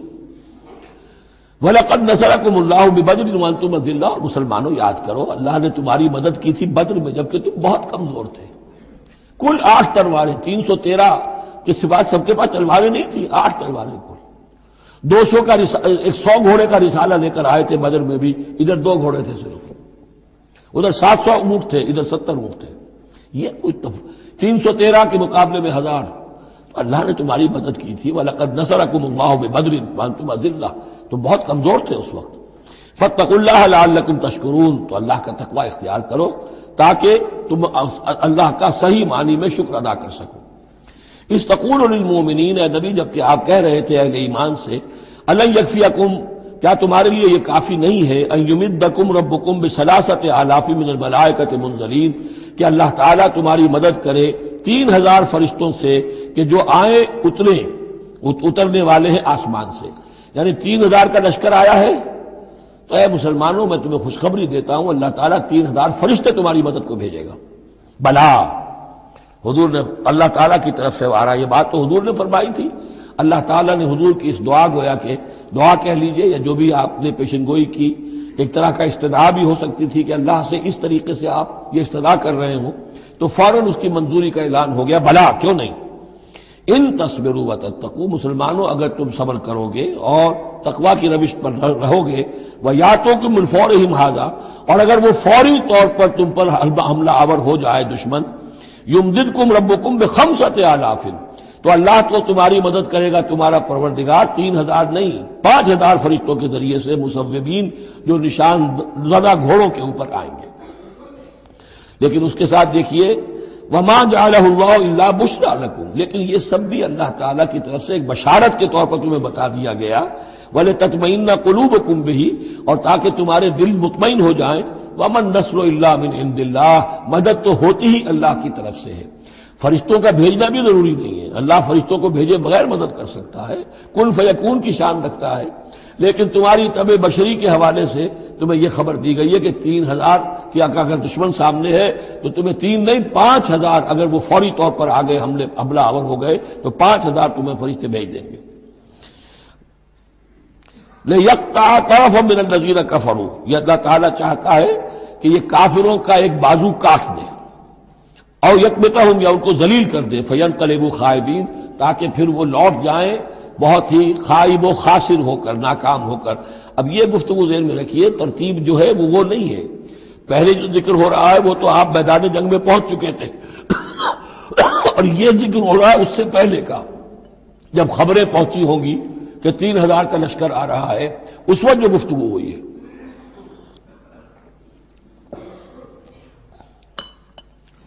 अब इस जंग के दौरान जो भी कुछ मुसलमानों से खताएँ हुई, गलतियाँ हुई, उनकी तरफ़ भी इशारा है। इसमें बास एक मामला ऐसा भी हुआ जो हुजूर से भी खता का एक मामला हुआ, उसके ऊपर भी गिरफ्त है, बल्कि सबसे पहले हुजूर वाले मामले को लिया जा रहा है। जब आप जख्मी हो गए शदीद, और आप पर बेहोशी भी तारी हुई, फिर जब होश में आया तो आपकी जबान पर ये अल्फाज आ गए, कैफ यह दिल्ला कौमन? खजबू वजह नबी हिम बिदम अल्लाह उस कौम को कैसे हिदायत देगा जिसने अपने नबी के चेहरे को खून से रंग दिया? क्योंकि तलवार का वार पड़ा था आपकी, ये चीक जो है चीक बोन पर, ये जो हड्डी है चेहरे की, और उससे दो आपके दांत भी शहीद हो गए थे, और यह कि फवारा खून का छूटा था। और उस फवारे से ज़ाहिर बात है, आपका पूरा चेहरा लहू लुहान पूरा जिसम, और खून इतना गया कि आप पर बेहोशी तारी हो गई। कैफ यादिल्ला कौमन? अल्लाह कैसे हिदायत देगा उस कौम को? खजबू, जिन्होंने रंग दिया, वजह नबी हिम अपने नबी के चेहरे को बिदम खून से। इस पर गिरफ्त हो रही है। लई सलकमिन लम्र शई ए नबी, आपका कोई इख्तियार नहीं है। आपका काम है दावत देना, तबलीग करना। लोगों की हिदायत और जलालत का फैसला हम करते हैं, आप नहीं करते। और देखिए अल्लाह ने क्या शान दिखाई। जिस शख्स की वजह से यह सब कुछ हुआ है, खालिद इबन वलीद, हुजूर ही के ज़ुबान मुबारक से उसे खिताब दिलवाया खालिद सैफ बिन सयूफ खालिद अल्लाह की तलवारों में से तलवार है। हालाँकि ये सारी जख्म जो पहुँची है, वो हज़रत खालिद इबन वलीद उस वक्त तक जो वो कुफर के सरदारों में से थे और वो आए थे। लैसा लकमिन अमरिश है नबी, ये इख्तियार आपका नहीं है। और यतूबा ही और युआब युआब अल्लाह के इख्तियार में वो चाहेगा तो उनकी तोबा की तोफीक दे देगा। वो ईमान ले आएँगे। या अल्लाह चाहेगा, उन्हें अजाब देगा। फ़ैन ालिमून इसलिए कि जालिम तो है, उन्होंने गुनाह तो किया है, गलत काम कर रहे हैं। सदा के वो हकदार हो चुके हैं, लेकिन हो सकता है अल्लाह उन्हें हिदायत दे दे। अब देखिए वक्त वक्त की बात होती है। चंद साल पहले ताइफ में वो दुआ जो है आपसे कहा गया, फरिश्ता आया कि नबी, जिन्होंने आप पर पथराव किया है और आपकी तोहन तस्वीर की है ये मलकुल जिबाल जो है कहता है कि मैं हाजिर हूँ, मुझे अल्लाह ने भेजा है। आप फरमाएँ तो इन दोनों पहाड़ों को टकरा दूँ जिनके माबेन ये वादी के अंदर ये शहर ताइफ आबाद है, ताकि सब पिस जाए, सुरमा हो जाए। आपने फरमाया, नहीं। क्या अजब कि अल्लाह ताला इनकी आइंदा नस्लों को हिदायत दे दे। लेकिन अब यह बरहला कुछ ऐसा था कि जबान मुबारक से वो जुमला निकल गया। यह भी हो सकता है कुछ चूँकि बेहोशी से एकदम उठे हैं तो उस वक्त पूरी तरीके से आप जो है अपने पूरी तरह अपने हवास जो है अभी बहाल नहीं हुए थे और ये अल्फाज निकल गए। लेकिन अल्लाह ताला का मामला है और रब रबुन व इन तनजल वल अब्द अब्दुन व इन तरक्का। बंदा बंदा ही रहता है, चाहे कितना ही बुलंद हो जाए। और रब रब ही है, चाहे कितना ही नजूल फरमा ले। अब तो वो वक्त है ना रात का पिछला पहर शुरू हो रहा है ना। अल्लाह ताला समाए दुनिया तक नाजिल होंगे। और शब मेराज में हजूर सातवें आसमान पर चले गए। अल्लाह इस पहले आसमान पर आकर भी रब है और हुजूर उस सातवें आसमान पर पहुंचकर भी बंदे हैं। और रब रबुन व इन तनजल वल अब्द अब्दुन व इन तरक्का। वल्ला माफ़ी समावत माफिल अल्लाह ही के लिए है जो कुछ कहे आसमान और ज़मीन में। यकफर मैशाह व युआब मैशाह वो जिसको चाहता है बख्श देता है, जिसको चाहता है अजाब देता है। वल्लाह गफूर रहीम, अल्लाह गफूर रहीम है। याजीन आमन लाताकुलरिबा अज़ाफ़न मुदाफ़ा। अहल ईमान सूद मत खाओ, दुगने पर दुगना। ये जो कंपाउंड इंटरेस्ट है, बढ़ता चढ़ता रहता है, ये असल में पहली आयत जो है सूद की हुरमत में वो ये है। बल्कि नोट कीजिए, जैसा कि मैंने नोट करा दिया था कल आपको, सबसे पहले एक मक्की सूरत में, सूरह रूम में बात आ गई थी। बात है तुम रिबन यरबो अफीम वालनास फला यरबो इन वबा है तुम इन जक़ातिन तो रीदून वजल्ला उलाय कहफून तो इन्फाक फ़ी सबील्लाह और सूद को एक दूसरे के मुकाबले रखकर जो भी उस सूद के अंदर जो कबाहत और शनाख्त थी वो वादे कर दी जैसे कि शराब और जुए की जो खराबी थी उसको सूरह सूरत बकरा में बयान कर दिया था अब यहाँ वो दूसरा आ गया मामला कि ये कम से कम सूद की शराह जो बहुत ज़्यादा, जिसे यूजरी कहते हैं आजकल, ये सूद के जो जाति से मसाइल के लिए लेते हैं, हमारे यहाँ भी ऐसे सूद खोर मौजूद हैं, बहुत हाई रेट ऑफ़ इंटरेस्ट पर, वो रेट वो देते हैं लोगों को कर्ज और उनका खून चूस जाते हैं। तो पहले उस सूद की मजम्मत आई है। आखिरी हुक्म है फिर उस सूद का, जो बै के अंदर सूद है। वो है वो हुक्म के जो सन नौ में नाजिल हुआ लेकिन तरतीब मुसफ में वो सूरह बकरा में है। वो पूरा रुकू हम पढ़ चुके हैं। और उस रुकू की आखिरी आयत वो है, जो कुरान मजीद की आखिरी आयत है तरतीब नजूली में। व यौमन तुरजाऊ नफी ये क्यों यहाँ पर आयत आई है? इसलिए कि महसूस ऐसा होता है कि वो जो पैंतीस तीर अंदाज वहाँ से छोड़कर चले गए थे तो कोई उनके तहत शूर में माल गनीमत की कोई तलब थी, जो नहीं होनी चाहिए थी। इस हवाले से कि सूदखोरी जो भी है, ये इंसान के अंदर माल से मोहब्बत ऐसी पैदा कर देती है, जिसकी वजह से उसके किरदार के अंदर बड़े बड़े खला पैदा हो सकते हैं। लिहाजा यहाँ उसी के हवाले से, या तुफलहून, और अल्लाह का तकवा इख्तियार करो ताकि तुम फला पाओ। व तकुल नारती काफरीन, उस आग से बचो, डरो उस आग से, जो काफिरों के लिए तैयार की गई है, भड़काई गई है। वातील्लाह व रसूल अल्लाकुम और अल्लाह उसके रसूल की इतात करते रहो ताकि तुम पर रहम किया जाए। वह सारे उला मगफरत रबकुम और दौड़ो अपने रब की मगफरत के हसूल के लिए। वह जन्नत इन अर्ज़ समावत व लर्द और उस जन्नत को हासिल करने के लिए जिसका फैलाव आसमानों और ज़मीन जितना है। मुत्तकीन। वो तैयार की गई है, संवारी गई है। उसका सिंगार किया गया है अहले तकवा के लिए। अल्लजीन यूनफिकून फिसर्राय वद्वराय वो लोग जो खर्च करते हैं। सूद के मुकाबले में इन्फाक। ये तकाबुल फिर देख लीजिए। जो खर्च करते हैं सर्राय खुशी में भी, वद्वराय, खुद तंदस्त तब भी करते हैं। चाहे तकलीफ़ में है वल काजमीन अलगैजा और वो लोग जो अपने गुस्से को पी जाने वाले हैं। वल आफीन नाश, और वो लोग जो लोगों की खताओं से दरगुजर करते हैं, उन्हें माफ़ कर देते हैं। वल्लाहबुलमोहसिन अल्लाह ताला ऐसे मोहसिन को पसंद करता है। ये दर्जा एहसान है। इस्लाम, ईमान, फिर एहसान। वल्लजीन इजाफ़ालू फ़ाहिशत और अगर इनमें से कभी किसी से कोई गलती हो जाती है, कि अगर वो कर बैठे कोई खुला गुनाह कोई बेहयाई का इरतकब, या अपने ऊपर कोई और जुल्म कर बैठे जकरल्ला फ़ौरन उन्हें अल्लाह याद आ जाता है। फस्तक फरूल जुलूब तो वो अल्लाह ताला से इस्तफार करते हैं। ये मजमून सूरह निसा में आएगा कि अल्लाह ताला ने अपने ऊपर वाजिब ठहराया है कि जो शख्स मुसलमान साहिब ईमान को खता उससे हो जाए और वो फ़ौरन तोबा कर ले तो अल्लाह ताला जो है, उसने अपने ऊपर वाजिब ठहरा लिया है कि उसकी दुआ को ज़रूर कबूल करेगा। वमन यकफर जुनूब और कौन है जो माफ़ कर सके गुनाहों को सिवाय अल्लाह के? वलम युसर्रु अला माफ़ालू और वो अपने उस गलत फेल पर इसरार नहीं करते। यानी यह कि करते चले जा रहे करते चले जा रहे करते चले जा मौत आ गई तो अब तोबा करेंगे, तब तोबा नहीं है। एक खता हो गई, जज्बात में हो गई, भूल में हो गई फ़ौरन होश आया, फ़ौरन जो है गिड़गिड़ाए, फ़ौरन तोबा की, अज़म मुसम्म किया अल्लाह दोबारा नहीं करूँगा। पूरी पशेमानी के साथ अल्लाह की जनाब में, अपने पूरे समी में कल्ब के साथ तोबा की, अल्लाह उस तोबा की कबूल करने की जमानत देता है। उलाय का जदा मगफरत रब ये वो लोग हैं कि जिनका बदला है उनके रब की तरफ़ से मगफरत। व जन्नात उन तजरी मिनतार खालिदीन फ़ीहा, और वो बागात के जिनके नीचे या जिनके दामन में नदियाँ बहती होंगी, और वो उसमें हमेशा हमेश रहेंगे। व नेम आजरुल और बहुत ही अच्छा बदला है अमल करने वालों के लिए।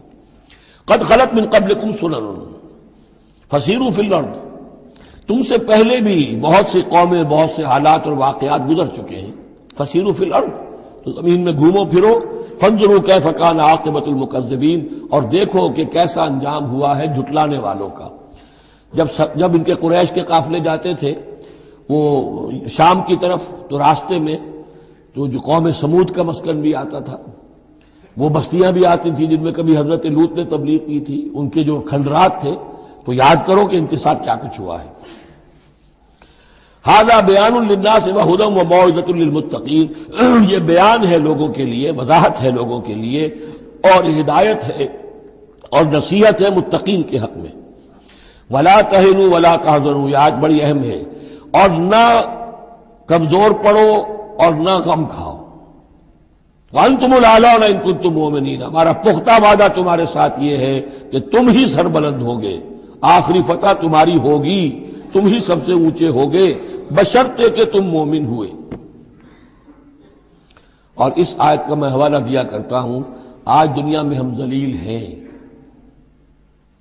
आला तो नहीं है, बुलंद तो नहीं है। नतीजा क्या निकलता है? ईमान नहीं है हमारे अंदर। एक अकीदा है भरूसी अकीदा है। ईमान, यकीन वाला ईमान, burning faith, living faith conviction वो कहाँ है? या फिर कुरान अल्लाह का कहना झूठ है? अंतमुलालौन इनकुन तुम मोमिनीन। हो नहीं सकता कि उम्मत के अंदर ईमान मौजूद हो और फिर वो दुनिया में जलील खार हो।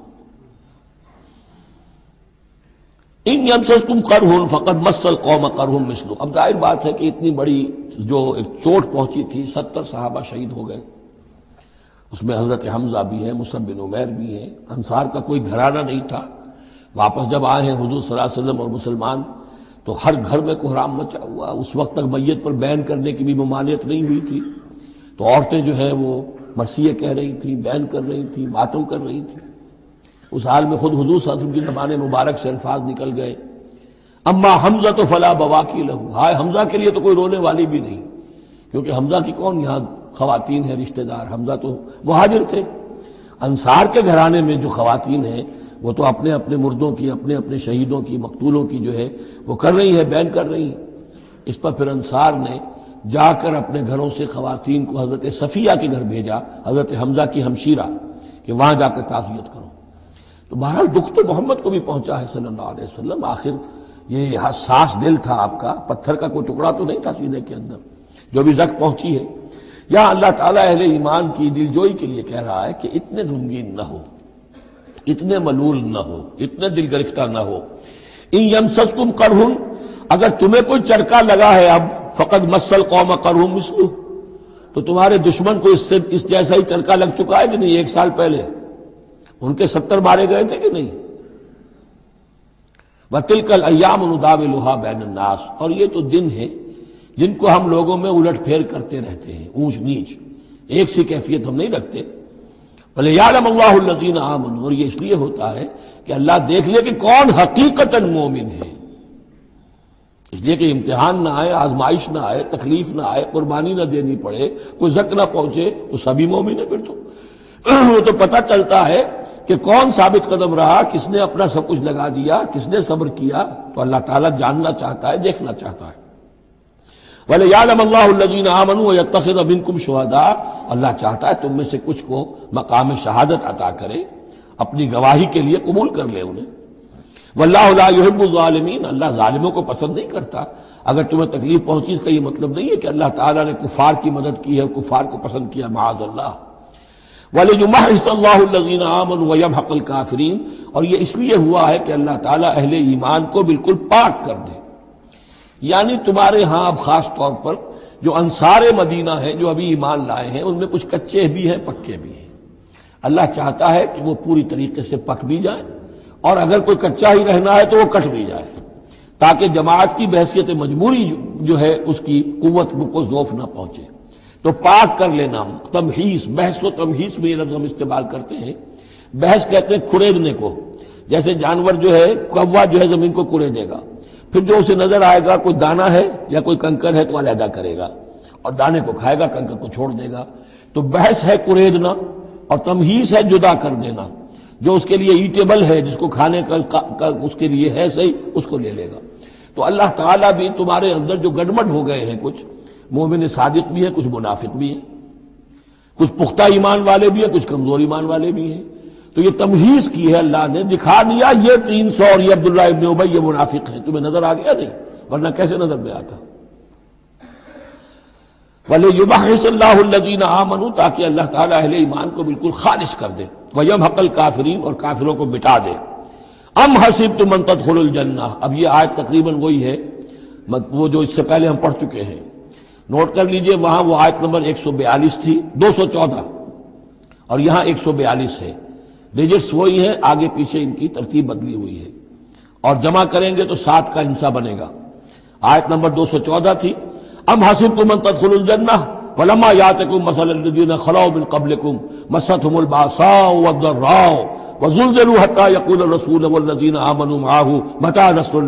अला इन नसरुल्लाह करीब। वही है आयत अब ये तुम क्या तुमने समझा था कि जन्नत में दाखिल हो जाओगे? वलम्मा यालमिल्लाजीन जाहदू मिनकुम।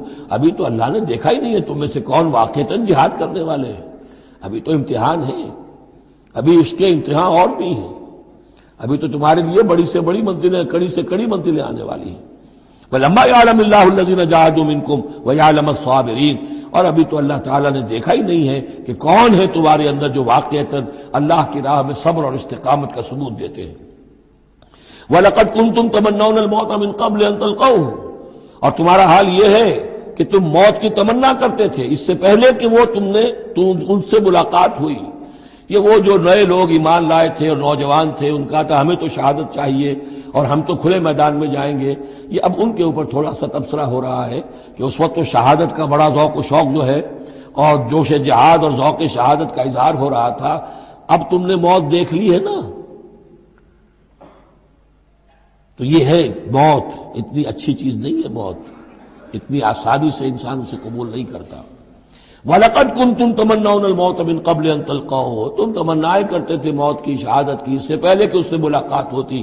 फकत रहे तुम वन तुम तंजुरून। तो अब तुमने उसे देख लिया है अपनी आँखों से, निगाहों से मौत निकली। है वमा मोहम्मद रसूल। उसी में एक दफ़ा यह भी हो गया था कि कुछ लोगों ने यह कहा कि जब मोहम्मद का इंतकाल हो गया तो अब किस लिए जंग करनी है हज़रत उमर भी है उनमें से। जब खबर ये उड़ गई कि हजूर फौत हो गए, उन्होंने तलवार फेर दिए बैठ गए। अब किसके लिए जंग करनी तो उसमें कहा गया कि ये तो तुम्हारा गलत रवैया है। गिरफ्त हो रही है। हर एक के ऊपर गिरफ्त होगी। पहली गिरफ्त मोहम्मद पर हो गई अलैहि तो हज़रत उमर बारह हजूर के मुकाबले में तो कोई हैसियत नहीं। उन पर भी गिरफ्त हो रही है। वमा मोहम्मद रसूल, और मोहम्मद कुछ नहीं है इसके सिवा कि वो अल्लाह के रसूल है। वो मबूद तो नहीं है। तुम उनके लिए तो जिहाद नहीं कर रहे तुम जिहाद अल्लाह के लिए कर रहे हो। दीन का गलबा जो है, वो अल्लाह के दीन का गलबा है। मोहम्मद की हैसियत क्या है? वो तो अल्लाह के रसूल है। वह माँ मोहम्मद रसूल, कद खलत मिन कबल रसूल, और उनसे पहले बहुत से रसूल गुजर चुके।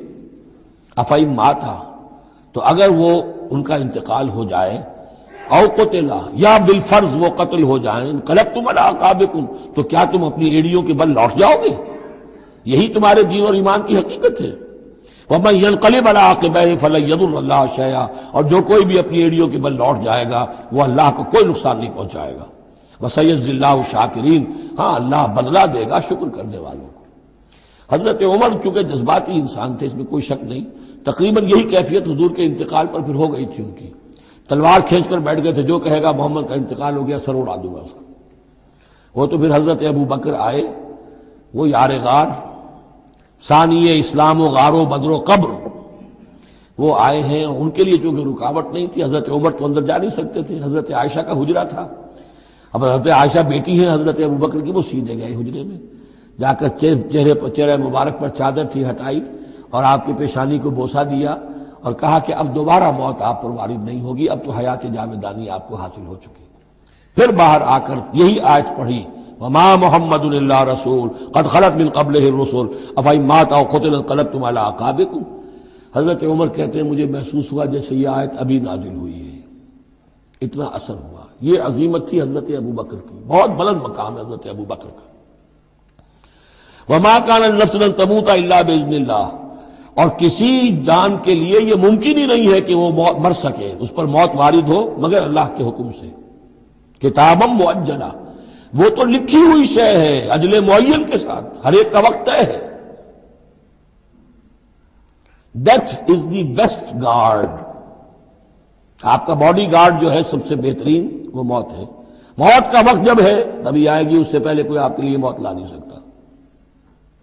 लिहाजा सबसे बड़ी हिफाजत इंसान के लिए खुद उसकी मौत है।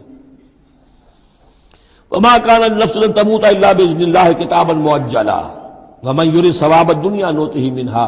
जो कोई दुनिया का अजर सवाब चाहता है हम उसे देते ये सूरह बकरा में भी हम पढ़ चुके थे हज के ज़िक्र में। वमन यूरिद सवाब आखिरत नोत ही मिनहा और जो वाक़ता आखिरत का सवाब चाहता है, बदला चाहता है जदा चाहता है अपने अमाल की, हम उसमें से उसको देंगे। बसमजी शाकरीन और शुक्र करने वालों का, को हम जजा देंगे। वह कायम नबीन कातल माहूरबीन कसीर। और मुसलमानों, ये तुम्हारे साथ जो वाक़ पेश आया है, वो पहला तो नहीं है। कितने ही नबी ऐसे गुजरे हैं कि उनके साथ होकर रिब्बी यून ये रिब्बी, रब्बाई, जो इनका यहूदियों के यहाँ आज भी लफ्ज चलता है रब्बानी यून रब्बाइस, रिब्बी, जो अल्लाह वाले हैं, अल्लाह के मानने और चाहने वाले, अल्लाह के मतवाले, अल्लाह के दीवाने। कायम मिन नबी कितने ही नबी गुजरे हैं, कातला माहू, उनके साथ होकर जंग किया रिब्बी यून ने, कसीर अल्लाह वालों ने, अल्लाह के गुलामों ने, अल्लाह के आशकों ने। फमा वहानुलमा फ़ी सबील तो अल्लाह की राह में जो भी तकलीफें उन पर आई उसमें उन्होंने जी नहीं हारा। वमा गौफू ना उन्होंने कमज़ोरी दिखाई। व मस्तकानू न हिम्मत हारी। वल्लाह साबिरीन, और अल्लाह ताला को ऐसे साबिरों ही से मोहब्बत है। तो है मुसलमानों, उनका किरदार अपनाओ और दिल गिरफ़्तार ना हो। वमा गाना कौल रबना जुनूबना व इसराफना फ़ी अमरना। और उनका तो हर मरहले पर यही कौल होता था कि वो दुआ करते थे रब हमारे, बख्श दे हमें हमारे गुनाह, व इसराफना फ़ी अमरना, और अगर हमसे अपने किसी मामले में हद से तजावुज हो जाए। जैसे कुछ तजावुज हो गया बुदूर से, कि आपने वो अल्फाज फरमा दिए, कैफ यादिल्ला कौमन, खजबू वजह नबी हिम बिदम या जैसे हज़रत उमर से हो गया, कि तलवार फेंक कर बैठ गए। तो अल्लाह जो इसराफ हमसे हो जाए। इसराफ है किसी हद से तजावुज कर जाना। जायज़ हद तक खर्च करना ठीक है, आप उसमें आगे बढ़ जाते हैं, वो इसराफ है। वह इसराफ अनाफी अमरना, बख्श दे जो भी इसराफ, जो भी ज्यादती हमसे हो गई। वह सब तकदामना और हमारे कदमों को जमा दे। मनसुरना कौमिल काफरीन, और हमारी मदद फरमा काफिरों के मुकाबले में। यही दुआ थी हज़रत तालूत के साथियों की। यही दुआ थी, जिस पर ख़त्म हुई वो दुआ कि जो सूरह बकरा के अख्ताम पर आई, फनसुरना काफरीन। वही दुआ यहाँ भी है। फ़ाताहमुल्लाह सवाब दुनिया व हुसन सवाब आखिरा। तो उन लोगों को अल्लाह ताला ने अता फरमाया, दुनिया का सवाब भी दुनिया में भी सरबलंदी दी, फतूहत दी, व हुसन सवाबिल आखिरा। और आखिरत के सवाब का तो बहुत ही उमदा हिस्सा उनके लिए है। वल्लाबुल मोहसिन और अल्लाह ताला जो है ऐसे मोहसिन को पसंद करता है।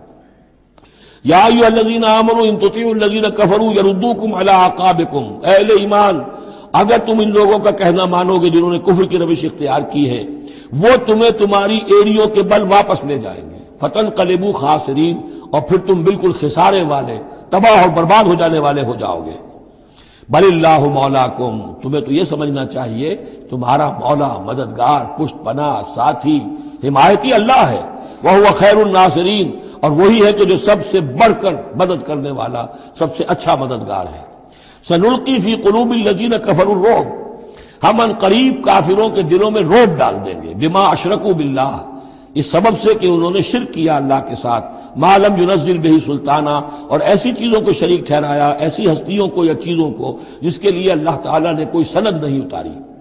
व माबा हमनार व बेसमसवत ालमीन और अल्लाह उनका ठिकाना जो है वो जहन्नम है और बहुत ही बुरा ठिकाना है जालिमों के लिए। ये असल में इस आयत में तोजी हो रही है कि वो क्यों चले गए? जबकि इस दर्जे उनको खुली फतह हासिल हो चुकी थी, मुसलमानों को हजीमत हो गई। हुजूर और सहाबा जो है, उन्होंने पनाह ले ली है पहाड़ के ऊपर जाकर।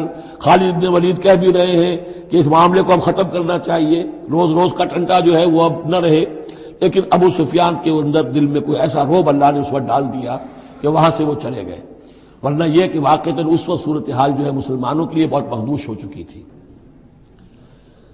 वलकत सदककुमल्लादहू इस्तहसूनहम बेइज्नी हत्ता इज़ा फशिल तुम व तनाज़ा तुम फिल अम्र वसई तुम इम्बाद मा अराकुम मा तहिबून मिनकुम मन युरीद दुनिया व मिनकुम मन युरीद आखिरा सुम्मा सरफ़कुम अनहुम लियब्तलियकुम वलकद अफ़ा अनकुम वल्लाहु फजलिन अलल मोमिनीन सदक़ल्लाहुल अज़ीम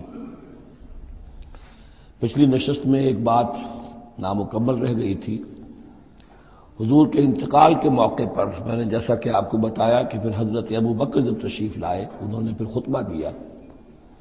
उसमें यह आयत भी पढ़ी व माँ मोहम्मद रसूल कद खलत मिन कबल ही रसूल अफ़ई माता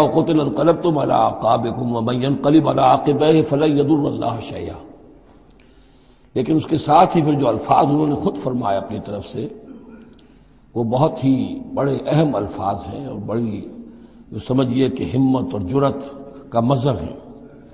मन का नयाबुल्लाह मन का नयाबुद मोहम्मदन फ़ैन मोहम्मदन कदमात जो कोई भी बंदगी करता था, पूछता था मोहम्मद की, वो सुन ले कि मोहम्मद का इंतकाल हो गया, सल्लल्लाहु अलैहि वसल्लम। वमन यमूत।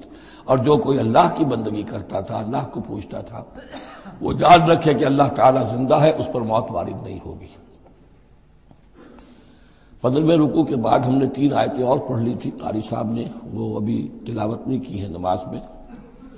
अब हम आगे चल रहे हैं। वलक सदकुल्लाह वादा अब ये जो आर्जी शिकस्त हो गई थी और मुसलमानों को जख्म पहुँची, जिससे उनके दिल जख्मी थे, इसके जिमन में अब ये बहुत ही कौल फैसल के अंदाज में ये आयत आई है। वलक सदकुमुल्ला सदकुमुल्ला देखो मुसलमानों, तुम हमसे कोई शिकायत नहीं कर सकते। अल्लाह ने तुमसे अपना वादा पूरा कर दिया था। इस तहसुन हूँ बेइजनी। जबकि तुम उन्हें कत्ल कर रहे थे अल्लाह के हुक्म से। तहते कर रहे थे। फतह हो गई थी। हमारा वादा पूरा था। हत्ता इजा फशिल तुम व तनाजा तुम फिल अम्र व तुम इमाद मारा को मातहिबोल यहाँ तक कि जब तुम ढीले पड़े, यहाँ ढीले का तर्जुमा कुछ और भी किया गया है। मेरे नज़दीक तुमने डिसिप्लिन को ढीला किया। नज्म जो है, समोतात। और समोतात में ज़ाहिर बात है कि एक ही शख्स की इतात नहीं होती।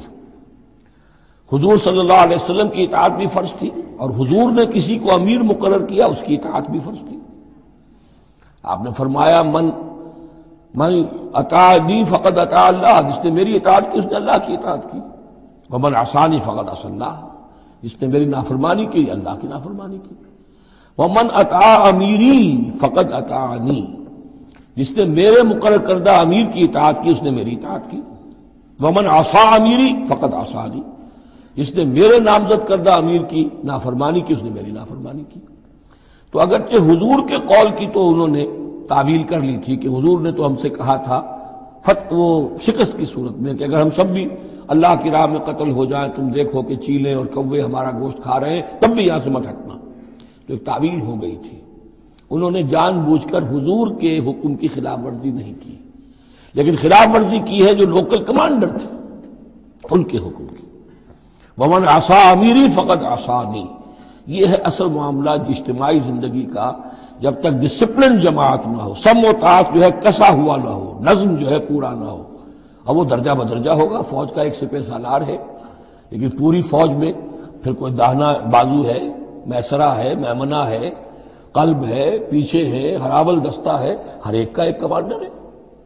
अब वहाँ पर यह कि अगर उनके जो भी आकाम है, उनसे सरताबी होगी तो वो फौज जो है, फिर जो उसका अंजाम होगा वो आपको मालूम है। तो नज्म तो है एक जमात के अंदर, दर्जा बदर्जा जो भी निज़ाम समोतात है, उसके पूरे की पाबंदी करना। हत्या फ़सल तुम जब तुम ढीले पड़ गए वह तनाजा तुम फिल अम्र, और अम्र में तुमने झगड़ा किया। असह तुम इम्बाद मारा को मातहबूल और तुमने नाफरमानी की, उसके बाद के तुमने वो चीज़ देख ली जो तुम्हें महबूब है।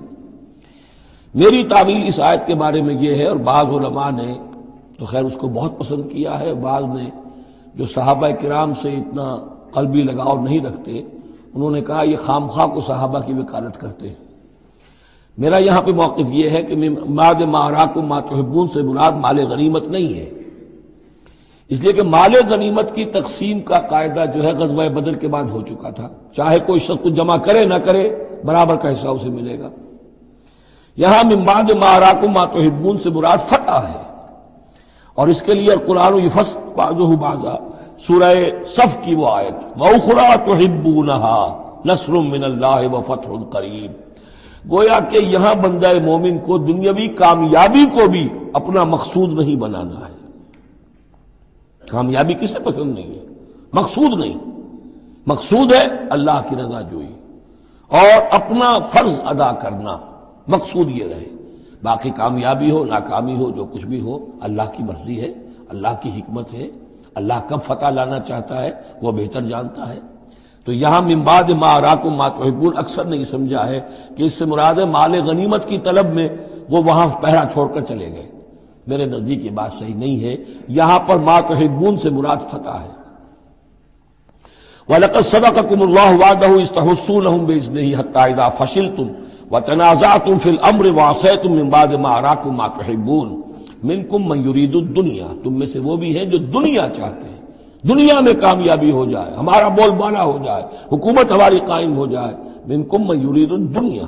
और बिनकुम मयूरीद आखिरा तुम में वो भी है जो सिर्फ़ आखिरत के तालिब है सुम्मा सरफकुम अनहुम तो गोया कि तुम हमें तो हमसे शिकायत नहीं कर सकते कोई शिकवा नहीं कर सकते लेकिन जब तुमने ये काम किया हत्या फसिल तुम व तनाज़ा तुम फिल अम्र वासे तुम इमबाद मारा कुमा तो हिब्बून उसके बाद फरमाया सुम्मा सरफ अकुम अनहुम ले अब तलियाकुम फिर अल्लाह ने तुम्हारा रुख फेर दिया उनकी तरफ़ से पहले तो यह था कि वो भाग रहे थे और तुम उनके पीछे उनका ताकुब कर रहे थे। अब वो उल्टा मामला हो गया कि अब तुम पीछे अपनी जान बचाने के लिए इधर उधर जा रहे हो। ले जब तलियाकुम ताकि तुम्हें और इब्तला में मुबतला करे, इम्तहान और ले तुम्हारा। वलकत अफान कुम लेकिन साथ ही मुआफीनामा भी है, अल्लाह तुम्हें मुआफ कर चुका है। जो भी खता हो गई है, जो भी गलती हो गई है, किसी से हुई है, अल्लाह ने माफ़ फरमाया। वल्लाफमिन और अल्लाह ताला अहले ईमान के हक में बहुत फजल वाला है। इस तुसदून वला तलमून अलाहदिन जबकि तुम चढ़े जा रहे थे पहाड़ पर, कोहे ओहद पर जान बचाने के लिए। वला तलमून अलाहदिन और फिर किसी की तरफ़ मुड़कर नहीं देख रहे थे। वह रसूल यदूकुम फ़ी उखराकुम। और रसूल सल्लल्लाहु अलैहि वसल्लम पुकार रहे थे तुम्हें, तुम्हारे पीछे से। भगदड़ जब बच जाती है तो सूरत ये हो जाती है। हुजूर के गिर तो आ गया था दरगाह कर लिया गया था। और ये के बाद साहबा ने अपने जिस्मों को ढाल का काम, यानी ढाल के तौर पर इस्तेमाल किया है। तब हुजूर वसल्लम को वो बचाने में कामयाब हुए हैं। वैसे तो बचाने वाला अल्लाह है, लेकिन जो वसाइल दुनिया भी है उसके एतबार से। फासाबकुम गम बेगम फातकुम फिर अल्लाह तुम पर गम के बाद गम मुसलसल डालता रहा। ताकि तुम गमगीन न हुआ करो उस पर कि जो तुमसे तुम्हारे हाथ से जाता रहे। वला मा साबकुम और न उस तकलीफ़ पर जो तुम पर पड़े। यानी रंज से खोगर हुआ इंसान तो मिट जाता है रंज। आदमी को अगर कभी इतफाका नहीं कोई रंज होता हो एक तो वो रंज का असर बहुत रहेगा। लेकिन जब यह है कि पै पै रंज आ रहे हो और सबसे बड़ा रंज जो आया वो हुजूर के इंतकाल की खबर जब उड़ गई तो अपने तन बदन का तो होश ही नहीं रहा कि किसी को क्या जख्म लगा हुआ है और खुद उसका कोई बाजू कटा हुआ है। इस तरीके से अल्लाह ताला ने उनके जो उस, उस वक्त की कैफियत थी उसमें एक तकफीफ पैदा कर दी। वल्लाह खबीर में माता मलून और अल्लाह ताला बाखबर है उससे जो तुम कर रहे थे।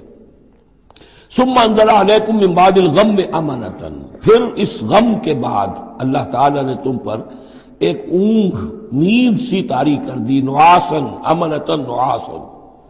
यक्षा ताइफतम मिनकुम, के जो तुम में से ग्रोह के ऊपर जो है वो तारी हो गई, और ये नींद जो आती है, ये इतमान कल्ब का मजर होती है। कि जैसे अब सब कुछ इंसान ने भुला दिया और ये कि उसकी कैफियत जो है हो गई है तो ये अल्लाह की रहमत के तौर पर हुआ।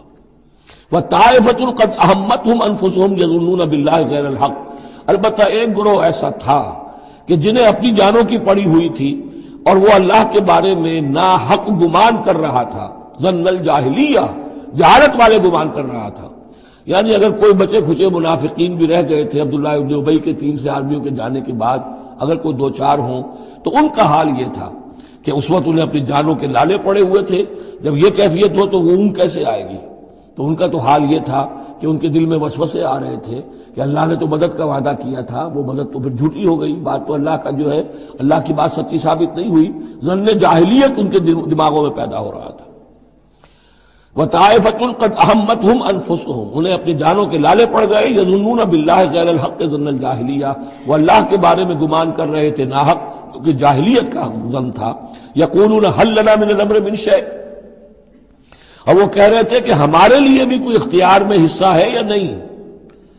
हो सकता है ये वो लोग हों जिन्होंने उस वक्त भी मशवरा दिया था जैसे हजूर की राय थी कि मदीने के अंदर ही मैसूर रहकर जंग की जाए।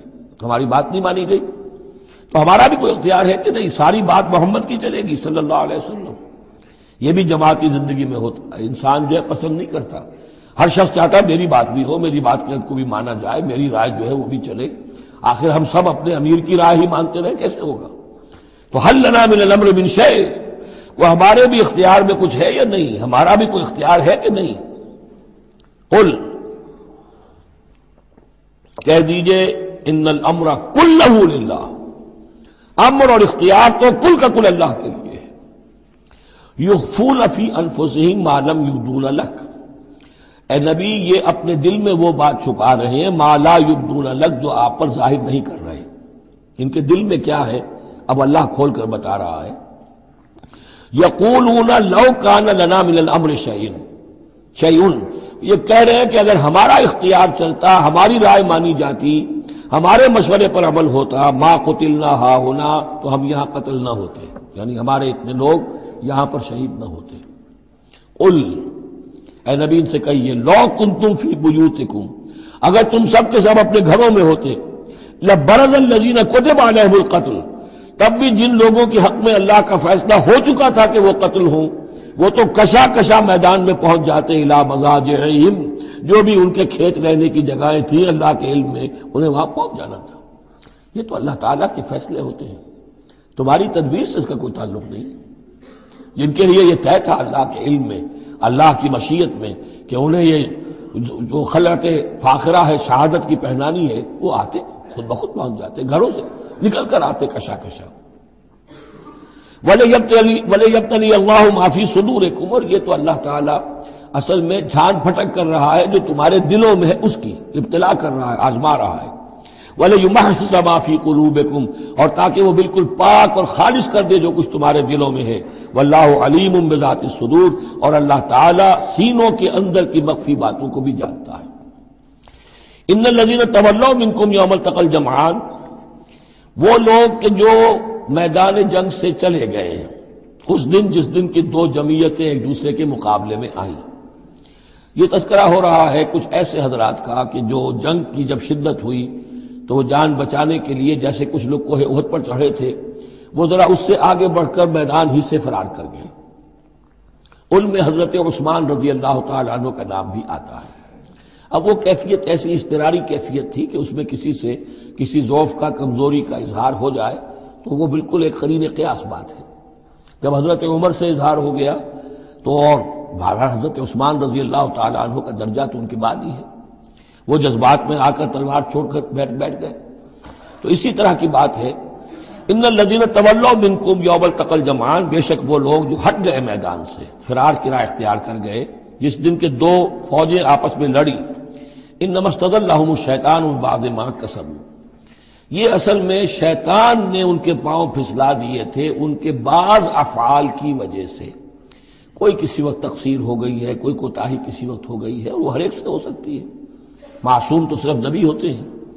उसकी वजह से शैतान को फिर मौका मिल जाता है कि किसी मौके पर वो अड़ंगा लगाकर उस शख्स को का वो कितना ही नेक हो और कितना ही साहिब रुतबा हो, फिर यह कि कहीं किसी जगह फिसला दे। वलकद अफल्लाह अल्लाह उन्हें माफ़ कर चुका है। ये अल्फाज बहुत अहम है। इसलिए कि अहल तशैयों ने इस चीज़ को बहुत उछाला है। हज़रत उस्मान की जो है वो तोहन करते हैं, उनके ऊपर तनकीद करते हैं कि ये तो भाग गए थे मैदान जंग से पेट दिखाकर। और वहाँ ये भूल जाते हैं कि अल्लाह ताला ने तो ऐलान किया है उनकी माफ़ी का। चाहे हज़रत उस्मान थे या और भी थे, वलकद अफल्लाह अल्लाह उन्हें माफ़ कर चुका है। अब किसी मुसलमान के लिए जायज़ नहीं है कि उन पर जबान तान दराज करें। इन अल्लाह गफूर हलीम यकीन अल्लाह ताला मुआफ वाला और हिल्म वाला है, हलीम।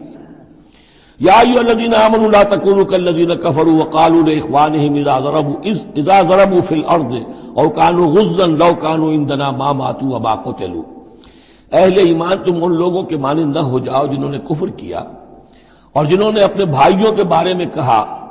जबकि वो थे ज़मीन में सफ़र पर निकले हुए या किसी जिहाद में शरीक थे, अगर वहाँ वो उनका इंतकाल हो गया, लो कानू इंदना माँ मातू व माँ कोतेलू, कि अगर हमारे पास होते तो न मरते न कत्ल होते। हर शख्स की मौत का वक्त तो मुन है। तुम्हारे जेब में, तुम्हारी गोद में बैठे हुए हो, तब भी मौत आ जाएगी।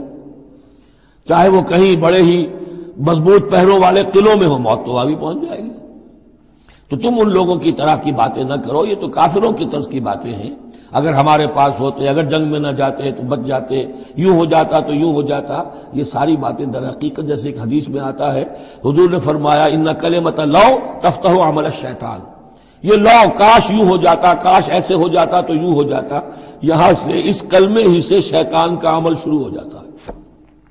जो हुआ, इसलिए हुआ कि अल्लाह को उसका होना मंजूर था। उसकी हिकमतें उसे मालूम आप उसकी हिकमत का अहाता नहीं कर सकते।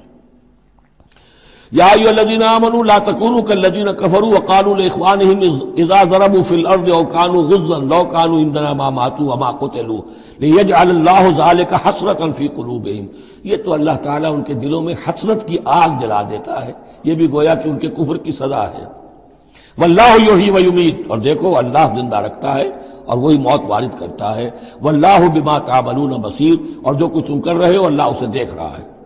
वला इन कोतिल तुम फ़ी सभी अगर तुम अल्लाह के राह में कत्ल हो जाओ और मुत तुम, या तुम्हारा वैसे ही इंतकाल हो जाए, मौत आ जाए और कुतिल तुम या तुम कत्ल हो जाओ। वला इन कुतिल तुम फ़ी सभी और मुत तुम लमफरत मिनल्लाह व रहमत खैर तो चाहे अल्लाह के राह में कत्ल हो जाओ या वैसे मौत आ जाए अल्लाह ताला की तरफ़ से जो मफफरत तुम्हें मिलेगी, वो और रहमत मिलेगी, वो कहीं बेहतर है उन चीज़ों से जो तुम जमा कर रहे हो। और दस साल जी लेते तो क्या कर लेते? और कुछ जमा कर लेते? अल्लाह ताला ने शहादत की मौत दे दी, इससे बड़ी और तुम्हारे लिए शहादत कौन सी होगी? वलाई मुतुम और कुतुल तुम ला तो शरून और चाहे तुम तुम्हें बिस्तरों पर मौत आए, चारपाइयों पर जान निकले, और चाहे तुम कत्ल हो, हर हाल में तुम्हें बहरहाल अल्लाह की जनाब में जमा कर दिया जाएगा, घेराव करके तुम्हारा वहाँ ले जाया जाएगा। आखिरी मंजिल तो वही है। फ़र्क क्या है कि बिस्तर पर पड़े हुए दम तोड़ रहे हैं, या ये कि मैदान जंग के अंदर शहीद हो गए? फबिमा रहमत ये आज भी बड़ी अहम है, सूरह मुबारक की इज्तमाही ज़िंदगी, जमाती ज़िंदगी। जो भी अमीर हो, साहिब अमर हो, जिनके पास जिम्मेदारियाँ हों, उनके तहत उनके साथी हैं, आखिर वो इंसान हैं, उनके भी जज्बात हैं, उनके भी एहसास हैं, उनकी इज़्ज़त नफ्स भी है, उनके साथ नरमी की जानी चाहिए, सख्ती नहीं। कोई मुलाजिम है, मुलाजिम के साथ आप सख्ती कर सकते हैं, लेकिन ये तो वॉलेंटियर्स हैं, जो भी आया है, जो भी हुजूर के साथ था, कौन था? वो कोई तनख्वाह याफ्ता सिपाही तो नहीं था, वो कोई मर्सनरीज तो नहीं थे। ये लोग आए हैं, ईमान की वजह से आए अब भी कोई जमात है, दीनी जमात बनी है तो जो भी लोग उसमें काम कर रहे हैं तो वो जो साथी हैं, उनके साथ उनके उमरा को नर्म रवैया इख्तियार करना चाहिए। फबिमा रहमत मिन तो ये तो अल्लाह की रहमत की बात है। अल्लाह की रहमत का मजर है नबी कि आप इनके हक में बहुत नर्म हैं। वलाकुन फजल गरीज कल्ब। और अगर होते आप तुंद खू और सख्त दिल, लल फजल मिन हौलिक। तो ये आपके इर्द गिर्द से मुंतशिर हो जाते आपको छोड़कर चले जाते कोई कारवां से टूटा, कोई बदगुमा हरम से, कि अमीर कारवां में नहीं खुए दिल नवाजी।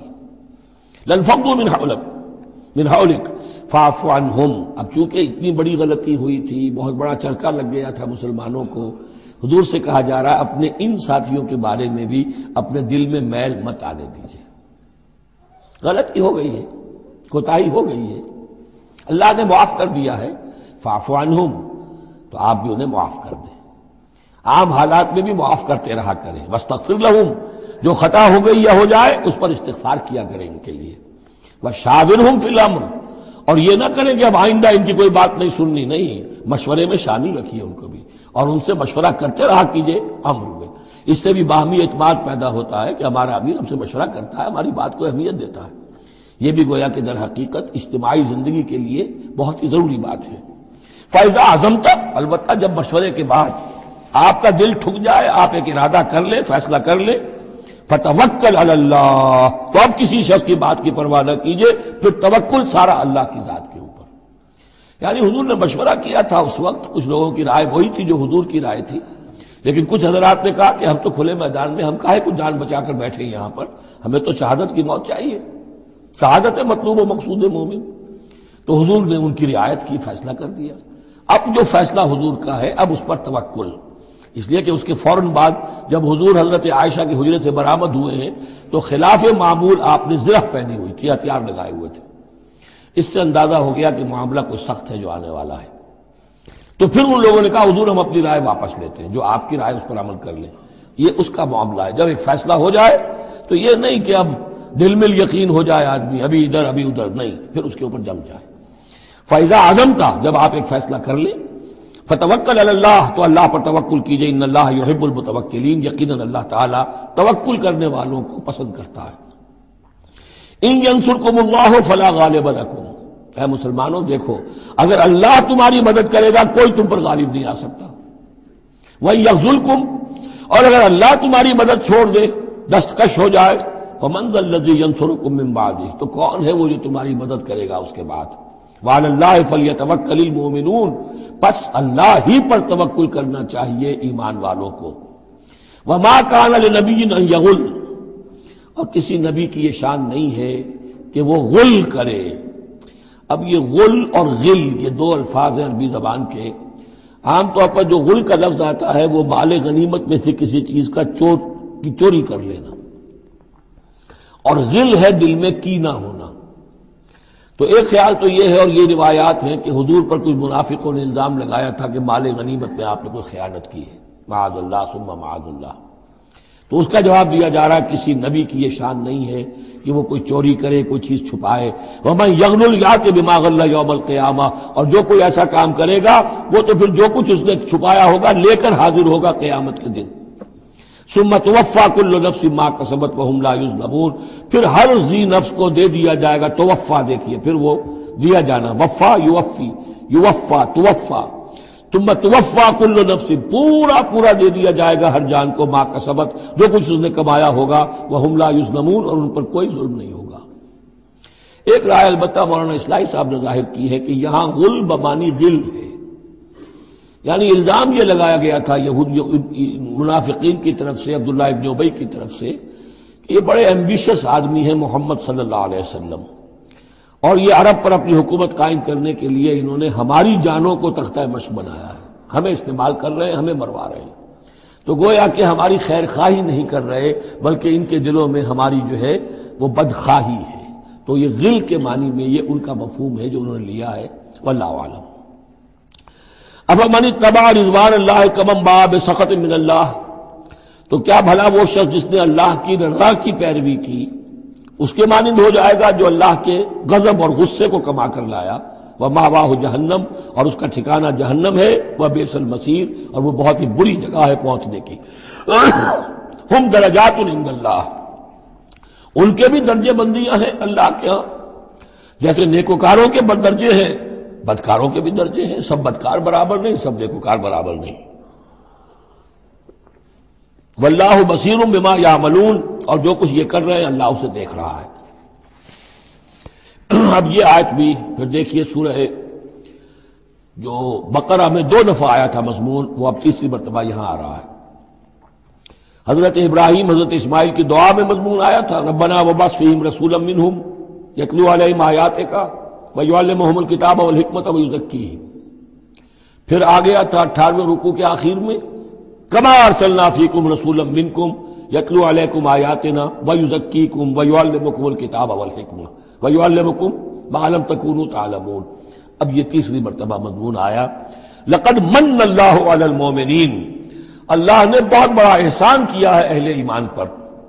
इस बा सफ़ीम रसूल मिनफुसहीम जब उनमें उठाया एक रसूल, उन्हीं में से, उनकी अपनी जानों में से, उनकी अपनी कौम में से। यतलू अलहिम आयात ही जो तिलावत करते, सुनाता है उन्हें उसकी आयात। वयुजक्की ही उन्हें पाक करता है। तरतीब अब हमेशा के लिए यही होगी। तिलावत आयात तस्किया और फिर तालीम हमत तालीम किताब और हमत मोहमुल किताब अवल हमा और तालीम देता है उन्हें किताब और हमत की। वह इन कानून कबल रफीद मुबीन। और यकीनन इससे पहले, यानी रसूल की आमद से कबल तो वो लाजमन खुली गुमराही के अंदर मुबतला थे। अवलम्मा असाबत कुम मुसीबत कद असब तुम मिसलेहा। कुल तुम अन्ना हाजा। तो जब तुम पर एक मुसीबत आई, जबकि तुम उससे दुगनी मुसीबत जो है, उनको पहुँचा चुके हो। कुल तुम अन्ना हाजा, तुम कहते हो, ये कहाँ से आ गया? ये क्यों हो गया? अल्लाह ने पहले मदद की थी, अब क्यों नहीं की? कुल हुआ मिन इंद अनफोसे कुम नबी कह दीजिए, ये तुम्हारे अपने नफ्सों की शरारत की वजह से हुआ। तुमने गलती की, तुमने हुक्म की खिलाफ वर्जी की। हत्या इजा फसिल तुम व तनाजा तुम फिल अम्र। वासे तुम इमाद मारा कुमा तो हिब्बून इन अल्लाहकुल्लशन कदीर। अल्लाह तो हर चीज़ पर कादिर है। गोया कि उसी मजमून को दोहरा कर लाया गया कि वलक सदकुल्लाह वादहू। अल्लाह वादा अपना पूरा कर चुका था। वमा असाबकुम यौमल तकल जमान। अलबत्ता ये, अल्लाह चाहता तो कंडोन कर देता, तुम्हें कोई सजा ना देता माफ़ कर देता, बगैर सजा दिए। लेकिन यह कि अल्लाह की हिकमत का तकाजा यह हुआ कि तुम्हें सजा दी जाए। इसलिए कि अभी तो बड़े बड़े मराहल आने हैं। अगर इसी तरह तुम नज्म को तोड़ते रहे और अहकाम की खिलाफ वर्जी करते रहे तो फिर तुम्हारी हैसियत जो है, एक जमात की तो नहीं होगी, फिर तो एक अम्बो है। हजूम मोमिन होगा। जमात, लश्कर, फौज हिजबुल्ला दरकार तो वो है। वमा असाबकुम यामल तकल जमाल, और जो भी मुसीबत तुम पर आई है उस दिन, जिस दिन के दोनों लश्कर भिड़ गए थे आपस में, फब इज्निल्ला, वो अल्लाह के इज्न से आई है। बगैर अल्लाह के इज्न की तो ये तकलीफ़ नहीं आ सकती थी। बोले या लमल मोमिन और ये इसलिए कि अल्लाह जान ले कि कौन है असल मोमिन, हकीकी मोमिन, साबिर मोमिन, जो मुस्तकीम मोमिन है। बोले या लमल्लजीन नाफकू, और ताकि देख ले कि कौन है मुनाफिक। और यहाँ असल तर्जुमा हम करते हैं ताकि अल्लाह ज़ाहिर कर दे कि कौन है मोमिन और ज़ाहिर कर दे कि कौन है मुनाफिक। खुल गया कि नहीं? तीन सौ को लेकर अब्दुल्ला इब्न चला गया तो अब सबको पता तो चल गया। आइंदा उनकी बात पर एतबार तो नहीं करेंगे। वो चिकनी चुपड़ी बातें करेंगे तो उनकी बातें जो है कान लगा के सुनेंगे तो नहीं। तो अल्लाह ताला ने चाहा कि who's who and what is what ये बिल्कुल मुबरहन हो जाए वाजे हो जाए। वकील अब यहाँ वो तस्करा हो रहा है आखिर में उस वाक़े का। कि जबकि अब्दुल्ला इबन उबई तीन सौ आदमियों को लेकर वापस चला गया। उस वक्त कुछ लोगों ने उससे कहा होगा कि कहाँ जा रहे हो, बेवकूफ़ इस वक्त तो लश्कर सामने, आमने सामने खड़े हैं। और तीन सौ आदमी निकल जाए एक हज़ार में से तो बकिया जो बाकी हैं, उनके भी कुछ ना कुछ दिलों में कमज़ोरी पैदा होगी। जैसे कि बनु हारसा बनु सलमा के अंदर कमज़ोरी आर्जी तौर पर पैदा हो गई थी। तो समझाने वालों ने जब कहा वकील कातिल फ़ी सभी अबितफाऊ आओ भाई, आओ, कहाँ जा रहे हो? अल्लाह की राह में किताल करो या दिफा करो। दिफा हो रहा है तो मदीने के ऊपर हमला होगा तो क्या होगा? अगर यहाँ पर यह लश्कर जो है शिकस्त खा गया तो क्या तुम्हारी बहु बेटियाँ जो है, फिर आकर वो उन्हें लेकर अपनी बादियाँ बनाकर नहीं ले जाएँगे? अल्लाह की राह में जंग करो, अगर ये नहीं तो कम से कम अब दिफा जो है मदीने का, उसके लिए तो खड़े रहो।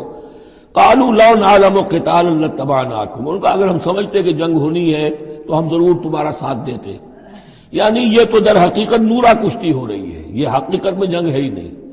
ये मोहम्मद के साथ ही जो मुहाजरीन आए हैं मक्के से और ये जो मक्के से अब आए हैं, चढ़कर, ये सब एक है ही थैले के चट्टे बट्टे हैं और हमारा इनसे कोई सरोकार नहीं। लौन आलम तबाना को हम लिल कुफर यौम अकरब ईमान। उस दिन वो ईमान की नस्बत कुफर से करीब तर थे। यकून बेअफवाहिम माले सफ़ी कलूबहिम। वो अपने मुंहों से वो बात कह रहे हैं जो उनके दिलों में नहीं है। वल्लाह आलम बिमा यकतबून। और जो कुछ वो छुपा रहे हैं, वो अल्लाह के इल्म में है। अल्लाह कालून इखवान वकादू, लो अताउना माकोतलू ये वो लोग हैं कि जिन्होंने कहा, उनके जो भाई जो वहाँ पर मुसलमान सादिकुल ईमान थे, जो वहाँ शहीद हो गए तो जो लोग बैठे रहे थे, उन्होंने कहा, लो अताउना माकोतलू अगर वो भी हमारे साथ आ गए होते हाँ साथ हमारे चले आते, तीन सौ हम आए थे, वो और भी आ जाते तो कत्ल ना होते। कुल फद रहू मौत इनकुन तुम सादिकीन। तो नबीन से कहिए अच्छा अगर सच्चे हो तो अपनी जानों से मौत को हटाकर दिखाओ। क्या मौत से बचे रहोगे? क्या मौत यहाँ घरों में नहीं आएगी? वला तहसबन कोतलूफी सबीर अबवाता अब वो फिर आयत आ गई उन्नीसवीं रुकू की। वला तकोलू मन युक्तलोफी सबीर अमवाता। बलाहियाउन वला किल्ला सूरह बकरा, उसके उन्नीसवें रुकू की आयत है। और यहाँ, वला तहसबन हरगिज न समझना उन लोगों को जो अल्लाह की राह में कत्ल हो जाए कि वो मुर्दा है। बल अहिया बल्कि वो तो ज़िंदा है। इन दरब युरजकून। अपने रब के पास उन्हें रिस्क मिल रहा है, रिस्क पा रहे हैं। फरही न बिमा आता बिन वो तो खुशियाँ मना रहे हैं। शादियाने बजा रहे हैं, जो कुछ अल्लाह ने उन अपने फजल से उनको अता किया है। वस्तब शरून अबिल्लकूब ही मिन और अभी वो खुश वक्त हो रहे हैं, खुशखबरियाँ हासिल कर रहे हैं कि हमारे और भाई भी जो पीछे रह गए, अभी शहादत की खिदत उन्हें नहीं मिली, वो भी आए। और जो हमें अल्लाह ताला ने नाजो नम के अंदर इस वक्त रखा हुआ है, इससे वो भी शाद काम हो। जो उनके पीछे हैं, अल्लाह खौफ कि उन पर कोई ना खौफ होगा और ना वो किसी हजन से दो चार होंगे। यस्तब शरूरा बेनमत मिन व फजल और वो तो खुशियाँ मना रहे हैं। अल्लाह ताला की नेमत की वजह से और उसके फजल की बिना पर। वाजुद्दीन और ये इस बात पर कि अल्लाह ताला अहले ईमान के अजर को ज़ाय नहीं करता। अल्लादीन सजाबुल्ला रसूल मिम्बाद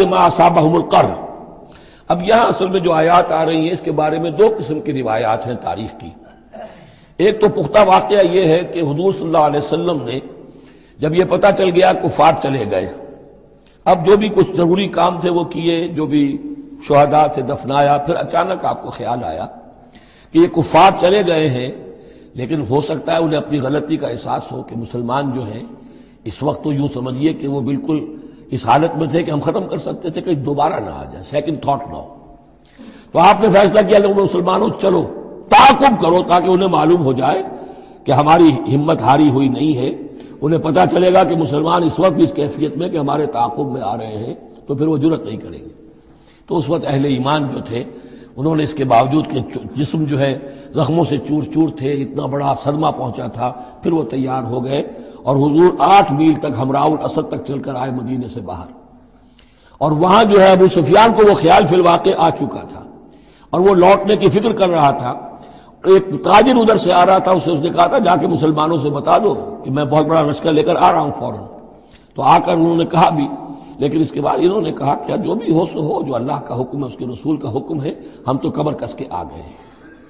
इसी तरह का वाक्य बयान होता है कि अबू सुफियान जाते हुए ये कह गया था कि अब अगले साल दोबारा मुलाकात होगी बद्र में।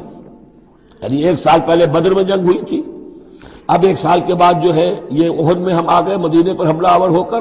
अब हमारे तुम्हारे दरमियान तीसरा मुकाबला बद्र में होगा अगले साल। वो बद्र सोरा कहलाता है। तो हुजूर उसके लिए निकले, गए बद्र तक। उधर से ही अबू सुफियान अपना पूरा लश्कर लेकर आए। और इस मरतबा फिर वही किया कि कुछ लोगों के ज़रिए से हरासमेंट पैदा की, खौफ पैदा किया कि लोगों क्या कर रहे हो, बेवकूफो वो कुरैश तो बहुत बड़ा लश्कर लेकर आ रहे हैं, बहुत बड़ा लश्कर लेकर आ रहे हैं। तो उसके जवाब में मुसलमानों ने वो सब्र वाले कलेमात कहे जो आ रहे हैं। तो इन, ये दोनों, ये अल्फाज जो है, ये आयात दोनों पर मुंतबिक हो सकती हैं। अल्लदीन तजाबुल्ला रसूल मिम्बाद मासाबाहुल कर जिन लोगों ने लब्बैक कही अल्लाह की पुकार पर और रसूल की पुकार पर, इसके बाद के उन्हें चरके लग चुके थे, जख्म, उनके जिसम जख्मी थे। लजीन आसन अजर अजीम। यकीन ऐसे मोहसिन और मुतकीन के लिए बहुत बड़ा अजर है। अल्लाजीन कालनासकत जमाऊ रकुम जिन्हें आकर खबरदार किया था और जिनको खौफ दिलाया था लोगों ने देखो, लोग बड़ी जमा हो गए हैं, बड़ी कुत बड़ी जबियत आ रही है, फख्शोहम, उनसे डरो। फजाद हम ईमाना, इससे उनके ईमान में और इजाफा हो गया वकालू हसबन वकील। और उन्होंने कहा, अल्लाह हमारे लिए काफ़ी है और उसका सहारा सबसे अच्छा सहारा है। फल कलबू में नमत मिनल्लाह। अबू सुफियान को जब पता चला कि मोहम्मद तो हमारे ताकुब में आ रहे हैं तो उसने आफियत इसी में समझी कि वो फिर सीधा मक्के की तरफ़ रुख कर लिया। और यही मामला हुआ है कि बदर सगरा जो दूसरी मरतबा, वो बदर में आने का जब उसने सुना कि मोहम्मद रसूलुल्लाह तो अपने पूरे साथियों के साथ आ गए हैं तो कोई कन्नी कतरा कर और तरह देकर निकल गया, मुकाबले में नहीं आया। फन कलबू में नमत मिनल्ला तो वो लौट आए अल्लाह ताला के इनाम से, नेमत से व फल और उसके फजल से, लम यम सू, कोई बुराई उनको मस न कर सकी, कोई तकलीफ़ नहीं पहुँची, आजमाइश थी, वो अल्लाह ने कर ली। वह तबाउ रिजवान अल्लाह, उन्होंने तो अल्लाह की रजा की पैरवी की। वल्लाह हजू फजल अजीम और यकीन अल्लाह ताला बड़े फजल का मालिक है। इन नमाज़ आलकुम शैतान औलिया मुसलमानों, ये शैतान है जो तुम्हें डराता है अपने साथियों से। वो चाहता है कि उसके जो साथी कुफार हैं, हिजबुल शैतान है, वो उसका खौफ तुम्हारे ऊपर कायम कर दे। और एक मानी इसके ये भी लिए गए हैं कि शैतान की इस तखवीफ का असर उन्हीं पर होता है जो उसके वली होते हैं। जो अलिया अल्लाह है, उन पर शैतान की तरफ़ से इस किस्म की वसफसा अंदाजी का असर नहीं होता। जालिकुम शैतान युखबिफ औलिया वो डराता है तुम्हें अपने दोस्तों से, या डराता है अपने दोस्तों को, जो शैतान के साथ रिश्ता रखते हैं, जो उसकी बातें सुनते हैं। उन्हीं पर असर होता है शैतान की तरफ़ से इस किस्म की वसवसा अंदाजियों का। फला तखाफू तो तुम उनसे मत डरो वह खाफू नहीं मुझसे डरो। इनकुन तुम मोमिन अगर तुम सच्चे, अगर तुम मोमिन सादिक हो। वला यहजुन का लदीना युसार फिल कुफर। और ए नबी, ये लोग जो कुफर के मामले में इस कदर सरगर्मी दिखा रहे हैं, भाग दौड़ कर रहे हैं। वफद जा रहे हैं इधर से उधर, यहूदियों के वफद जा रहे हैं मक्के, कि आओ, चढ़ाई करो, हम अंदर से तुम्हारी मदद करेंगे। अब ये जो, यूँ समझिए, जिसे आजकल आप कहते हैं, कि बड़ी डिप्लोमेटिक एक्टिविटी हो रही है इस वक्त। इधर उधर जो फिर रहे हैं तो ए नबी, इससे आप कोई रंजीदा ना हो, कुछ नहीं होगा। ये सारा जो है, वो सैलाब के ऊपर का जैसे झाग होता है, इसके सिवा कुछ नहीं। वला याजुन का लदीना युसार कुफर। जो लोग ये चलत फिरत दिखा रहे हैं कुफर के लिए ए नबी, उससे आप रंजीदा ना हो। इन नहीं यदुल्लाह शया। वो हरगिज अल्लाह को कोई नुकसान नहीं पहुँचा सकेंगे। युरीदुल्लाहम फिल आखिरा ये तो अल्लाह के इस फैसले का जहूर है कि अल्लाह नहीं चाहता कि उनका कोई हिस्सा आखिरत में हो। वलहम अजाबुल अजीम, और उनके लिए तो बड़ा अजाब है। इन लदीन इन ईमान लयदुल्लाह शया यकीन जिन्होंने ईमान हाथ से देकर कुफर खरीद लिया, वो अल्लाह को कोई नुकसान नहीं पहुँचा सकते। वलहम अजाबुल अलीम, उनके लिए दर्दनाक अजाब है। वला यह सबन लजीन कफर वनमा नुमली लहम खैरफुसम और न समझे ये काफिर कि हम जो उन्हें मोहलत दे रहे हैं तो ये उनके लिए अच्छाई कर रहे हैं। अच्छाई नहीं है। कुफर को मोहलत मिलती है ताकि और बढ़ जाए। सुमजदादू कुफरन, कुफर में और बढ़ जाए। ताकि वो और बुरे से बुरे अजाब के अपने आप को मुस्तैद बना ले। अल्लाह ढील देता है। लेकिन ये न समझे वो कि ये ढील उनके हक में अच्छी है। वला यह सबन लजीन कफरू अन्नमा नुमली लहूम खैर इन्नमा नुमली लहूम यजदादू इसमा। ये हम उनकी रस्सी दराज करते हैं, ढील देते हैं ताकि और गुनाह कमा लें। वलहम अजाब मोहीन, और फिर उनके लिए एहानत आबेज अजाब हो। मा कान ये आज फिर बहुत अहम आ गई है कि अल्लाह ताला की तरफ़ से ये आजमाइशें क्यों आती हैं? अपने नेक बंदों को, अपने साले बंदों को इन तकलीफात में क्यों डालता है? हालाँकि वो तो कादर मुतलक है। आने वाहिद में जो चाहे कर दे। माँ कान अल्लाहमिन आलामान तुम देखो अल्लाह के लिए ये बात अल्लाह की हिकमत के मुताबिक नहीं है कि वो तुम्हें छोड़े रखे उसी हाल में जिसमें तुम हो। यानी तुम्हारे अंदर कमज़ोर और पुख्ता ईमान वाले अभी गड़बड़ हैं।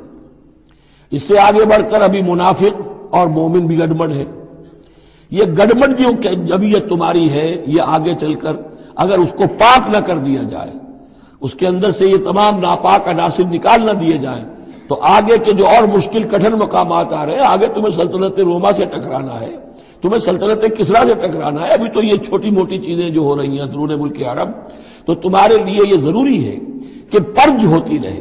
और वो पर्ज होती है इन्हीं आजमाइशों के ज़रिए से। माँ काना, माँ कान अल्लाहमिन अलामान तुम अलह। है ये अल्लाह का तरीका नहीं है, सुन्नत नहीं है कि वो तुम्हें छोड़े रखे अहले ईमान। उसी हालत में जिस पर तुम हो। हत्ता यमीद अल खबीस अमिन तयब। जब तक के खबीस अलहदा ना हो जाए तैयब से, खुल जाए। ये ये खुबसा है, ये मुनाफिकीन है, ये वो लोग हैं, ये फिफ्थ कॉलमिस्ट हैं, बात वादे हो जाए और सिर्फ़ सादिकुल ईमान लोग वो बिल्कुल निकल कर अलहदा हो जाए। वमा कान गैब। और इसी तरीके से अल्लाह ताला की यह भी तरीका नहीं है कि गैब की खबरें तुम्हें दे। हाँ मामला अल्लाह ताला ने कि गैब के हालात की इतला देना, ये अपने रसूलों के लिए रखा हुआ है, जिसको वो चुन लेता है रसूलों में से, वो गैब के हालात भी बताता है। वो गैब उनको खुद मालूम नहीं होता, अल्लाह के बताने से मालूम होता है।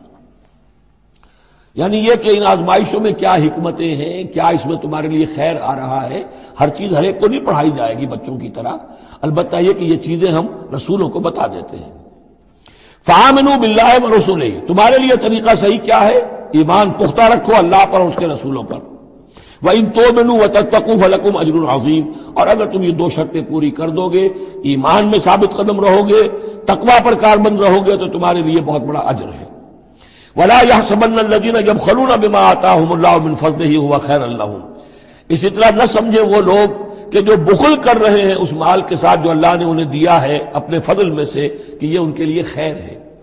ज़ाहिर बात है, जब जंग वहद के लिए तैयारी हो रही होगी, हजूर ने कहा होगा कि लाओ भाई लोग, अब कुछ पैसे दें कुछ मालो असबाब जमा करें, ताकि असबाब जंग जो है वो फराम किए जाएँ। अब जो उनमें से गनी थे उनमें से जिन लोगों ने बुखल किया, अब उन पर इशारा हो रहा है कि उन्होंने बुखल करके बचा लिया, वो ये ना समझे कि ये कोई अच्छा काम किया है। वला यह समन नजीना जब खलून बिमा आता बिन फजल ही अल्लाह ने अपने फजल से उन्हें जो कुछ अताया किया, अता किया है, अब उसमें बुखल से काम ले रहे हैं कि वो उनके लिए अच्छा है। बल हुआ शर्रकुम शर्रहम ये उनके लिए बहुत बुरा है। सयुतवकून माँ बखलू बही यौमल क्यामा। इसी माल के तोक बनाकर इनके गर्दनों में पहनाए जाएँगे क्यामत के दिन, जो बुखल इन्होंने किया था। बल्ला मिरास समावत वल्लर्द और आसमानों और ज़मीन की विरासत बिल आखिर अल्लाह ही के लिए है। आज ये तुम्हारे पास है, ये मेरे पास है। बिल आखिर सब कुछ अल्लाह के लिए रह जाएगा। हम नहीं होंगे, हमारे बाद किसी और का, फिर किसी और का। और फिर ये सारा माल और असबाब हाथ बदलते हुए बिल आखिर मीरास तो अल्लाह की है। वल्ला मीरास समावत वल्लाह मलून खबीर। और जो कुछ तुम कर रहे हो, अल्लाह उससे बाखबर है। यहाँ वो अट्ठारह रुकू अब मुकम्मल हो गए, छह रुकू जो गजब ओहद के बयान में थे। अब दो कंक्लूडिंग रुकू है इस सूरह मुबारक के। लकब समय अल्लाह फ़कीर अल्लाह ने सुन ली है बात, कौल उन उन लोगों का जो ये कहते हैं कि अल्लाह फ़कीर है, हम गनी हैं। इनमें मुनाफिकीन भी शामिल हो सकते हैं और यहूदी भी। जब हजूर कहते थे, अल्लाह ताला को ज़रूरत है, कर्ज हंसना दो तो गोया कि अल्लाह तो फ़कीर हुआ, फिर मोहताज हुआ। हम गनी हैं, हमारे पास दौलत है। सनक तो वो माँ कालू, हम लिख लेंगे जो कुछ उन्होंने कहा है। बड़ा गुस्सा है इसके अंदर। हम लिख लेंगे जो कुछ उन्होंने कहा है। फ़ौरन तो नहीं पकड़ते, लेकिन एक वक्त आएगा कि जिस दिन उन्हें अपने इस कौल की पूरी जो है उसकी सजा मिल जाएगी। और सिर्फ़ ये नहीं कतला अम्बिया बगैर हक और जो नबियों को ये कत्ल करते रहे नाहक, वह नकूल जूक अजाबल हरीक और हम कहेंगे कि अब चखो मज़ा इस जला देने वाले सुलगती हुई आग का। जाल का बिमा कदमत ऐदीकुम। और ये सब कुछ है तुम्हारे अपने हाथों ने जो आगे भेजा है। वह अल्लाहबीद और अल्लाह तो अपने बंदों के हक में हरगिज जालिम नहीं है। अल्लाह कालू आहिदा इलेना। गोया कि फिर यहूद की तरफ़ रुख हो गया है, जैसा कि इस सूरत में पहले था, इस रुकू में, उन्नीसवें में। जो लोग ये कहते हैं कि अल्लाह ने हमसे एक अहद ले लिया था अल्लाह नोमिन रसूल हतायात यना कुर्बान ताकुल हन्नार कि हम किसी रसूल पर ईमान न लाएँ, जब तक कि वो ऐसी कुर्बानी पेश न करे, जिसे आग खा जाए। ये इब्तदाई जमाने में, जैसा कि मैंने अर्ज़ किया था, अहद तफूलियत था नौ इंसानी का तो खर के आदत चीज़ें बहुत होती थी। उनमें से एक बात यह भी थी यहूद के यहाँ इब्तदाई दौर में, कि अगर कोई शख्स कुर्बानी पेश करता है, अल्लाह की जनाब में, कोई बछड़ा उसने जिबा किया, पेश कर दिया अल्लाह के लिए सत्ता किया, नज़र किया है। तो आसमान पर से एक आग उतरती थी जो उसे भस्म कर देती थी। ये अलामत होती है इसकी कि ये कुर्बानी कबूल हो गई। जैसे हाबिल और काबिल के किस्से में कि दोनों ने कुछ पेश किया, कर्रबा कुर्बान फतकबल्ला बिन अहदमा वलम तकबल बिन आखिर एक की कबूल हो गई, दूसरी की नहीं हुई। पता कैसे चला? आप अगर कुर्बानी करते हैं ईद उल में, किसकी कुर्बानी कबूल हुई, किसकी नहीं हुई, क्या पता? ये तो अल्लाह ही जानता है। लेकिन पहले ऐसी अलामत हिस्सी होती थी कि पता चल जाता था यह कुर्बानी अल्लाह ने कबूल कर ली। तो इसी के लिए उन्होंने कहा कि हमसे तो अहद ले लिया था अल्लाह ने कि हम किसी रसूल को जब तक कि वो ये मोजा ना दिखाए, उस वक्त तक नहीं मानेंगे। तो अगर मोहम्मद रसूल है तो ये मोजा दिखाएँ। ये थी बात जिसका जवाब दिया जा रहा है। कुल कद जाकुम रसुलम बिन कबली बिल बेजिनात नबी उनसे कहिए, तुम्हारे पास मुझसे पहले बहुत से रसूल आए। वाज मौजों के साथ, वह बिल नजी कुल तुम और वो मौजा भी उन्होंने दिखाया जो तुम कह रहे हो। फलेमा कतल तुम हो तो तुमने उन्हें क्यों कत्ल किया? इन कुल तुम सादिन अगर तुम सच्चे हो। फ़ैन जबू का फिर ए नबी, अगर वो आपको जुटला दे फ़कत कुछ जेबा रसुल कबलिक तो ये आप ही के साथ मामला नहीं हुआ। आपसे पहले भी जो रसूल थे, उन्हें जुटलाया गया। गोया कि ये तो इस रास्ते की एक आम जो है, वो तजर्बा है जो आपको भी करना पड़ेगा, जो इससे पहले नबियों के साथ हुआ है। जाओ बिल बैंगनात वो भी आए थे वाज निशानियाँ लेकर, वाज मोजात के साथ वह जुबड़े और सहीफे लेकर, वल किताब मुनीर और रोशन किताब लेकर। कुल्ल नफ्सिन जायकतुल मौत, हर जी नफ्स को मौत का मज़ा चखना है, एक दिन तो मौत आ जाएगी। वह इनमा तो वह फौन हजूर कुम यौमल क्यामा, और दूसरी बात, तुम्हें लाजमन तुम्हारे अजर पूरे पूरे दे दिए जाएँगे इनमा तो वह फौन हजूर कुम यौमल क्यामा, क्यामत के दिन। फमन जुहनार तो जो कोई बचा लिया गया जहन्नम से, आग से बहुत खिलल जन्ना और दाखिल कर दिया गया जन्नत में, फ़कत फास वो कामयाब हो गया। अल्लाह रबन जलनामिन हूँ अल्लाह रबन जलनामिन हूँ वमन दुनिया अल्लाह मताउल गरूर, और नहीं है दुनिया का ये सारा साजो सामान, मगर धोखे की टट्टी, धोखे धोखे का सामान। अब वो आयत आ गई जो सूरह बकरा के उन्नीसवें रुकू में आई थी। वला नबलवन कुम मिनल खौफ वलजू व नक्स वसमरात सिर्फ़ यह कि सीगा बदला हुआ है यहाँ मजहूल का सीगा है लतुबलफी अम्बालकुम वानफोसिकुम है मुसलमानों दोबारा कान खोल के सुन लो तुम्हें लाजमन आजमाया जाएगा तुम्हारे मालों में भी और तुम्हारी जानों में भी वह नक्स अम्बाल वल अनफुस ये आना है कान खोल कर सुन लो ये फूलों की सेज नहीं है ये कांटों भरा बिस्तर है जन्नत लेनी है तो ये नहीं ठंडे ठंडे, और बगैर तकलीफें उठाए तुम्हें जन्नत मिल जाएगी। हम हाजिर तुम तदखुल जन्ना। वाला तस्माउन अबूतुल किताब अमिन कबल कुम वमिन अशरक वज़न कसीरा। और तुम्हें लाजमन सुननी पड़ेगी, उन लोगों से भी कि जिन्हें तुमसे पहले किताब दी गई थी, और इन मुशरकिन से भी अजन कसीरा। बड़ी तकलीफ़ दे बातें सुननी पड़ेंगी। सुनो और सब्र करो। जैसे हजूर से इब्तदा में कहा गया था, वसबिर अलामा यकूलून वाहजुर जमीला। जो कुछ ये कह रहे हैं सुनिए और सब्र कीजिए। और हमें खूब मालूम है, किसी ने आकर कह दिया मजनून है, किसी ने कह दिया शायर है, किसी ने कहा शाहिर है, किसी ने कहा मशहूर है। वलकद नालम के यजीक सदरों का बेमा यकूलून। नबी, हमें खूब मालूम है कि जो कुछ ये कह रहे हैं, जो कुछ आपको सुनना पड़ रहा है इनकी जबानों से, उससे आपका सीना भिजता है, आपको तकलीफ़ पहुँचती है। लेकिन सब्र कीजिए। वही बात है जो कही जा रही है मुसलमानों से।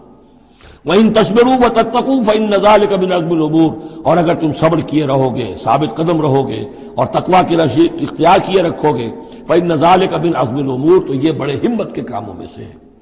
वही जखसल्लासाकल नजीन अबूतुल किताब, और याद करो जबकि अल्लाह ने जिनको किताब दी थी, उनसे एक कौलो करार लिया था, एक निशाक लिया था। लतुबैन्ना से वला तक तुमूना तुम लाजमन उसे वाजे करोगे लोगों के लिए, छुपाओगे नहीं। तुमने इनको छुपा लिया इल्म तो आम करने की शय है। लतुबैन्ना से वला तक तुमूना उसे छुपाओगे नहीं। फनबजू हो वरा जहूर इस अहद को उन्होंने अपनी पीठों के पीछे फेंक दिया। वस्तरा बही समन कलीला, और बड़ी हल्की सी, हकीर सी कीमत उसकी वसूल कर ली। फबे समा यशतरून तो बहुत ही बुरी शय है जो वो हासिल कर रहे हैं, जो चीज़ उन्होंने कबूल की है। वला तहसबन नदीन यफरहून बिमा आता बिमा आता और ना समझे वो लोग कि जो अगर कुछ दे देते हैं, कुछ नेकी कर लेते हैं, जो कुछ किया है तो उस पर फराह, बहुत यानी ऐंठ रहे हैं एंड रहे हैं, अकड़ रहे हैं, हमने ये कुछ कर दिया है। भाई योहिबून यो मधु बिमालम या फलू और उससे भी अगला दर्जा उन लोगों का होता है जो चाहते हैं कि उनकी तारीफ़ की जाए, ऐसे कामों पर जो उन्होंने किए ही नहीं है। और उसकी सबसे बड़ी मिसाल आजकल के दौर में स्पासनामे होते हैं। फला साहब आए स्पासनामा पेश किया जा रहा है। जो उनके कहीं सात पुश्तों में भी कोई काम उनसे ना हुआ हो, वो भी उनके खाते में डालकर, ये जो चापलोसी होती है तो वो पसंद करते हैं इसको। वह योहिबूना योह मधु में मालम या जो कुछ किया ही नहीं, उस पर भी उनकी तारीफ़ की जाए। अगर कुछ कर लिया तो तो कहने क्या, उसका तो ढंडोरा पीटेंगे, उसको तो शाये करेंगे, उसका जो भी होगा डंके की चोट बयान करेंगे, उससे भी आगे बढ़कर जो किया नहीं, उस पर तारीफ़ चाहते हैं। फला तहसबन मफादत मिनल अजाब। तो बद समझना उनके बारे में कि वह अजाब से बच जाएँगे। वह लहम अजाब नलीम और उनके लिए दर्दनाक अजाब है। वलिल्लाह मुल्क समावात वल्लर्द अल्लाह ही के लिए है आसमान और ज़मीन की पातशाही वल्लाह कुल्ल शैन कदीर, और अल्लाह हर चीज़ पर कादिर है। अब आ गया है वो आखिरी रुकू जो कुरान मजीद के अजीम तरीन मकाम में से। इसकी पहली छह आयतें वो हैं कि जिसके बारे में रिवायत आती है कि जिस शब में ये नाजिल हुई हैं तो पूरी रात हजूर पर दिक्कत आ रही रही, आप खड़े, बैठे, लेटे हुए, रोते रहे। जब आए हज़रत बिलाल सुबह के वक्त जगाने के लिए, नमाज़ की इतला देने की नमाज़ का अब तैयार है तो जब आपको देखा कि आप पर ये जो है तारी है, रिक्कत तो पूछा क्या वजह है? तो फिर आपने फरमाया, आज मुझ पर यह आयात नाजिल हुई। यानी वो रिक्कत जो है, वो शुक्र के जज्बे के तहत थी, इतनी अजीम आयात। एक ये नोट कीजिए, ये बीसवां रुकू शुरू हो रहा है, सूरह आल इमरान का। और बीसवें रुकू की पहली आयत सूरह बकरा में क्या थी? इन नफी खल्क समावत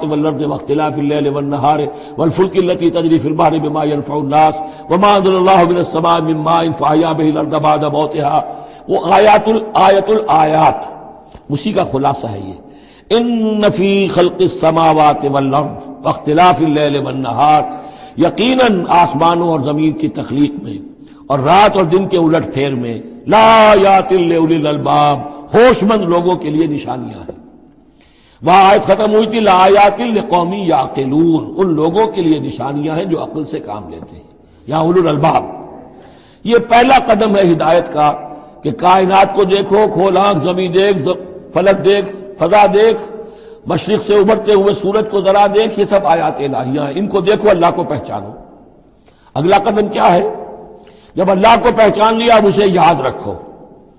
अल्लाजीन यस्करून अल्लाह क्याम वकूद वाला जनूब जो याद रखते हैं, ज़िक्र करते रहते हैं अल्लाह का, खड़े भी, बैठे भी, लेटे भी। वह तफक्रून फ़िकल के समावात और मजीद गौर व फ़िक्र करते रहते हैं आसमान और ज़मीन की तखलीक में। वो एक दूसरे नतीजे तक पहुँचते हैं, पुकार उठते हैं रबना मा खलक तहाजा बातिला। ए रब, तूने ये सब कुछ बेकार तो पैदा नहीं किया है, बेमकसद तो पैदा नहीं किया है। और फिर जहन उनका मुंतकिल होता है, अपनी तरफ़ हमारा मकसद क्या है? मैं किस लिए पैदा किया गया? मेरी ज़िंदगी बस यही है, खाओ, पियो औलाद जनो और दुनिया से रुखसत हो जाओ, अल्लाह अल्लाह, खैर सल्ला। तो क्या मकसद हुआ ज़िंदगी का? मालूम कि नहीं को खला है। इंसानी आमाल के नतीजे निकलने चाहिए, नेकी का बदला मिलना चाहिए। इस दुनिया में तो नहीं मिलता। अक्सर नेकोकारों जो है, वो दुनिया में फाकों में रहते हैं और बदकार जो है, वो ऐश करते हैं। तो कोई और ज़िंदगी होनी चाहिए, कोई और दुनिया होनी चाहिए कि जिसमें भरपूर बदला मिल जाए मुकाफात अमल हो लिहाजा वो कह उठते हैं सुबह न कफक न आजाब अन्नार पाक है तेरी जात तो अल्लाह हमें उस दूसरी ज़िंदगी में जो आजाब तूने तैयार कर रखा है, जहन्नम का उसे बचा। रब्बना इन्ना का मन तुदखिलनार फ़कत अफजैता अल्लाह, जिसको तूने दाखिल कर दिया आग में, उसे तो रुसवा कर दिया। वमालमीन अमिन अंसार और जालिमों के लिए कोई मददगार नहीं होंगे। रब्बना इन्ना समेना। अब ईमान बिल्लाह, ईमान बिल आखरत के बाद, अब ऐसे लोगों के दिलों के कानों में जब किसी नबी की आवाज़ आती है, रसूल की पुकार आती है तो लब्बैक कहते हैं फ़ौरन। ये नहीं लगाते जैसे हज़रत अबू बकर ने फौरी तौर पर दावत कबूल कर ली। इसलिए कि ईमान बिल्लाह और ईमान बिल आखिरत तक तो खुद पहुँच चुके थे। जो मैंने सूर्य फातिहा के बारे में आपको बताया था, कि सूर्य फातिहा को समझ लीजिए कि जो शख्स उलुल अलबाल में से, होशमंद लोगों में से यहाँ तक पहुँच चुका है। अपनी सलामती तबाह, सलामती अक्ल, सलामती फितरत के नतीजे में अल्लाह को पहचान लिया, आखरत को पहचान लिया। अब उसके बाद रिसालत। एह दिन मुस्तकीम। यहाँ भी यह है कि अब ऐसे शख्स के सामने अगर किसी नबी की दावत आएगी, उसका नद अमल क्या होगा? रब्बना इन्ना समेना मुनादी युनादी ईमान। रब, हमारे हमने एक निदा करने वाले, पुकारने वाले की पुकार को सुना। वो ईमान की सदा लगा रहा था, ईमान की निदा दे रहा था। अनामनूब रब कुम के ईमान ला अपने रब पर। फहा मन्ना तो रब, हमारे अब ईमान ले आए। अब यहाँ से देखिए ये दुआ, अजीम तरीन दुआ। ये जो सूरह बकरा के आखिर में आई थी, यहाँ मैं समझता हूँ कि बास पहलुओं से ये दुआ उससे कहीं ज़्यादा अजीम तर है। रबना फकफिर लना बना पैसा है हमारे रब, हमारे गुनाह बख्श दे। व कफिर अन्ना सयात ना और हमारी बुराइयाँ हमसे दूर कर दे नाम अमाल के धब्बे भी धो दे, और हमारे दामन किरदार के जो दाग है उनको भी साफ़ कर दे। मैं तवफ़ना माल अबरार, और हमें वफात दीजो अपने नेकोकार वफादार बंदों के साथ। रबना वातना मा वातना अला रसुल और रब हमारे, हमें दीजो वो सब कुछ जिसका तूने वादा किया है हमसे अपने रसूलों के ज़रिए से। वला तुजना यौमल क्यामा, हमें क्यामत के दिन रुसवा न कीजो। इन का ला तुखलफुलमियाद यकीन तू अपने वादे के खिलाफ करने वाला नहीं है। हमें शक है तो इस बात में है कि आया हम तेरे उन वादों के मिसदाक साबित हो सकेंगे या नहीं। लिहाजा तू अपनी शान गफारी से। हमारी कोताहियों पर पर्दा पोशी कीजो और हमें दे दीजो वो सब कुछ जो तूने वादा किया है रसूलों के ज़रिए से। फस्तजाब लहू। अब यह है दुआ की कबूलियत की इंतहा। फ़ौरन इस दुआ के बाद कबूलियत।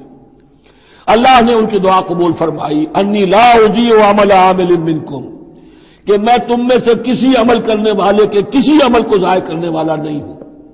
मिन जकरिन और उनसा। खा वो मर्द हो खा औरत। बाजुकुम मिन बाज। तुम एक दूसरे ही में से हो। एक ही बाप के नुस्खे से बेटा और बेटी। और एक ही माँ के रहम में पली है, बेटी भी और बेटा भी। फल्लजीन हाजरू। तो मेरे वो बंदे और है मेरे वो बंदो जिन्होंने ये ये काम किए मेरे लिए। फल्लजीन हाजरू, जिन्होंने हिजरत की। वह उखरजू मिन हिंद जो अपने घरों से निकाल दिए गए। वह सबीली, जिन्हें मेरी राह में इजाएँ पहुंचाई गई। वह कातलू, और उन्होंने मेरी राह में जंग की। वह कोतेलू, जाने भी दे दी। कत्ल हो गए। लव कफिरन नान सही आते हैं कोई शक ही नहीं, लाजमन मैं उनसे उनकी बुराइयों को दूर कर दूँगा। उनके नाम अमाल में कोई धब्बे होंगे, उन्हें भी धो दूँगा। बोला उद खिलन हम जन्नात तजरीम लनहार और लाजमन दाखिल करूँगा उन्हें उन बागात में। जिनके नीचे महरें बहती हैं। सवाब अमल्ला और ये बदला होगा अल्लाह के पास से। वल्लाह इंदू सवाब, और यकीन अच्छा बदला अल्लाह ही के पास है। अब इसके बाद जो चार आयतें रह गई, पाँच आयतें, ये फिर एक कंक्लूडिंग है तमाम पर, क्योंकि इस वक्त इस सूरत में कुछ यहूद का ज़िक्र हुआ, नसारा का, अहले किताब का, अहले ईमान का, मुशरकिन का भी। ला यगुरन का तकल्लुबुल्लजीन कफरू फिल बिलाद। ए नबी सल्लल्लाहु अलैहि वसल्लम, ये काफिर जो भाग दौड़ कर रहे हैं, इधर से उधर उधर से इधर, और साजिशें कर रहे हैं, और जमीयतें फराम कर रहे हैं, इस्लाम को खत्म करने के लिए, इससे आप धोखे में न आए। उनकी ताकत के बारे में कहीं आप मरूब ना हो जाए। ला का कलील। ये हमने थोड़ी देर के लिए उन्हें साजो सामान दे दिया है। सुम्मा मावा जहन्नम, फिर इनका ठिकाना जो है, वो तो जहन्नम ही है। वबे सलमेहाद और वो बहुत बुरा ठिकाना है। लाकिन लदीन तकौर हूँ इसके बरक्स जिन लोगों ने अल्लाह का, अपने रब का तकवा इख्तियार किया, लहुम जन्नात उन तजरी मिनतात लनहार खालिदीन फीहा। उनके लिए बागात होंगे, जिनके दामन में नदियाँ बहती होंगी उसमें वो हमेशा हमेश रहेंगे। नोजुलम मिन इंदिल्ला और ये भी इब्तदाई मेहमान नवाजी होगी अल्लाह की तरफ़ से। नोजुल। वमा इंदल्ला खैर अबरार। और मजीद जो अल्लाह के पास है, वो बहुत बेहतर है।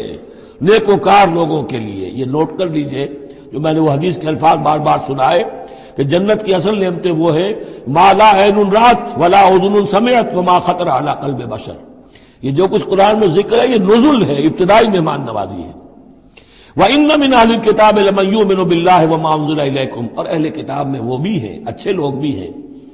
जो ईमान रखते हैं अल्लाह पर भी वमा और उस पर भी जो तुम पर नाजिल किया गया, वमा उजिलाहिम और उस पर भी जो उनकी तरफ़ नाजिल किया गया खाशन उनके दिलों में अल्लाह का खौफ है इज़्ज़त करते हैं, आजी और तवाजुत बढ़ते हैं। ला यशतरून अब आयात सबन कलीला, वो अल्लाह की आयात को हकीर सी कीमतों पर फरोख्त नहीं करते। उलाकलहम अजरहम इंदा रबिम यकीन ऐसे लोगों का अजर उनके रब के पास महफूज है इन अल्लाह हिसाब यकीन अल्लाह ताला हिसाब लेने में देर नहीं लगाता। आखिरी आयत फिर बहुत जामे है। याजीना मनु अहले ईमान इसमेरू सब्र करो। बस साबेरू सब्र में अपने दुश्मनों से बढ़ जाओ। मुसाबरत जो है बाब मुफाला, उसमें मुकाबला आता है। एक तो है सब्र करना, एक सब्र वो भी तो कर रहे हैं ना। इन करहुन फकत मसल कौमा तुम्हें चरका आज लगा है, एक साल पहले उन्हें चरका लगा था, सत्तर मारे गए थे, और वो एक साल के अंदर फिर आ गए चढ़ाई करके तो तुम अपना दिल जो है गमगीन करके क्यों बैठे हुए हो? तो तुम्हें तो उनसे बढ़कर सब्र करना है, उनसे बढ़कर कुर्बानियाँ देनी है, तभी तो तुम अदर हकीकत अल्लाह ताला के सही वफादार साबित हो गए व साबिरू व राबेतू राबेतू मुराबता जो है पहले को भी कहते हैं, और यह कि रब्त नज्म डिसिप्लिन मज़बूत, मरबूत। वो जो आया, हत्या फसिल तुम व तनाजा तुम फिल अम्र। तुमने ढीला किया अपना नज्म। तुमने जो है, वो समोतात के अंदर कभी की। लिहाजा तुम्हारे ऊपर यह अल्लाह ताला की तरफ़ से सदा आ गई। याजीन आमनुस्मरू व साबरू वराबतू पहले ईमान, सब्र पर जागुदी रहो। और सब्र के मुकाबले में दूसरों से आगे निकल जाओ। वराबतू और मरबूत रहो। वत्तकुल्लाकुम तुफलहून। और आखिरी और अहम तरीन चीज़, अल्लाह का तकवा इख्तियार किए रखो, ताकि तुम फला पाओ। ये सब कुछ करोगे तो फला मिलेगी। ऐसे ही घर बैठे फला नहीं मिलती। बारक वलकुम फिल कुरान अजीम। व नफ़ानी वैया कुम बिल आयात मजिक हकीम।